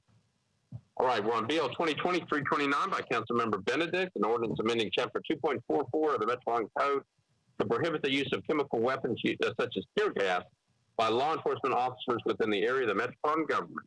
Councilmember Benedict, you're recognized. Thank you, Mr. President. Committee report. Uh, Public Safety, Councilmember Poole. At the request of the sponsor, Public Safety recommended seven in favor, zero against, uh, to recommend withdrawal. Councilmember Benedict, you're recognized. Thank you, Mr. President. I would like to withdraw the bill with a brief explanation, if you'll allow that, please. Uh, the bill is withdrawn. Councilmember Benedict.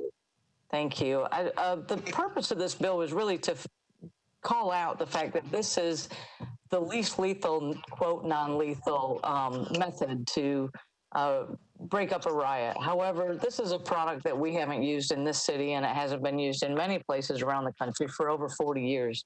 And so I think it's important that as a city, we can lead, and as a country, we find an alternate method to break up riots. So certainly rubber bullets are worse, um, but tear gas is not non lethal. But it's important to me that we begin a dialogue about this to, you know, if we are the greatest country in the world with the greatest scientists, let's find a way to create something else. Let's, our public safety officers do a great job in many regards. And so we have a lot of smart minds, forensic minds, that could find something else to do um, beyond tear gas. So I hope that by uh, introducing this bill and by now withdrawing it, that this has brought attention to the need to find something as an alternative to uh, tear gas, which certainly in, in the age of COVID also um, continues to spread through sneezing and coughing um, the, the the infection. So anyway, with that, thank you for indulging me, Vice Mayor. And again, I'd like to withdraw the bill. Uh, bill is withdrawn. Uh, BL 2020-330 by Councilmember Hurt, ordinance amending chapter 2.44 of the Metropolitan Code pertaining to police officer civic engagement. Councilmember Hurt. Thank you. Uh, committee reports, please. Public safety, Councilmember Sally. There's Vice Mayor, Public Safety recommended, uh, withdrawal, seven in favor, zero against. Councilmember Hurt. Thank you, Mr. Vice Mayor. Uh, I too um, was able to read through the eight can't wait policies and realized that much of the um, policies contain the training and um, the things that I was concerned about. And, and with that, I feel really good, and especially after we were able to pass 322 and the police were cooperative uh, with me, and I proudly withdraw 330 and 331. Thank you. I know, you- I know, I know I have to do it separately, but I just, you know, in the light of time, if you could just go ahead and do them both, I'm fine with it. 330 withdrawn, uh, 2020-331, ordinance amending section 2.44050 of the Metropolitan Code requiring police officers to receive annual implicit bias training. Uh, let's get the committee report. Personnel, Uh, personnel, uh, voted to withdraw, six in favor, zero against. Uh, public safety, Councilmember Public Safety recommended withdrawal to request of sponsor, seven in favor, zero against. All right, and Councilmember Hurt, uh, withdraws the bill, right? Yes, move to, yes, I move to withdraw. Thank No. you. Uh, it's just withdrawn. You don't have to move to withdraw, just withdraw the bill, because that's what you said first. Okay, well, I take it back. Okay, that's fine. So withdraw the bill. Uh, 331 is withdrawn. Bill 2020-333 by Benedict and Mendes, an ordinance amending Title 12 of the Metropolitan Code to prohibit personal delivery devices within the Metropolitan Government right-of-way. Councilmember Benedict, you're recognized. Thank you, Mr. President. Committee reports, please. Public Works, Councilmember Henderson. Uh, Thank you, Vice Mayor. Um, There was an amendment, and so I don't know if you want us to speak to the amendment separately, uh, but uh, as together, we uh, recommended approval as amended 11 to zero. Okay, that's all. Um, Councilmember Benedict, back to you. Thank you, Mr. President. Should I move the amendment first or give an explanation and then move the amendment? Uh, you can move the amendment. I'll come back to you for an explanation of the amendment. All right, thank you. I move the amendment. Okay, so Councilmember Benedict has an amendment on 2023-33, properly seconded. Back to you for an explanation. Thank you. In the analysis packet, the definition of a personal delivery device explains that it's a robot that typically makes deliveries using sidewalks and crosswalks. Um, last month, the state passed a law regarding the use of PDDs, uh, again, personal delivery devices. And in that bill that the state passed, it provides local municipalities the option to prohibit these devices if it's found to be in the interest of public safety. Uh, the amendment, which is on page 37 of the packet, it will provide, instead of a prohibition, a timeline for us to learn and talk more about these devices. So the amendment provides a moratorium through December 31st of this year, and if needed, it will have an automatic extension until April 30th of next year. Um, that also is able to be uh, extended or um, uh, or shortened by resolution uh, by a simple majority of this body. So hopefully by the time that we get either to the end of this year, to the end of April of next year, we'll know enough and have learned enough about um, PDDs to see if or how they should be used in Nashville. So with that, um, Chair, I uh, renew my motion to uh, move the amendment.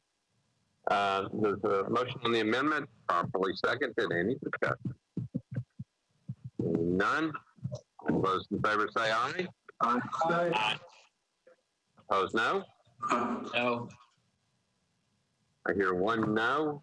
Uh, motion, uh, any abstentions? Uh, motion, uh, passes. So the amendment is on. You're on your bill as amended. Councilmember Benedict. Thank you, Vice Mayor. I move the, I move the bill as amended. So Councilmember Benedict moves the bill as amended, uh, properly seconded. Discussion. Councilmember Swope.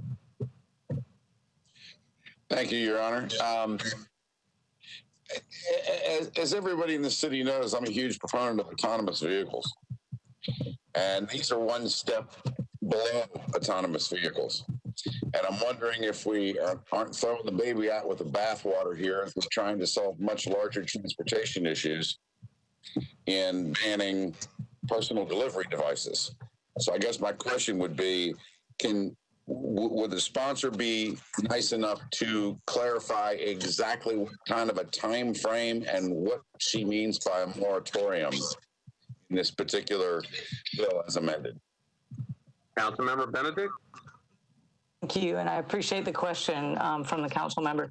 Um, this is uh, something that we spoke about with two of the largest um, companies that intend to uh, look at um, possibly implementing this in in the city. So they were supportive of this moratorium. It is uh, again, the state has given municipalities the opportunity to prohibit these, and um, in talking with them, I think that that uh, prohibition definitely should be looked at to see, you know, where and how in the city could we use these devices. Um, there may be places in the city that it makes great sense to use these, but there's also places where our sidewalk infrastructure can't support these. And so it's what this moratorium does is it allows us the opportunity to sit down with those companies and understand what it is they'd like to do so that instead of relinquishing control of our sidewalks automatically and ending up with not just two major corporations wanting to come in and put these devices on our streets, but like we saw with the scooters, all of a sudden five and six and seven companies come in and all of it, we've lost control and we're behind the eight ball um, in regards to this. This moratorium allows us between a five and a nine month um, time period to find a solution that will work for Nashvillians using the infrastructure that we have. So um, this is supported by the industry, and I think that it is the right, responsible thing for us to do to take our time and make sure that if these are right for us, that we implement them, you know, in the right way with the right partners that'll make it good for Nashville. Councilmember Swope. Thank you for that, Council Lady Benedict. Um, uh, and, and, and ju- just to be absolutely clear, this isn't a ban, just simply a moratorium, correct? That is correct. Thank you very much. All right, thank you, Councilmember. Councilmember Gamble, you're recognized. Thank you, Vice Mayor. I just wanted to say I appreciate uh, Councilwoman Benedict's uh, amendment and and uh, initiation to take more time to review this issue uh, before uh, moving forward with it. And and I'll be supporting the amendment and the moving of this bill today. Thank you. So uh, we've already got, double checking, we've got the amendment on the bill, so we're on uh, 2023-33 as amended. Um, Nobody else in the queue? All those in favor of 2023-33 uh, as amended uh, on second reading, say aye. Aye. Aye. Aye. Opposed, no? Any abstentions? 38 to 0 to 0. Uh, bill moves on to third reading. BL 2023-35 by Pulley and Style. Um, this is an ordinance amending the Metropolitan Code of Laws to make a violation of a mayoral executive order during a civil emergency, a Class C misdemeanor. Councilmember Pulley, you're recognized. Uh, committee reports. It's yours. And, uh, I'm, uh, I'll give the committee report. Public safety recommended approval of the bill as amended, seven in favor and zero against. And I'd like to move the bill with a brief explanation. Okay, so uh, Councilmember Pulley moves the bill, properly seconded. Back to you for an explanation. Okay, thank you, Mr. Vice Mayor. This uh, bill came out uh, out of uh, discovery by Metro Legal during the recent civil unrest in late May when the mayor declared a curfew. Uh, uh, our legal director discovered that the curfew lacked enforceability, and as such, they had to rely on the governor to declare a parallel curfew order empowering Metro under the governor's order, which in effect served as a one-time remedy for this issue. So uh, what this bill does is, is in order to violate that uh, order uh, of a curfew type situation in a civil unrest situation, a Class C misdemeanor, which is the lowest level misdemeanor, punishable with a $50 fine and a maximum 30-day jail sentence. But if you talk to the um, judges around here, seldom, very, very rarely do they ever apply any jail uh, uh, jail time to these kind of misdemeanors. So the intent basically is to uh, cure a gap in the current code um, and just simply fortifies future civil emergency orders. Now, uh, having said all of that, uh, I do know that there is an amendment. I would move the amendment and indulge, uh, ask the vice mayor to uh, go to Councilman Rosenberg for an explanation on the amendments. All right, so I've got a, a motion to approve the amendment properly seconded. Councilmember Rosenberg, uh, I think it's your amendment, so you're recognized. Thank you, Mr. President, and thank you, Councilman Pulley. Um, so this amendment does two things. Um, under the bill is written, any uh, executive order that happens to be issued during a civil emergency is becomes a misdemeanor. So if a less reasonable mayor were to decide during a civil emergency that everybody should have to drive a red car and issued an executive order, driving a silver car would then become a misdemeanor. Um, so the, the first thing that the amendment does is says that any uh, um, executive order needs to be pertinent to the civil emergency it's being introduced during. Uh, the second thing it does is it sunsets uh, this um, ordinance at the end of the term uh, with the opportunity to extend it by resolution. I think most of us you know, recognize how measured this administration is, um, but recognize that future administrations might not be that way, and the power to basically declare anything a misdemeanor might not be a power that the council wants to cede. So this um, that sunset and says that we can pass a resolution at any time to extend it. So, So the explanation of the amendment by, you still talking? I can't tell. Councilman Rosenberg? Yes. You good? Yes. Okay. So Councilmember Rosenberg, uh, amendment, Councilmember Pulley has moved, um, past the amendment is properly seconded. Discussion on the amendment. Councilmember Glover? Thank you, Vice Mayor. Uh, I won't be supporting this period because here's the problem we have. We keep extending time, we keep extending time, we keep extending time. And you know, there reaches a point that I'm okay with trying to follow the rules, but you know, right now our city is in flux. We have so many people that are out of work that nobody understands exactly what's happening. The numbers don't make sense, etc. Normally, I try to follow and, and, and abide by, and I will. I mean, when I go out in public, I wear the mask, I do those things. But we keep extending and extending and extending, and people are getting fed up with it. And I just worry if we keep pushing and pushing what damage we do in the long run. I get the fact everybody seems to think that uh, we have to follow the stuff. But the science, the numbers, and everything else from the beginning to where we are today aren't making sense. So, sorry, but I will not be supporting this. Thank you. So, uh, Councilmember Glover, uh, remember, we're on the amendment. Um, so um, I'm going to go to Councilmember Suara. Oh, I want to speak on the bill as amended. Sorry. All right. So uh, we're on uh, Councilmember. The amendment. Councilmember Rosenberg's amendment. Uh, all those in favor of the amendment say aye. Aye. Aye. Aye. Aye. Opposed, no? Any abstentions? Amendment goes on 38 to 0 to 0. Okay, uh, Councilmember Pulley, we're back on your bill as amended. Need a motion to? I would move the bill as amended. Okay. So, uh, Councilmember Pulley has moved the bill as amended, properly seconded. Councilmember Kawar, you recognize. Thank you, Vice Mayor. I have a lot of questions for the bill.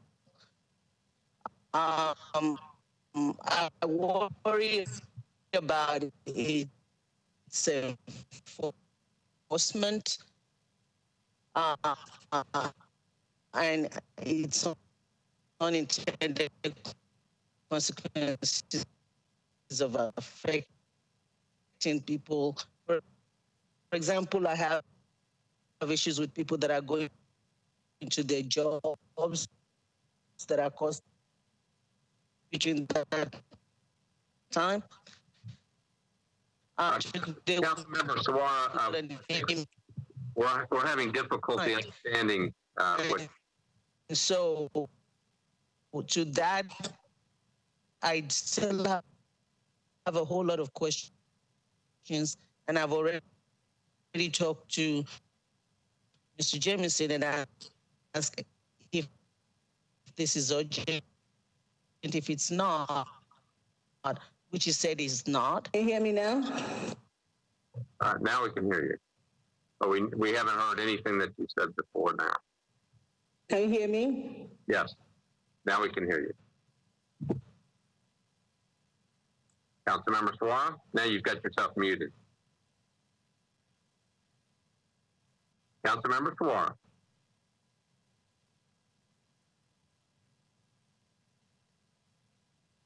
So uh, I'm going to go to Councilmember O'Connell, then I'll come back. That, thank you. Sorry about all of that. I'm here. Can you hear me now? Now we can hear you. Councilmember Suara? Oh, what is up with this computer? Councilmember? For you.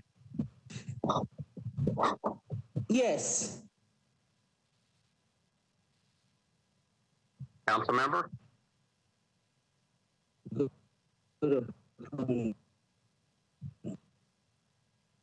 Uh, Councilmember O'Connell, I'm going to come to you and then I'll go back to Councilmember. Councilmember O'Connell. Sounds good. Thank you, Mr. President.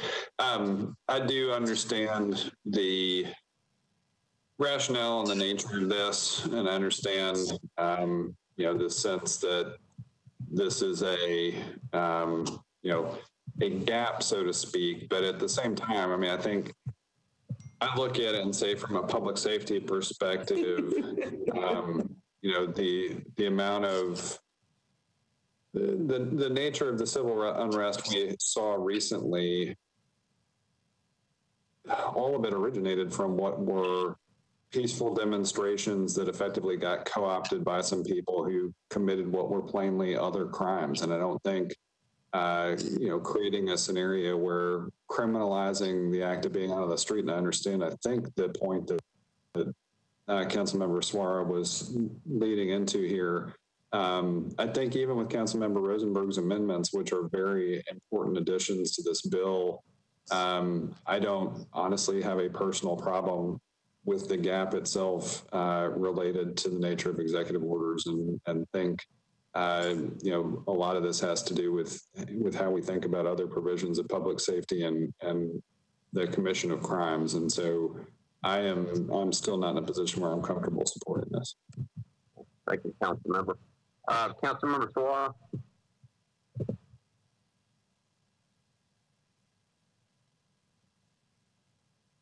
Council Member Suara.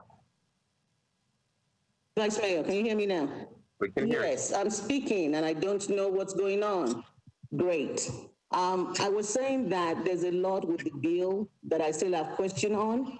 Um, the issues of people that are going to their jobs that are caught in the curfew, the people traveling that are caught in the curfew. And personally, I'm not comfortable with any bill that is adding jail time in this climate to people that could be innocent uh, and caught in this bill as it is. And so, um, if it is okay, while we're trying to find out more question, uh, maybe the police can. I, I'm not in support of people violating stuff, but I just don't want our jail just keep being filled up by people that are innocently caught up in bills that we just said, and there's so many unintended consequences. So I want to ask for a deferral uh, while I can ask some more questions about it, but as it is, and until I can find out more about how it will be enforced and not entrap people, uh, I would like a deferral of at least one meeting. Uh, So Councilmember Suara has moved to defer Second. one meeting, and I hear a second. So we're on a motion to defer one meeting. Okay. Any discussion on the deferral? Seeing none, we're on the deferral. We're on the, oh, Councilmember Pulley, there you are. Councilmember Pulley? you Um, yes, I, I just wanted to say that if, uh, uh, if you want to defer it, that's fine with me. I, I would support that one meeting. All right, deferral motion of one meeting. All those in favor of the deferral motion, say aye. Aye. Opposed, no. Any abstentions? Thirty-eight to zero to zero. Uh, the bill, uh, as amended is deferred one meeting. All right, we are on, uh, BL 2020-337 by Mendes, Sledge, and Toombs. An ordinance approving amendment one to the contract for program management services between Gobbell Hays and uh, partners and the Metropolitan Government, uh, which extends the contract term for 28 months. Uh, Councilmember Sledge, you're recognized. Thank you, Vice Mayor. Committee reports. Uh, budget and finance, uh, Councilmember Two. We're on uh, 337. Mhm. The committee recommended approval, 11 for, zero against. All right, Councilmember Sledge, you've got codes. Thank you, Vice Mayor. The committee recommended approval nine for zero against, and I would move approval with a brief comment. All right, Councilmember Sledge has moved approval of 337 on 337 on second reading, properly seconded. Uh, Councilmember Sledge. Uh, thank you, Vice Mayor. So this contract, the reason it came to council is because anything beyond five years essentially had to come back to us for a for an extension. That's where this is. No monetary amount is changed. Um, the if you look within the bill within the contract, um, the amendment also calls for the uh, for Gobbell Hays to continue its good work on DBE, in which they're at 40% um, right now on the work that they've completed so far. Um, I did work in contacting folks throughout the week on where they were on this contract. They're at about 40% of the monetary value. They do not expect to spend the full monetary value, even with the extension.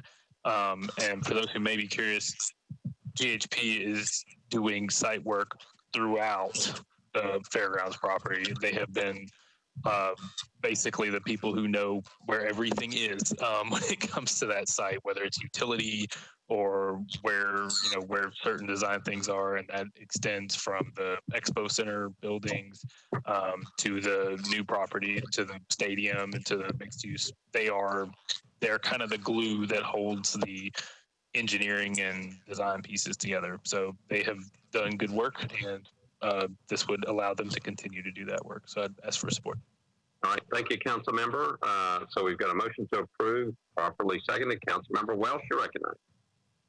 Mr. President, um, I don't have any problem with this bill as it is written. Um, I, the reason I wanted this off consent is I had some questions to, um, wondering if this bill is an appropriate place for us as a council to add some accountability to um, uh, Mortenson Messer, the construction um, managers. Um, I wondered if this bill could be um, amended where we could require some sort of quarterly reporting on the workforce development plan, um, uh, safety issues in the construction industry, particularly particularly in light of what has happened with the death of Gustavo Ramirez.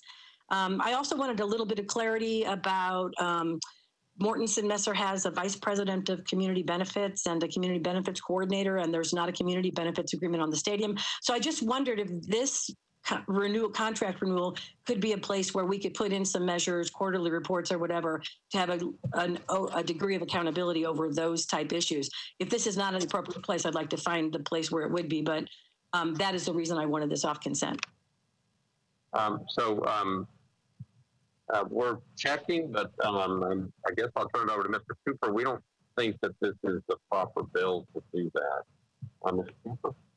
That's correct. This just has to do with the uh, contract manager or project manager um, on Metro's behalf at the site. It, it does not pertain to Mortenson Messer. That is a uh, uh, contractor that was selected by the Sports Authority. So that's a, a Sports Authority project and, and not a uh, contract directly with Metro.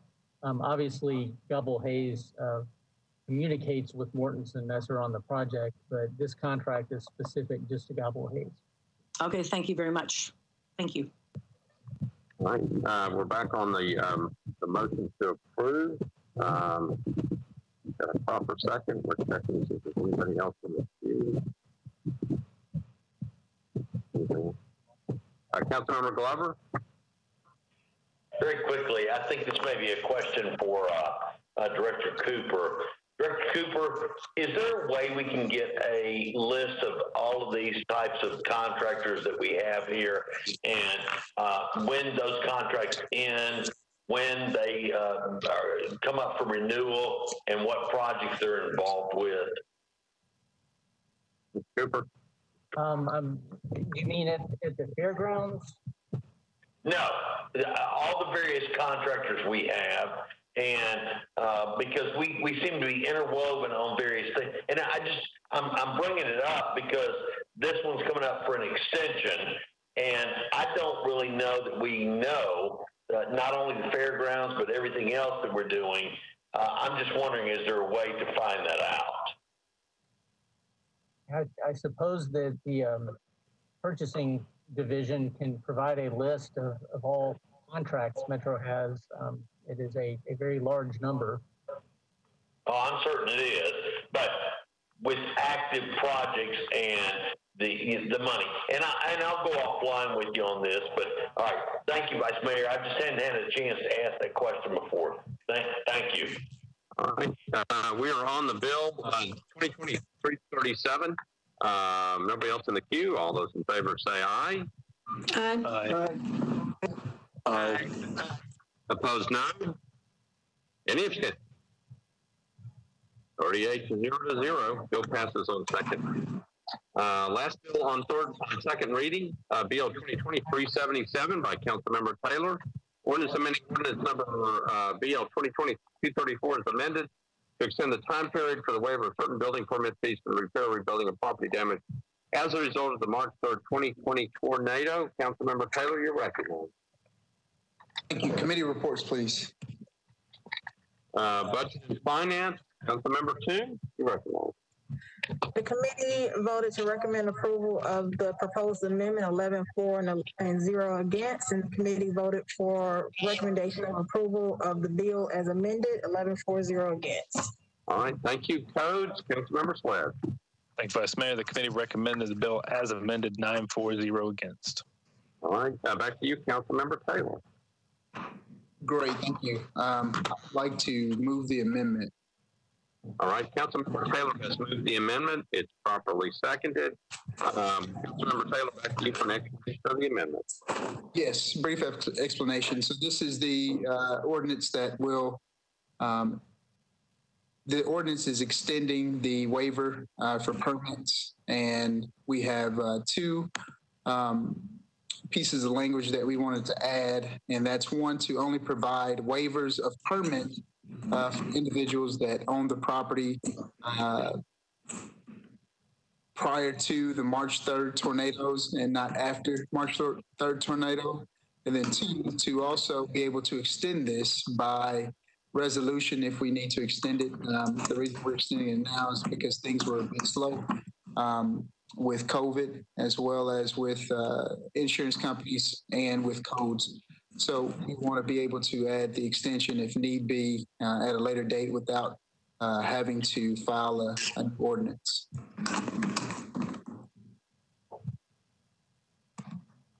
All right, so Councilmember Taylor has uh, moved the amendment, uh, properly seconded. Any discussion on the amendment?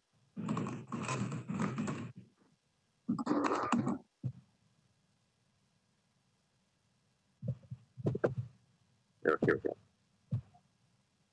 go. All right. Um, so, uh, anybody wish to be recognized on the amendment? Here we go.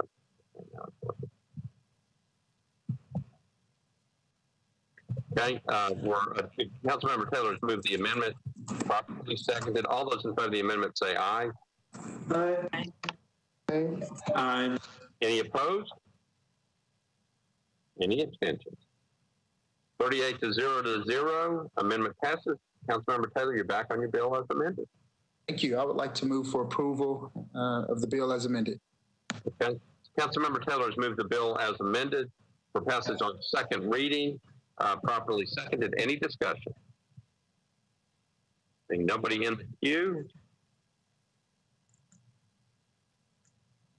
Anybody in the Uh, all those in favor say aye. Aye. Aye. Aye. Opposed, no? Any abstentions? It passes on second reading, uh, as amended, uh, thirty-eight to zero to zero. Any corrections to that? It passes on third reading. Uh, on, I'm sorry, bill passes on second reading. We are now on, um, bills on third reading.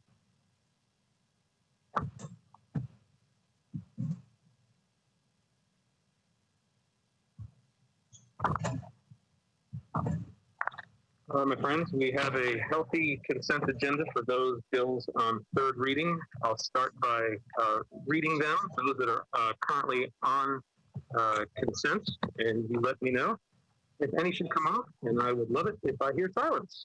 There we go. Uh, BL 2020 211, 218, 230, 233, 265. 269, 273, 275, 304, 310, 311, 312, 313, 314, 315, 317, 318, 321, 325, 326, and 327. Are there any bills that need to come off of our third reading consent agenda? Scrolling to see any hands. Don't, don't see any. Councilmember Rutherford, your hand is up. Did you need anything taken off of that consent agenda? Yes, uh, Mr. Pro Tem, I would like to remove 313 for the purpose of deferral. Very good, thank you. We'll take 313 off of consent. Uh, Seeing no other hand raised, I will move on with the consent agenda, uh, uh, consent agenda minus 313, and we will need a committee report. And I will go to Councilmember Murphy for planning, zoning, and historic on those that are on consent. They were all passed, 15 in favor, zero against. Very good. Thank you so much. I guess I should read the, the captions here. Okay. So, uh, BL 2020-211, Councilmember Welsch, changes 1.47 acres from CS to OG zoning for property located at 324 Plus Park Boulevard. BL 2020-230, Parker Murphy and others, abandons a portion of alley number 312 right-of-way from North 9th Street to alley number 278. Substitute, uh, uh, 28, did I miss 218? Uh, ooh, 218. Let me go back to that real quick. Sorry. Big BL 2020 218, count number two, changes 0.46 acres from R6 to SP zoning for properties located at 701 Enlow Street and Enlow Street unnumbered to permit a mixed use development. Uh, back to BL 2020 233 changes 0.57 acres from RS5 to MUN A and S zoning for properties located at Birch Avenue, unnumbered, and 103 Fern Avenue. BL 2020-265, Councilmember Welsch, changes 0.3 acres from RS7.5 to R8-A zoning for property located at 463 Radnor Street. BL 2020-269, Councilmember Taylor, changes 0.15 acres from RS5 to R6A zoning for property located at 1820 Stonewall Street. BL 2020-273, Councilmember Hagar, changes 0.24 acres from MUL to MULA zoning for properties located at 2208, 2210, and 2212 Elliott Drive. BL 2020-275, Councilmember Toombs, changes 0.17 acres from RS5 to R6 zoning for property located at 1208 Katy Street. Uh, over to BL 2020-304, Councilor Withers, Murphy, and others, renames a portion of Summer Place between South 4th Street and South 5th Street to Gary Newsom Way. Uh, BL 2020-310, Councilmember Toombs, changes 1.6 acres from R8 to RM15A and S zoning for property located at 2607 Whites Creek Pike. BL 2020-311, Councilmember Syracuse, applies 0.65 acres of a historic landmark overlay district for property located at 2001 Lebanon Pike. BL 2020-312, Councilmember 2, changes 0.18 acres from RS 7.5 to R6A zoning for property located at 425 County Road. 13 is taken off consent. BL 2020-314, Councilman VanReece, changes 0.44 acres from CS to MUA zoning for property located at 204 Woodruff Street. BL 2020-315, Councilmember 2, changes 0.61 acres from CL to RS 7.5 to RM 28NS zoning for properties located at 2206, 2210, and 2214 Monticello Drive. BL 2020-317, Councilmember O'Connell, changes 0.28 acres from IR to MUN-NS zoning for properties located at 1220 and 1222 6th Avenue North. BL 2020-318, Councilmember O'Connell, changes 0.16 acres from IR to MUN-NS zoning for properties located at 1226 6th Avenue North. BL 2020-321, Councilmember Vercher amends the Metro Code to require members of the Metro, Metro Council to receive disaster preparedness response training and active shooter training. BL 2020-325, Councilmember Withers, Mendes, and others, approves a lease agreement between Metro government and the Episcopal School of Nashville. BL 2020-326, Syracuse Murphy and others, renames a portion of Old Elm Hill Pike between McGavock Pike and Aramark Drive to Sims Branch Way. And BL 2020-327 authorizes 900 Church Street LLC to install, construct, and maintain underground and aerial encroachments in the right-of-way located at 900 Church Street. Very good. And we just heard from Councilmember Murphy on uh, the committee report from Planning, Zoning, and Historic. Um, do I have a motion to approve the consent agenda? Councilmember Murphy, you want to go ahead and make that motion to approve the consent agenda minus 313? Or anybody? So So moved. So moved, second. It is, it is moved. I have a question. I didn't catch why BL 2023-21 was on consent. Was that on consent? 321 was on consent. Uh, Are you asking to take that off? Yes. Uh, we will move, we're moving 313 and 321. The rest stay on consent. Have been moved and properly seconded. Any, oth- any discussion on the consent agenda, minus those two? Seeing no hands in the queue, all in favor? Aye. Aye. Aye. Aye. Any against or abstentions? Hearing none, seeing no hands, the consent agenda passes except for 313 and 321. We will now go back to those bills in order that are not on consent. And so we will start with BL 2020-261. Councilmember Rhoten changes 5.0 acres from RS15 to SP zoning for property located at 3783 Hoggett Ford Road, permit 28 multi-family residential units. Councilmember Rhoten. Thank you, Mr. Chair, President. Uh, Can I get a committee report, please? Councilmember Murphy for planning and zoning authority. We're on, we're on 261. Councilmember Murphy, planning report. Yes, we approved this. 15 in favor, zero against as amended. Thank you so much. Back to you, Councilmember Rhoten. I need to move the substitute first.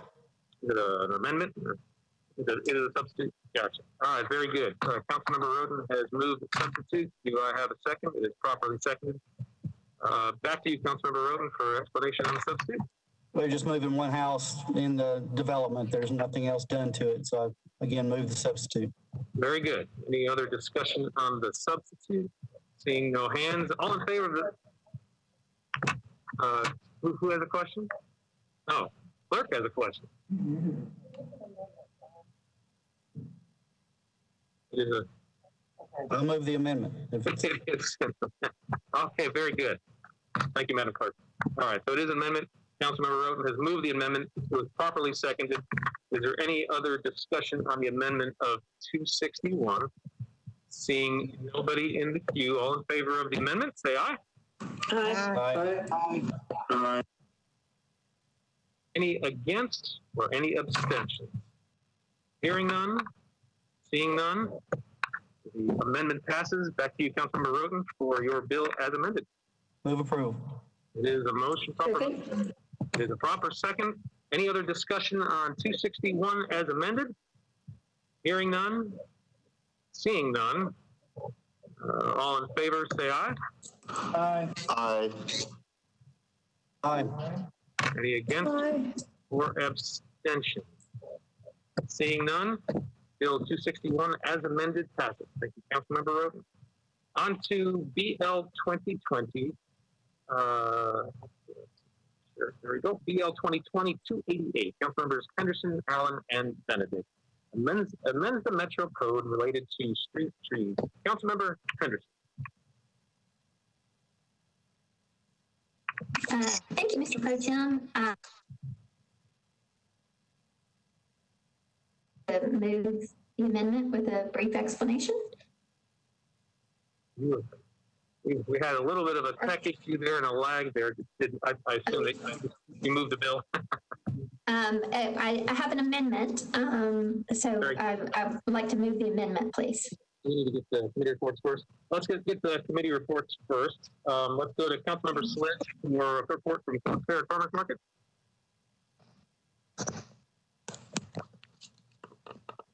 Sorry, I was trying to get the window up here. so, uh, codes recommended as amended 940. Thank you so much. If the weather is there good enough for the, for the window to open, uh, you may, must not be an issue. All right, so uh, over to uh, Councilmember Murphy, Planning, Zoning, and Historic.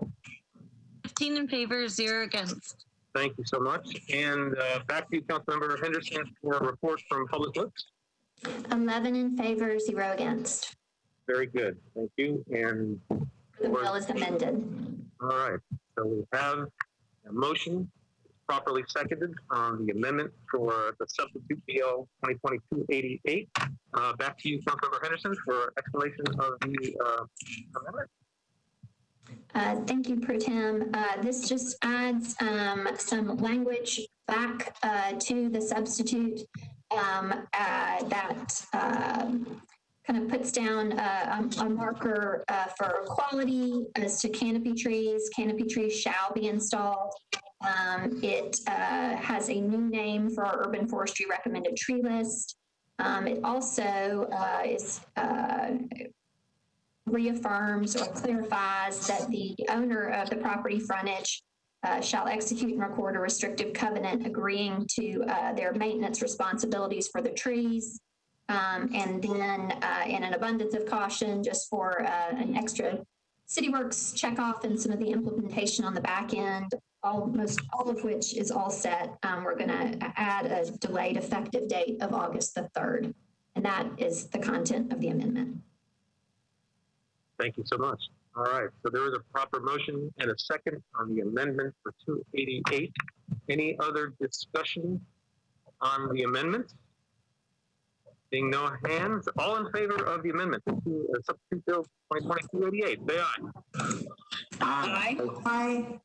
Aye. Aye. Any against or abstentions? Hearing none, seeing none, the amendment passes. Thank you, Councilmember Henderson. So uh, back to you for your bill, substitute bill 2022-88 as amended.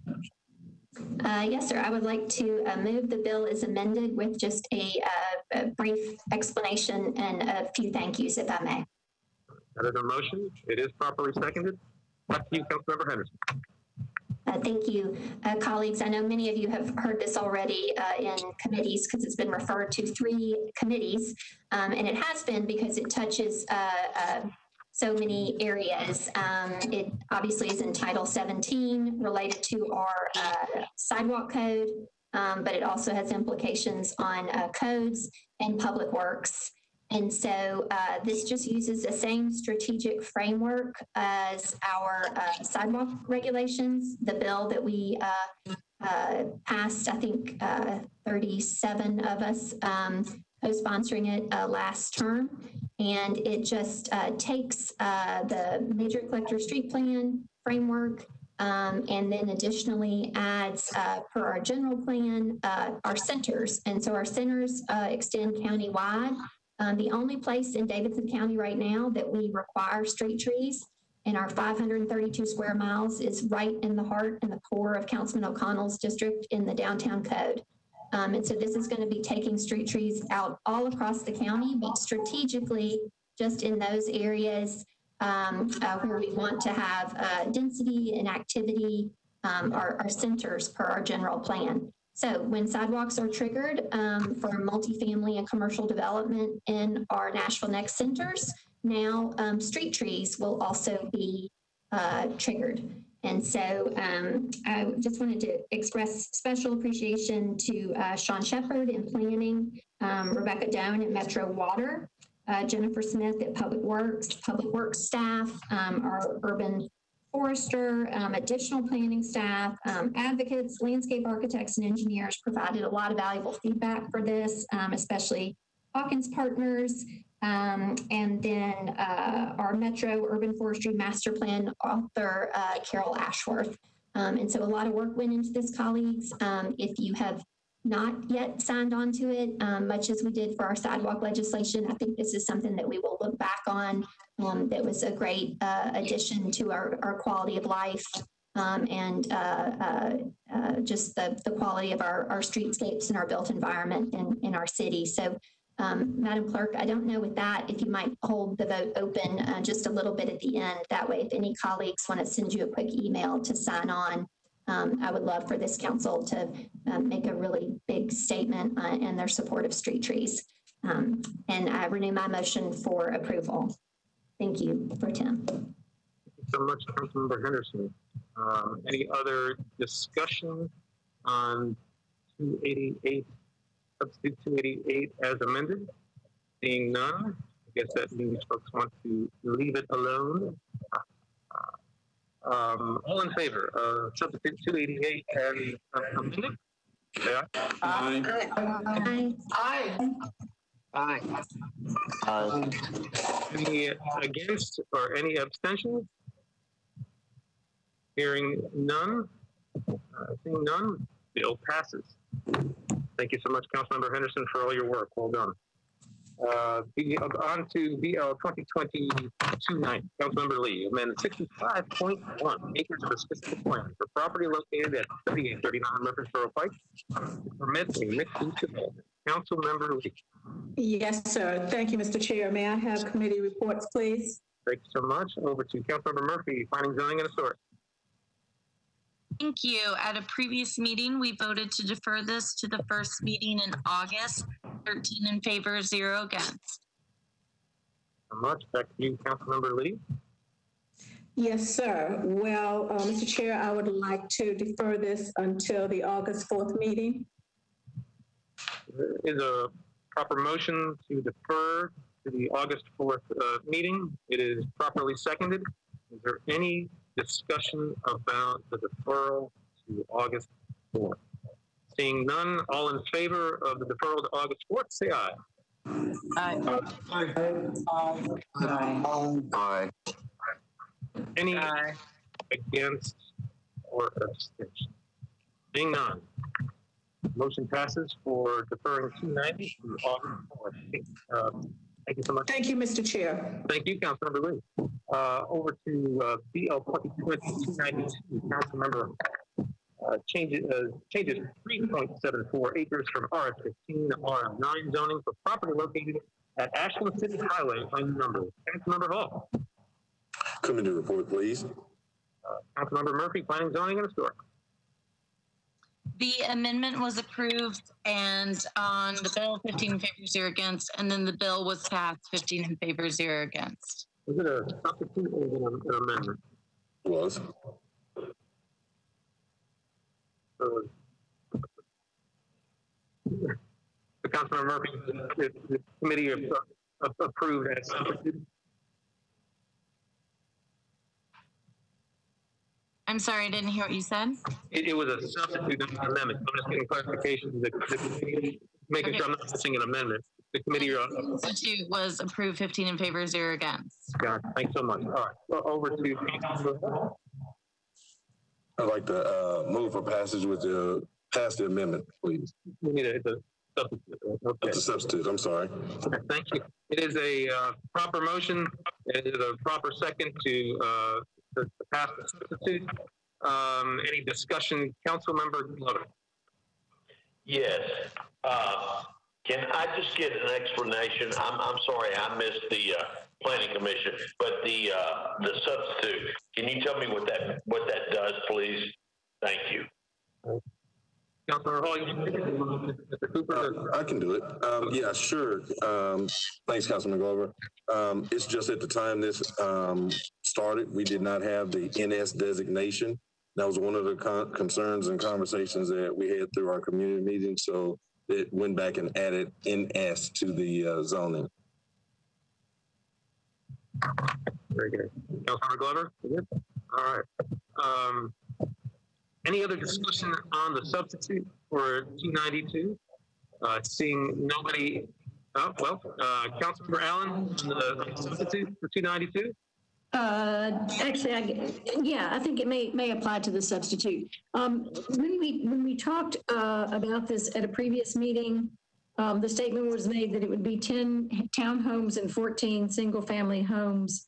Um, but it, it doesn't appear to be an SP, um, in the current, uh, version, and it, it sounds like the substitute is changing it to RM nine NS. So is there any way to guarantee that, um, that the ten townhomes and the fourteen single-family homes is what will be built? Or can it just be anything that fits within the RM nine NS designation? Back to Councilmember Hall, you want to address that one? Or Mr. Cooper will address that? Uh, since it's just the base zoning district, it would be whatever the zoning code allows under that base zoning with the restriction on, uh, short-term rental property.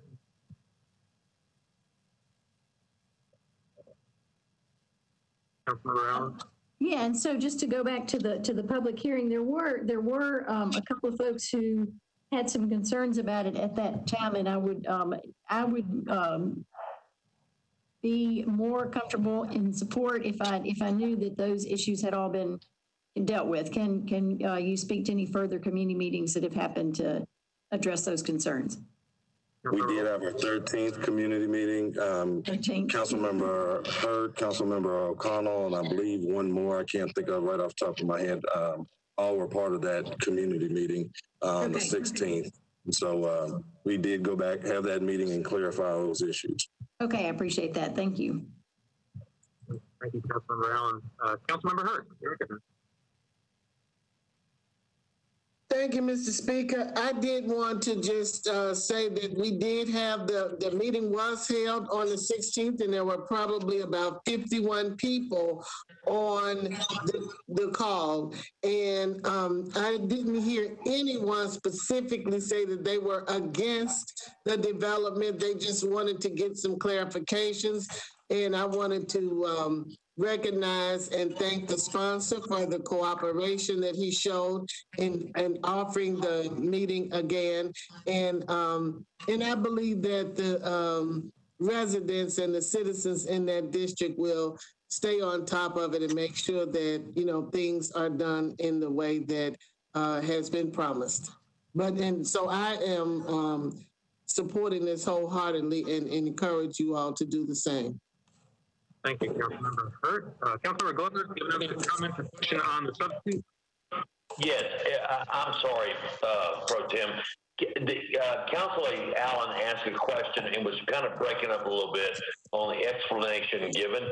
Could that be given one more time, if, if you would, please? Uh, I guess Mr. Uh, The, the question based on the SP, The SP versus the RM, the 10 versus 4, or not 10 versus 14, but 10 and 14, yes.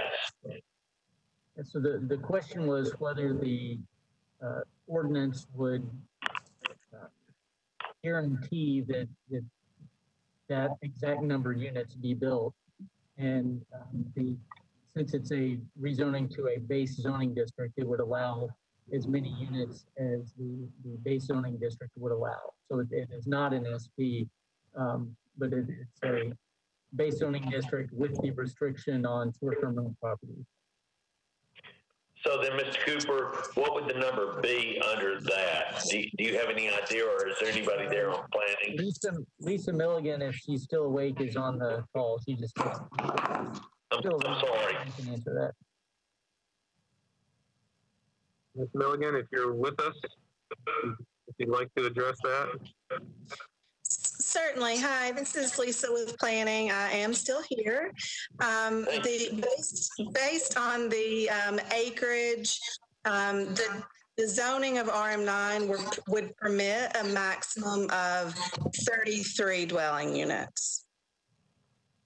So then the 33, so if I understand, then the other would have been 34. This one backs it down to 33. Is that correct, Ms. Milligan? Uh, right, well, I believe RM9 based on the testing would permit 33. 24. I'm sorry. I'm sorry. I'm, I'm, I'm misread it. So, So the way that it works, I, I mean, I, I think that I think that what we we sort of see this sometimes is that the requested zoning was RM9, which would permit a maximum of 33 units. Um, I believe that the the applicant and the, has been working with the community and has shown a plan that they have said that they intend to build, which I believe is fewer units, but if rezoned, the number of units permitted would be 33. and so, uh, and I'll, this will be my final question, Pro Tem. So does planning feel comfortable with this, uh, change? The Planning Commission did recommend approval of RM9. Um, and I believe the substitute creates, uh, changes it to RM9 in S, which only would then limit short-term rentals. Um, and so that would not change the Planning Commission's recommendation. So the Planning Commission recommendation of approval does stand. Okay, thank you, Mr. Pro Tem. Councilmember Glover. Uh, Councilmember O'Connell, you're the last one in the queue. Well, I'm going to call the question anyway. Well, I guess we, we, we need to. You're the last one in the queue. Very good. So the substitute for 292 was properly motioned, properly seconded. Any other discussion on uh, 292? Being none, all in favor of the substitute, say aye. Aye. Uh, I hear an abstention. I'll get to that in just a second. Any uh, nay votes on the substitute for 292? Very good. Was there an abstention? I thought I heard. No, very good. All right. So the, the substitute for 292 passes. Back to you, Councilmember Hall, for your bill as substitute. Move for approval as substituted. All right, that is a proper motion. It is properly seconded. Any discussion on 292 as substituted? Seeing none? Hearing none? All in favor, say aye. Aye. Aye. Aye. Aye. Any against or any abstention? Hearing none, seeing none. 292 as substituted passes. Thank you, Councilmember Hall. Over to uh, BL 2020-313, Councilmember Rutherford. Changes 8.6 acres from AR2A, CLA, and MULA zoning for properties located at 6944 Nolensville Pike and 1736 Old Burkitt Road. Councilmember Rutherford. Thank you, Mr. Pro Tem. Committee reports, please. Councilmember Murphy, Planning, Zoning, and Historic. Thank you. It was 15 in favor, zero against. Thank you. Back to Councilmember Rutherford. I move to defer one meeting. All right, there is a proper motion for one meeting to defer to the August 4th meeting. It is a proper second. Any uh, discussion on the deferral for 313? Seeing none, hearing none. All in favor of the deferral on 313 August 4th, say aye. Aye. Yep. Any, any against or any abstentions? Hearing none, seeing none. Uh, motion passes for deferral of 313 to August 4th.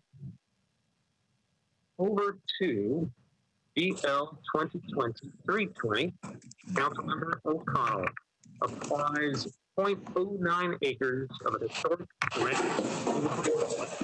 oh, for property located at 421 Church. Councilmember O'Connell. Thank you, Mr. President. I'd like to get committee reports, please. Over to Councilmember Murphy, Planning, Zoning, and Historical. 15 in favor, zero against. That's you, Councilmember O'Connell. Thank you, Mr. President. I'd like to move to defer to the second meeting in August with a brief explanation. All right, motion is to defer to the second meeting in August. That is a proper motion and then a proper second. Any discussion on the deferral 320 to the second meeting in August? Oh, well, yeah, any, I'm sorry, uh, Councilmember O'Connell, the floor is yours. Thank you, Mr. President. Just uh, real briefly, the um, this one needs to track back with another text amendment that's coming soon, just to to have the bills work together because they're kind of uh, in tandem. So just waiting for those to track, and that's just basically just a scheduling deferral. Thanks. Gotcha. Thanks so much. Uh, seeing no other discussion, no, uh, nobody else in the queue.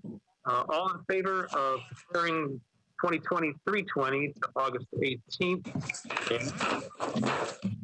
Aye. Aye. Any against? Seeing none, BL 2020-320 is deferred to August 18th. Thank you, Councilmember O'Connell.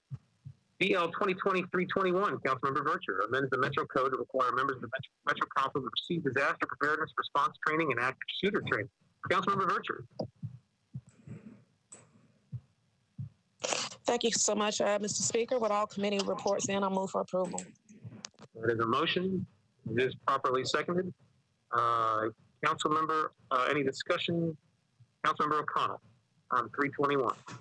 Thank you, Mr. President. Just returning to the introduction of this, and as someone who represents a district that was badly damaged by the tornado, I'm still troubled by the suggestion that um, departments were calling for this. Um, you know, as council members, we are.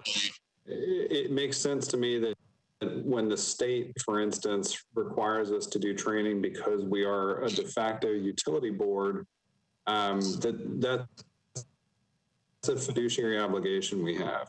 I am sure we could be trained up. We, we could spend each hour of every day training on all of the different things that metro departments do that citizens have concerns about, et cetera. I have no difficulty whatsoever offering this as an optional training to council members, but I think the logic under which it is offered uh, does not make sense to me, and I'm not able to support it at this time.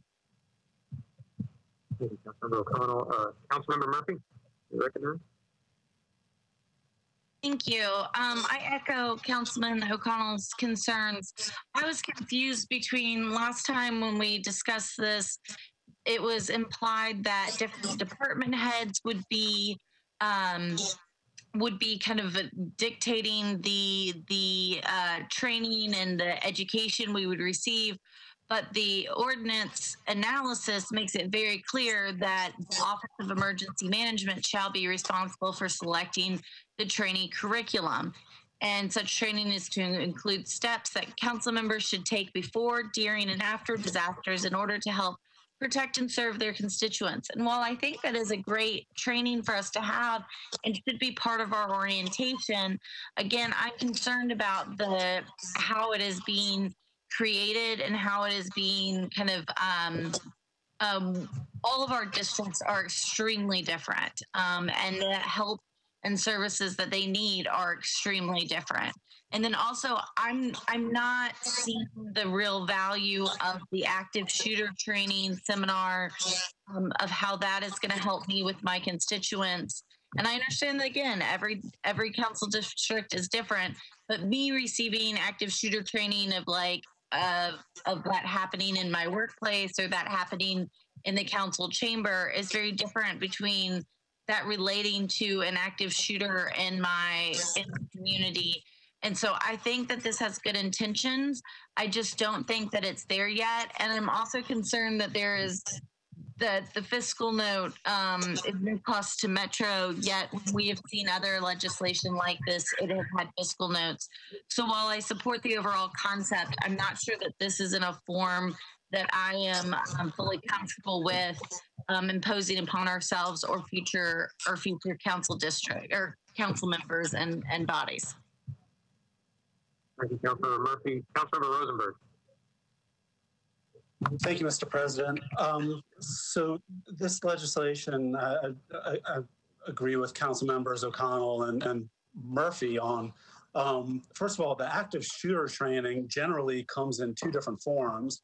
One is how to respond if you're an employee in a workplace and there's an active shooter, which doesn't apply to us. And the other would be a law enforcement response. And I'm very certain that an officer in the world that wants me helping them in an active shooter situation. Um, so this, it's, I, I just don't really understand why we would be doing it and, and what the benefit of this is. I, it's just, it's not something I can support. Thank you. Thank you, Councilmember Rosenberg. Uh, Councilmember Hurt.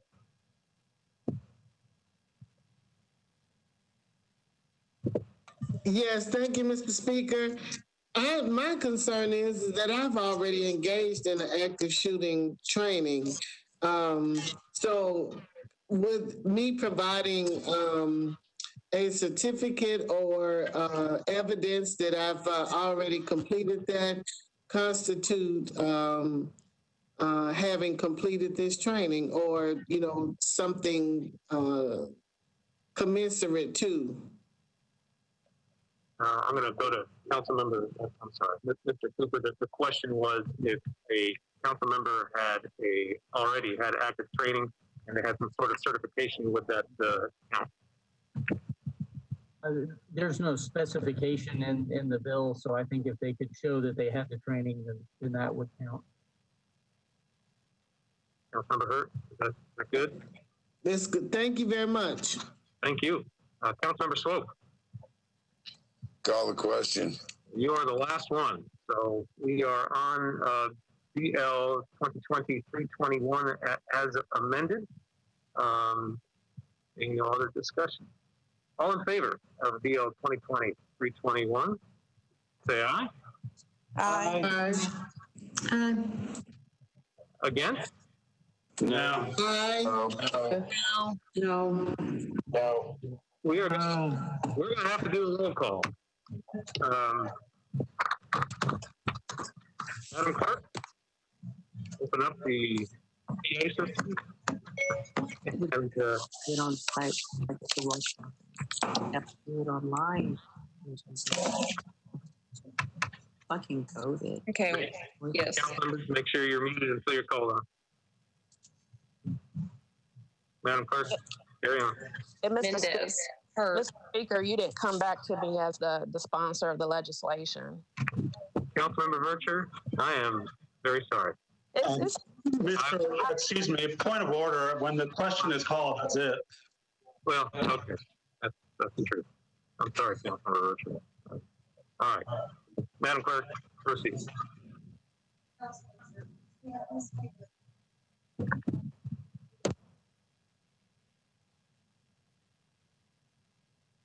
Councilmember Hurt. Yes. Allen. Yes.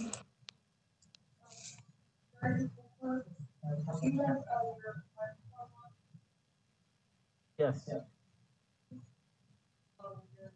I, I didn't have it on until you just asked me.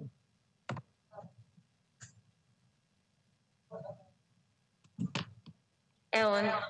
Um, I'm not sure which one. Let's look. Allen, yes.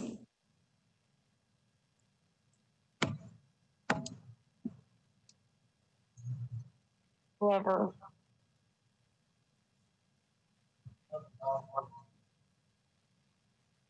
Suara.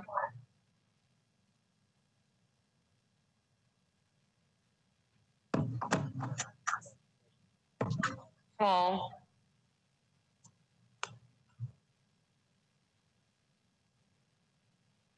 Toombs. Yes. Gamble. Yes. Swope. No. Parker. No. Withers. Benedict. No. VanReece. No. Hancock. No. Young. Uh, yes. Hagar.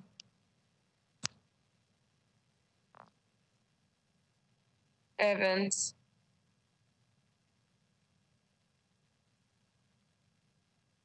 Bradford. Yes. Rhoten.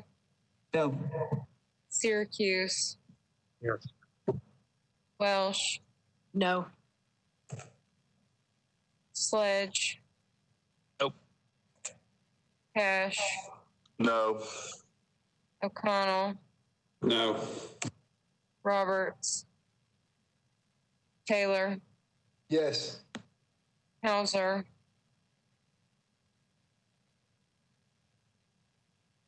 Druffel. Murphy. No. Lee. Yes. Johnston. Yes. Nash.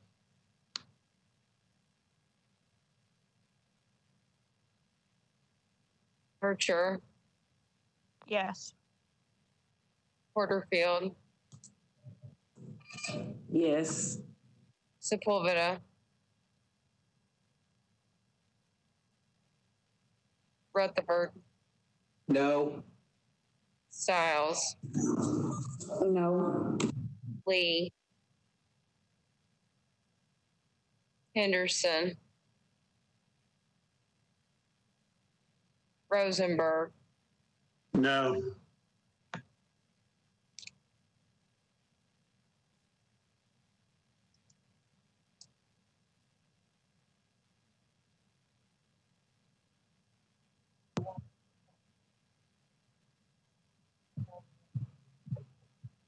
Um, you want to give one more shot to, uh, to those that, uh,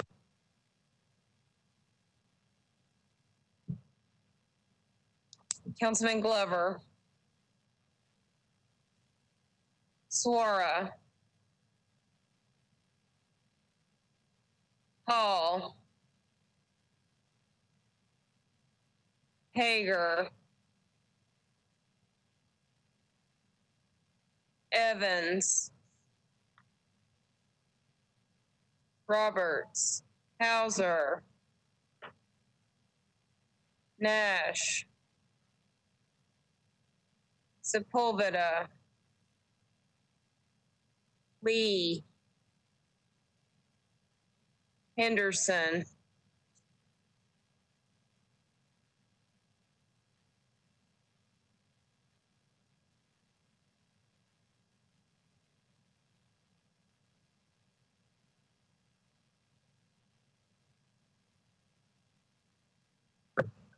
Uh, 13 in favor, 14 against. Uh, Bill, bill fails.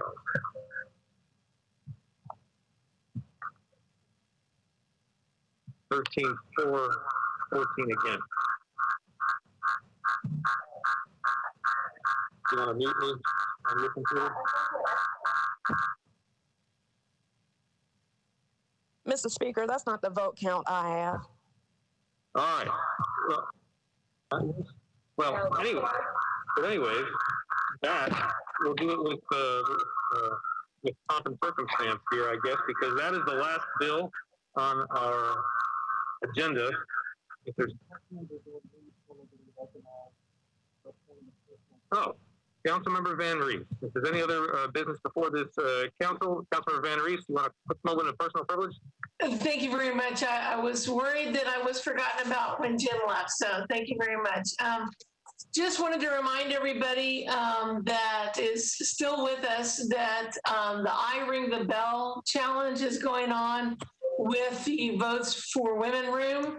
Uh, when the Tennessee legislature ratified the 19th Amendment 100 years ago, cities across the United States rang a bell in celebration However, that did not happen in Nashville. If you want to know why, go to the library and read about it. There'll be a resolution offered on August the 4th uh, that the women of the Metro Council will read out loud and we will all together ring our bell. So um, please make sure and um, come prepared and look for more information about that for the August 4th meeting. Thank you. Thank you, VanReece. Is there any other business before this body? Seeing none, I will entertain a motion to adjourn. All in favor? So moved. Aye. Aye. Aye. Aye. Motion seconded, and we are adjourned. Aye. Good morning. And so the council has concluded about a six-hour meeting tonight, uh, actually one of the shorter ones recently. The council has continued a streak going since at least the last meeting in May, three meetings in June, both meetings in July, where the meeting starts on one day and ends the next day. Uh, although by six hours, a little over six hours, that's short for those, and some of them have gone as long as five o'clock in the morning. Uh, but uh, the council actually would have ended before midnight tonight, but the first hour of the, of the would have been meeting time. The council could not, after just starting the meeting, had serious audio problems, sound problems. And for a while, it was in doubt that the council meeting was able to go forward, but they found a way to make the system work tonight, and they got the meeting in. Although the Gremlins were 11 meetings into these uh, special emergency rules we operate under in doing virtual meetings, but so far the, the Gremlins continue to show up. Among actions the council took tonight, they approved a, a new member for the Metro School Board. There was a vacancy there in District 4 due to the death of Anna Shepherd. Uh, the person selected by the council with 25 of the 40 votes was Dr. Berthena Nabaa McKinney. She's a former principal of the Nashville International Academy, a faith-based group. She's also now an education consultant, and she worked earlier in multiple roles with Metro Schools. The person she defeated for that, although there were two other candidates beyond that, there were four candidates total. It took three times to vote to find somebody to get more than 21 votes. Stephanie Bradford got 14 votes. She's a former dean of instruction and instructional coach for Metro Schools. Um, Dr. McKinney will serve until um, the November election. At that time, she probably will be allowed to run for that seat to serve out the remaining two years of uh, Anna Shepherd's term. Uh, There may be others who will run as well. Uh, That again will be on the November ballot. Council also tonight sort of revisited its 34% property tax hike, which it approved last month. Uh, There was a uh, resolution uh, asking for a revised tax ordinance to be submitted to the council by the Finance Department by August 15th to look at lowering the rate. Uh, There have been indications that uh, Metro's uh, sales tax uh, revenues have been actually $100 million more than expected. So I want to, want to take the, the, the property tax down a bit. That has to be done no later than the end of August so that the bills can go out to everybody start paying those new property tax bills. Uh, by October, they're due payable by the end of February of next year.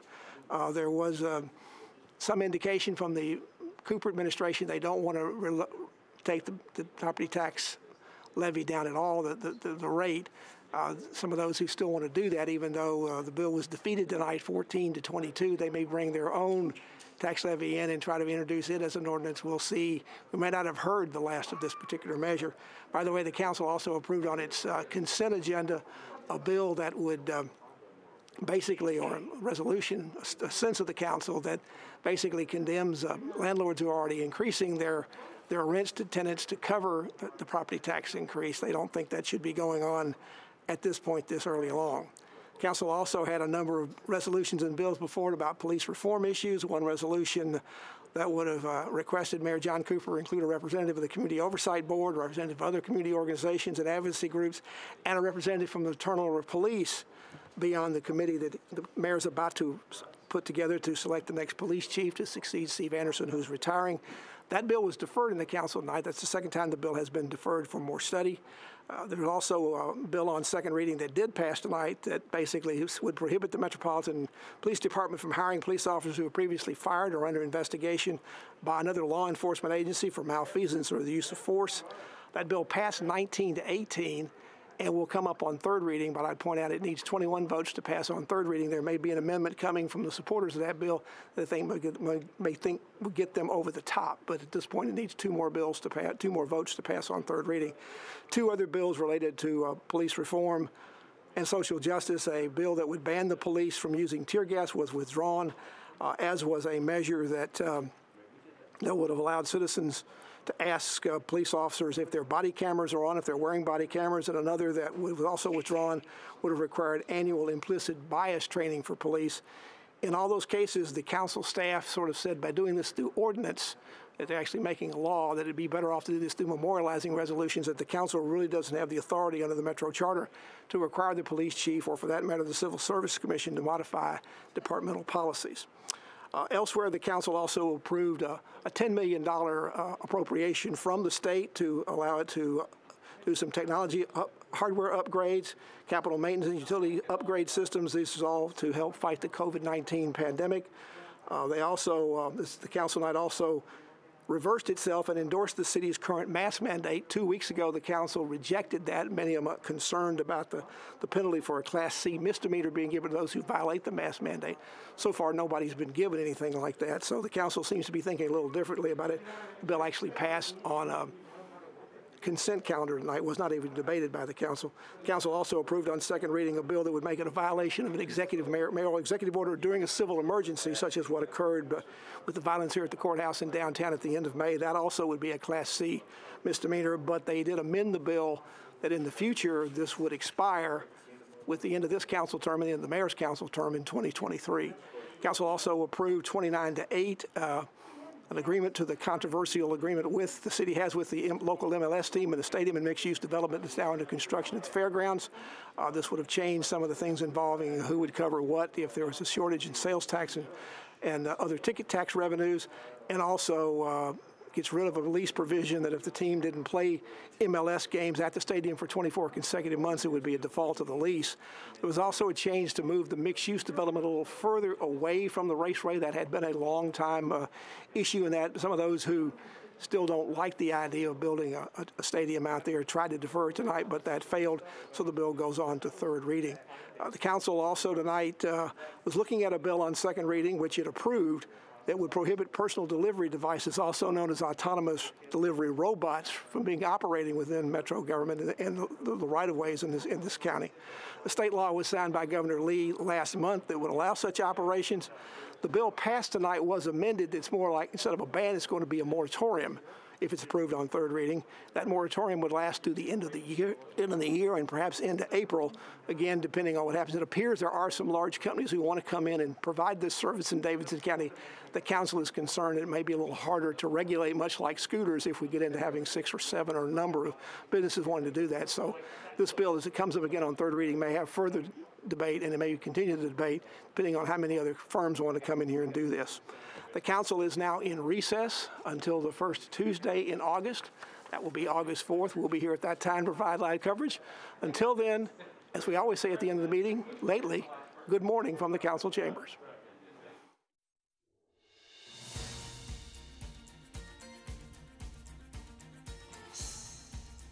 This has been a service of the Metro Nashville Network. If you would like to see this presentation again, or for more information about this and other programs, visit nashville.gov.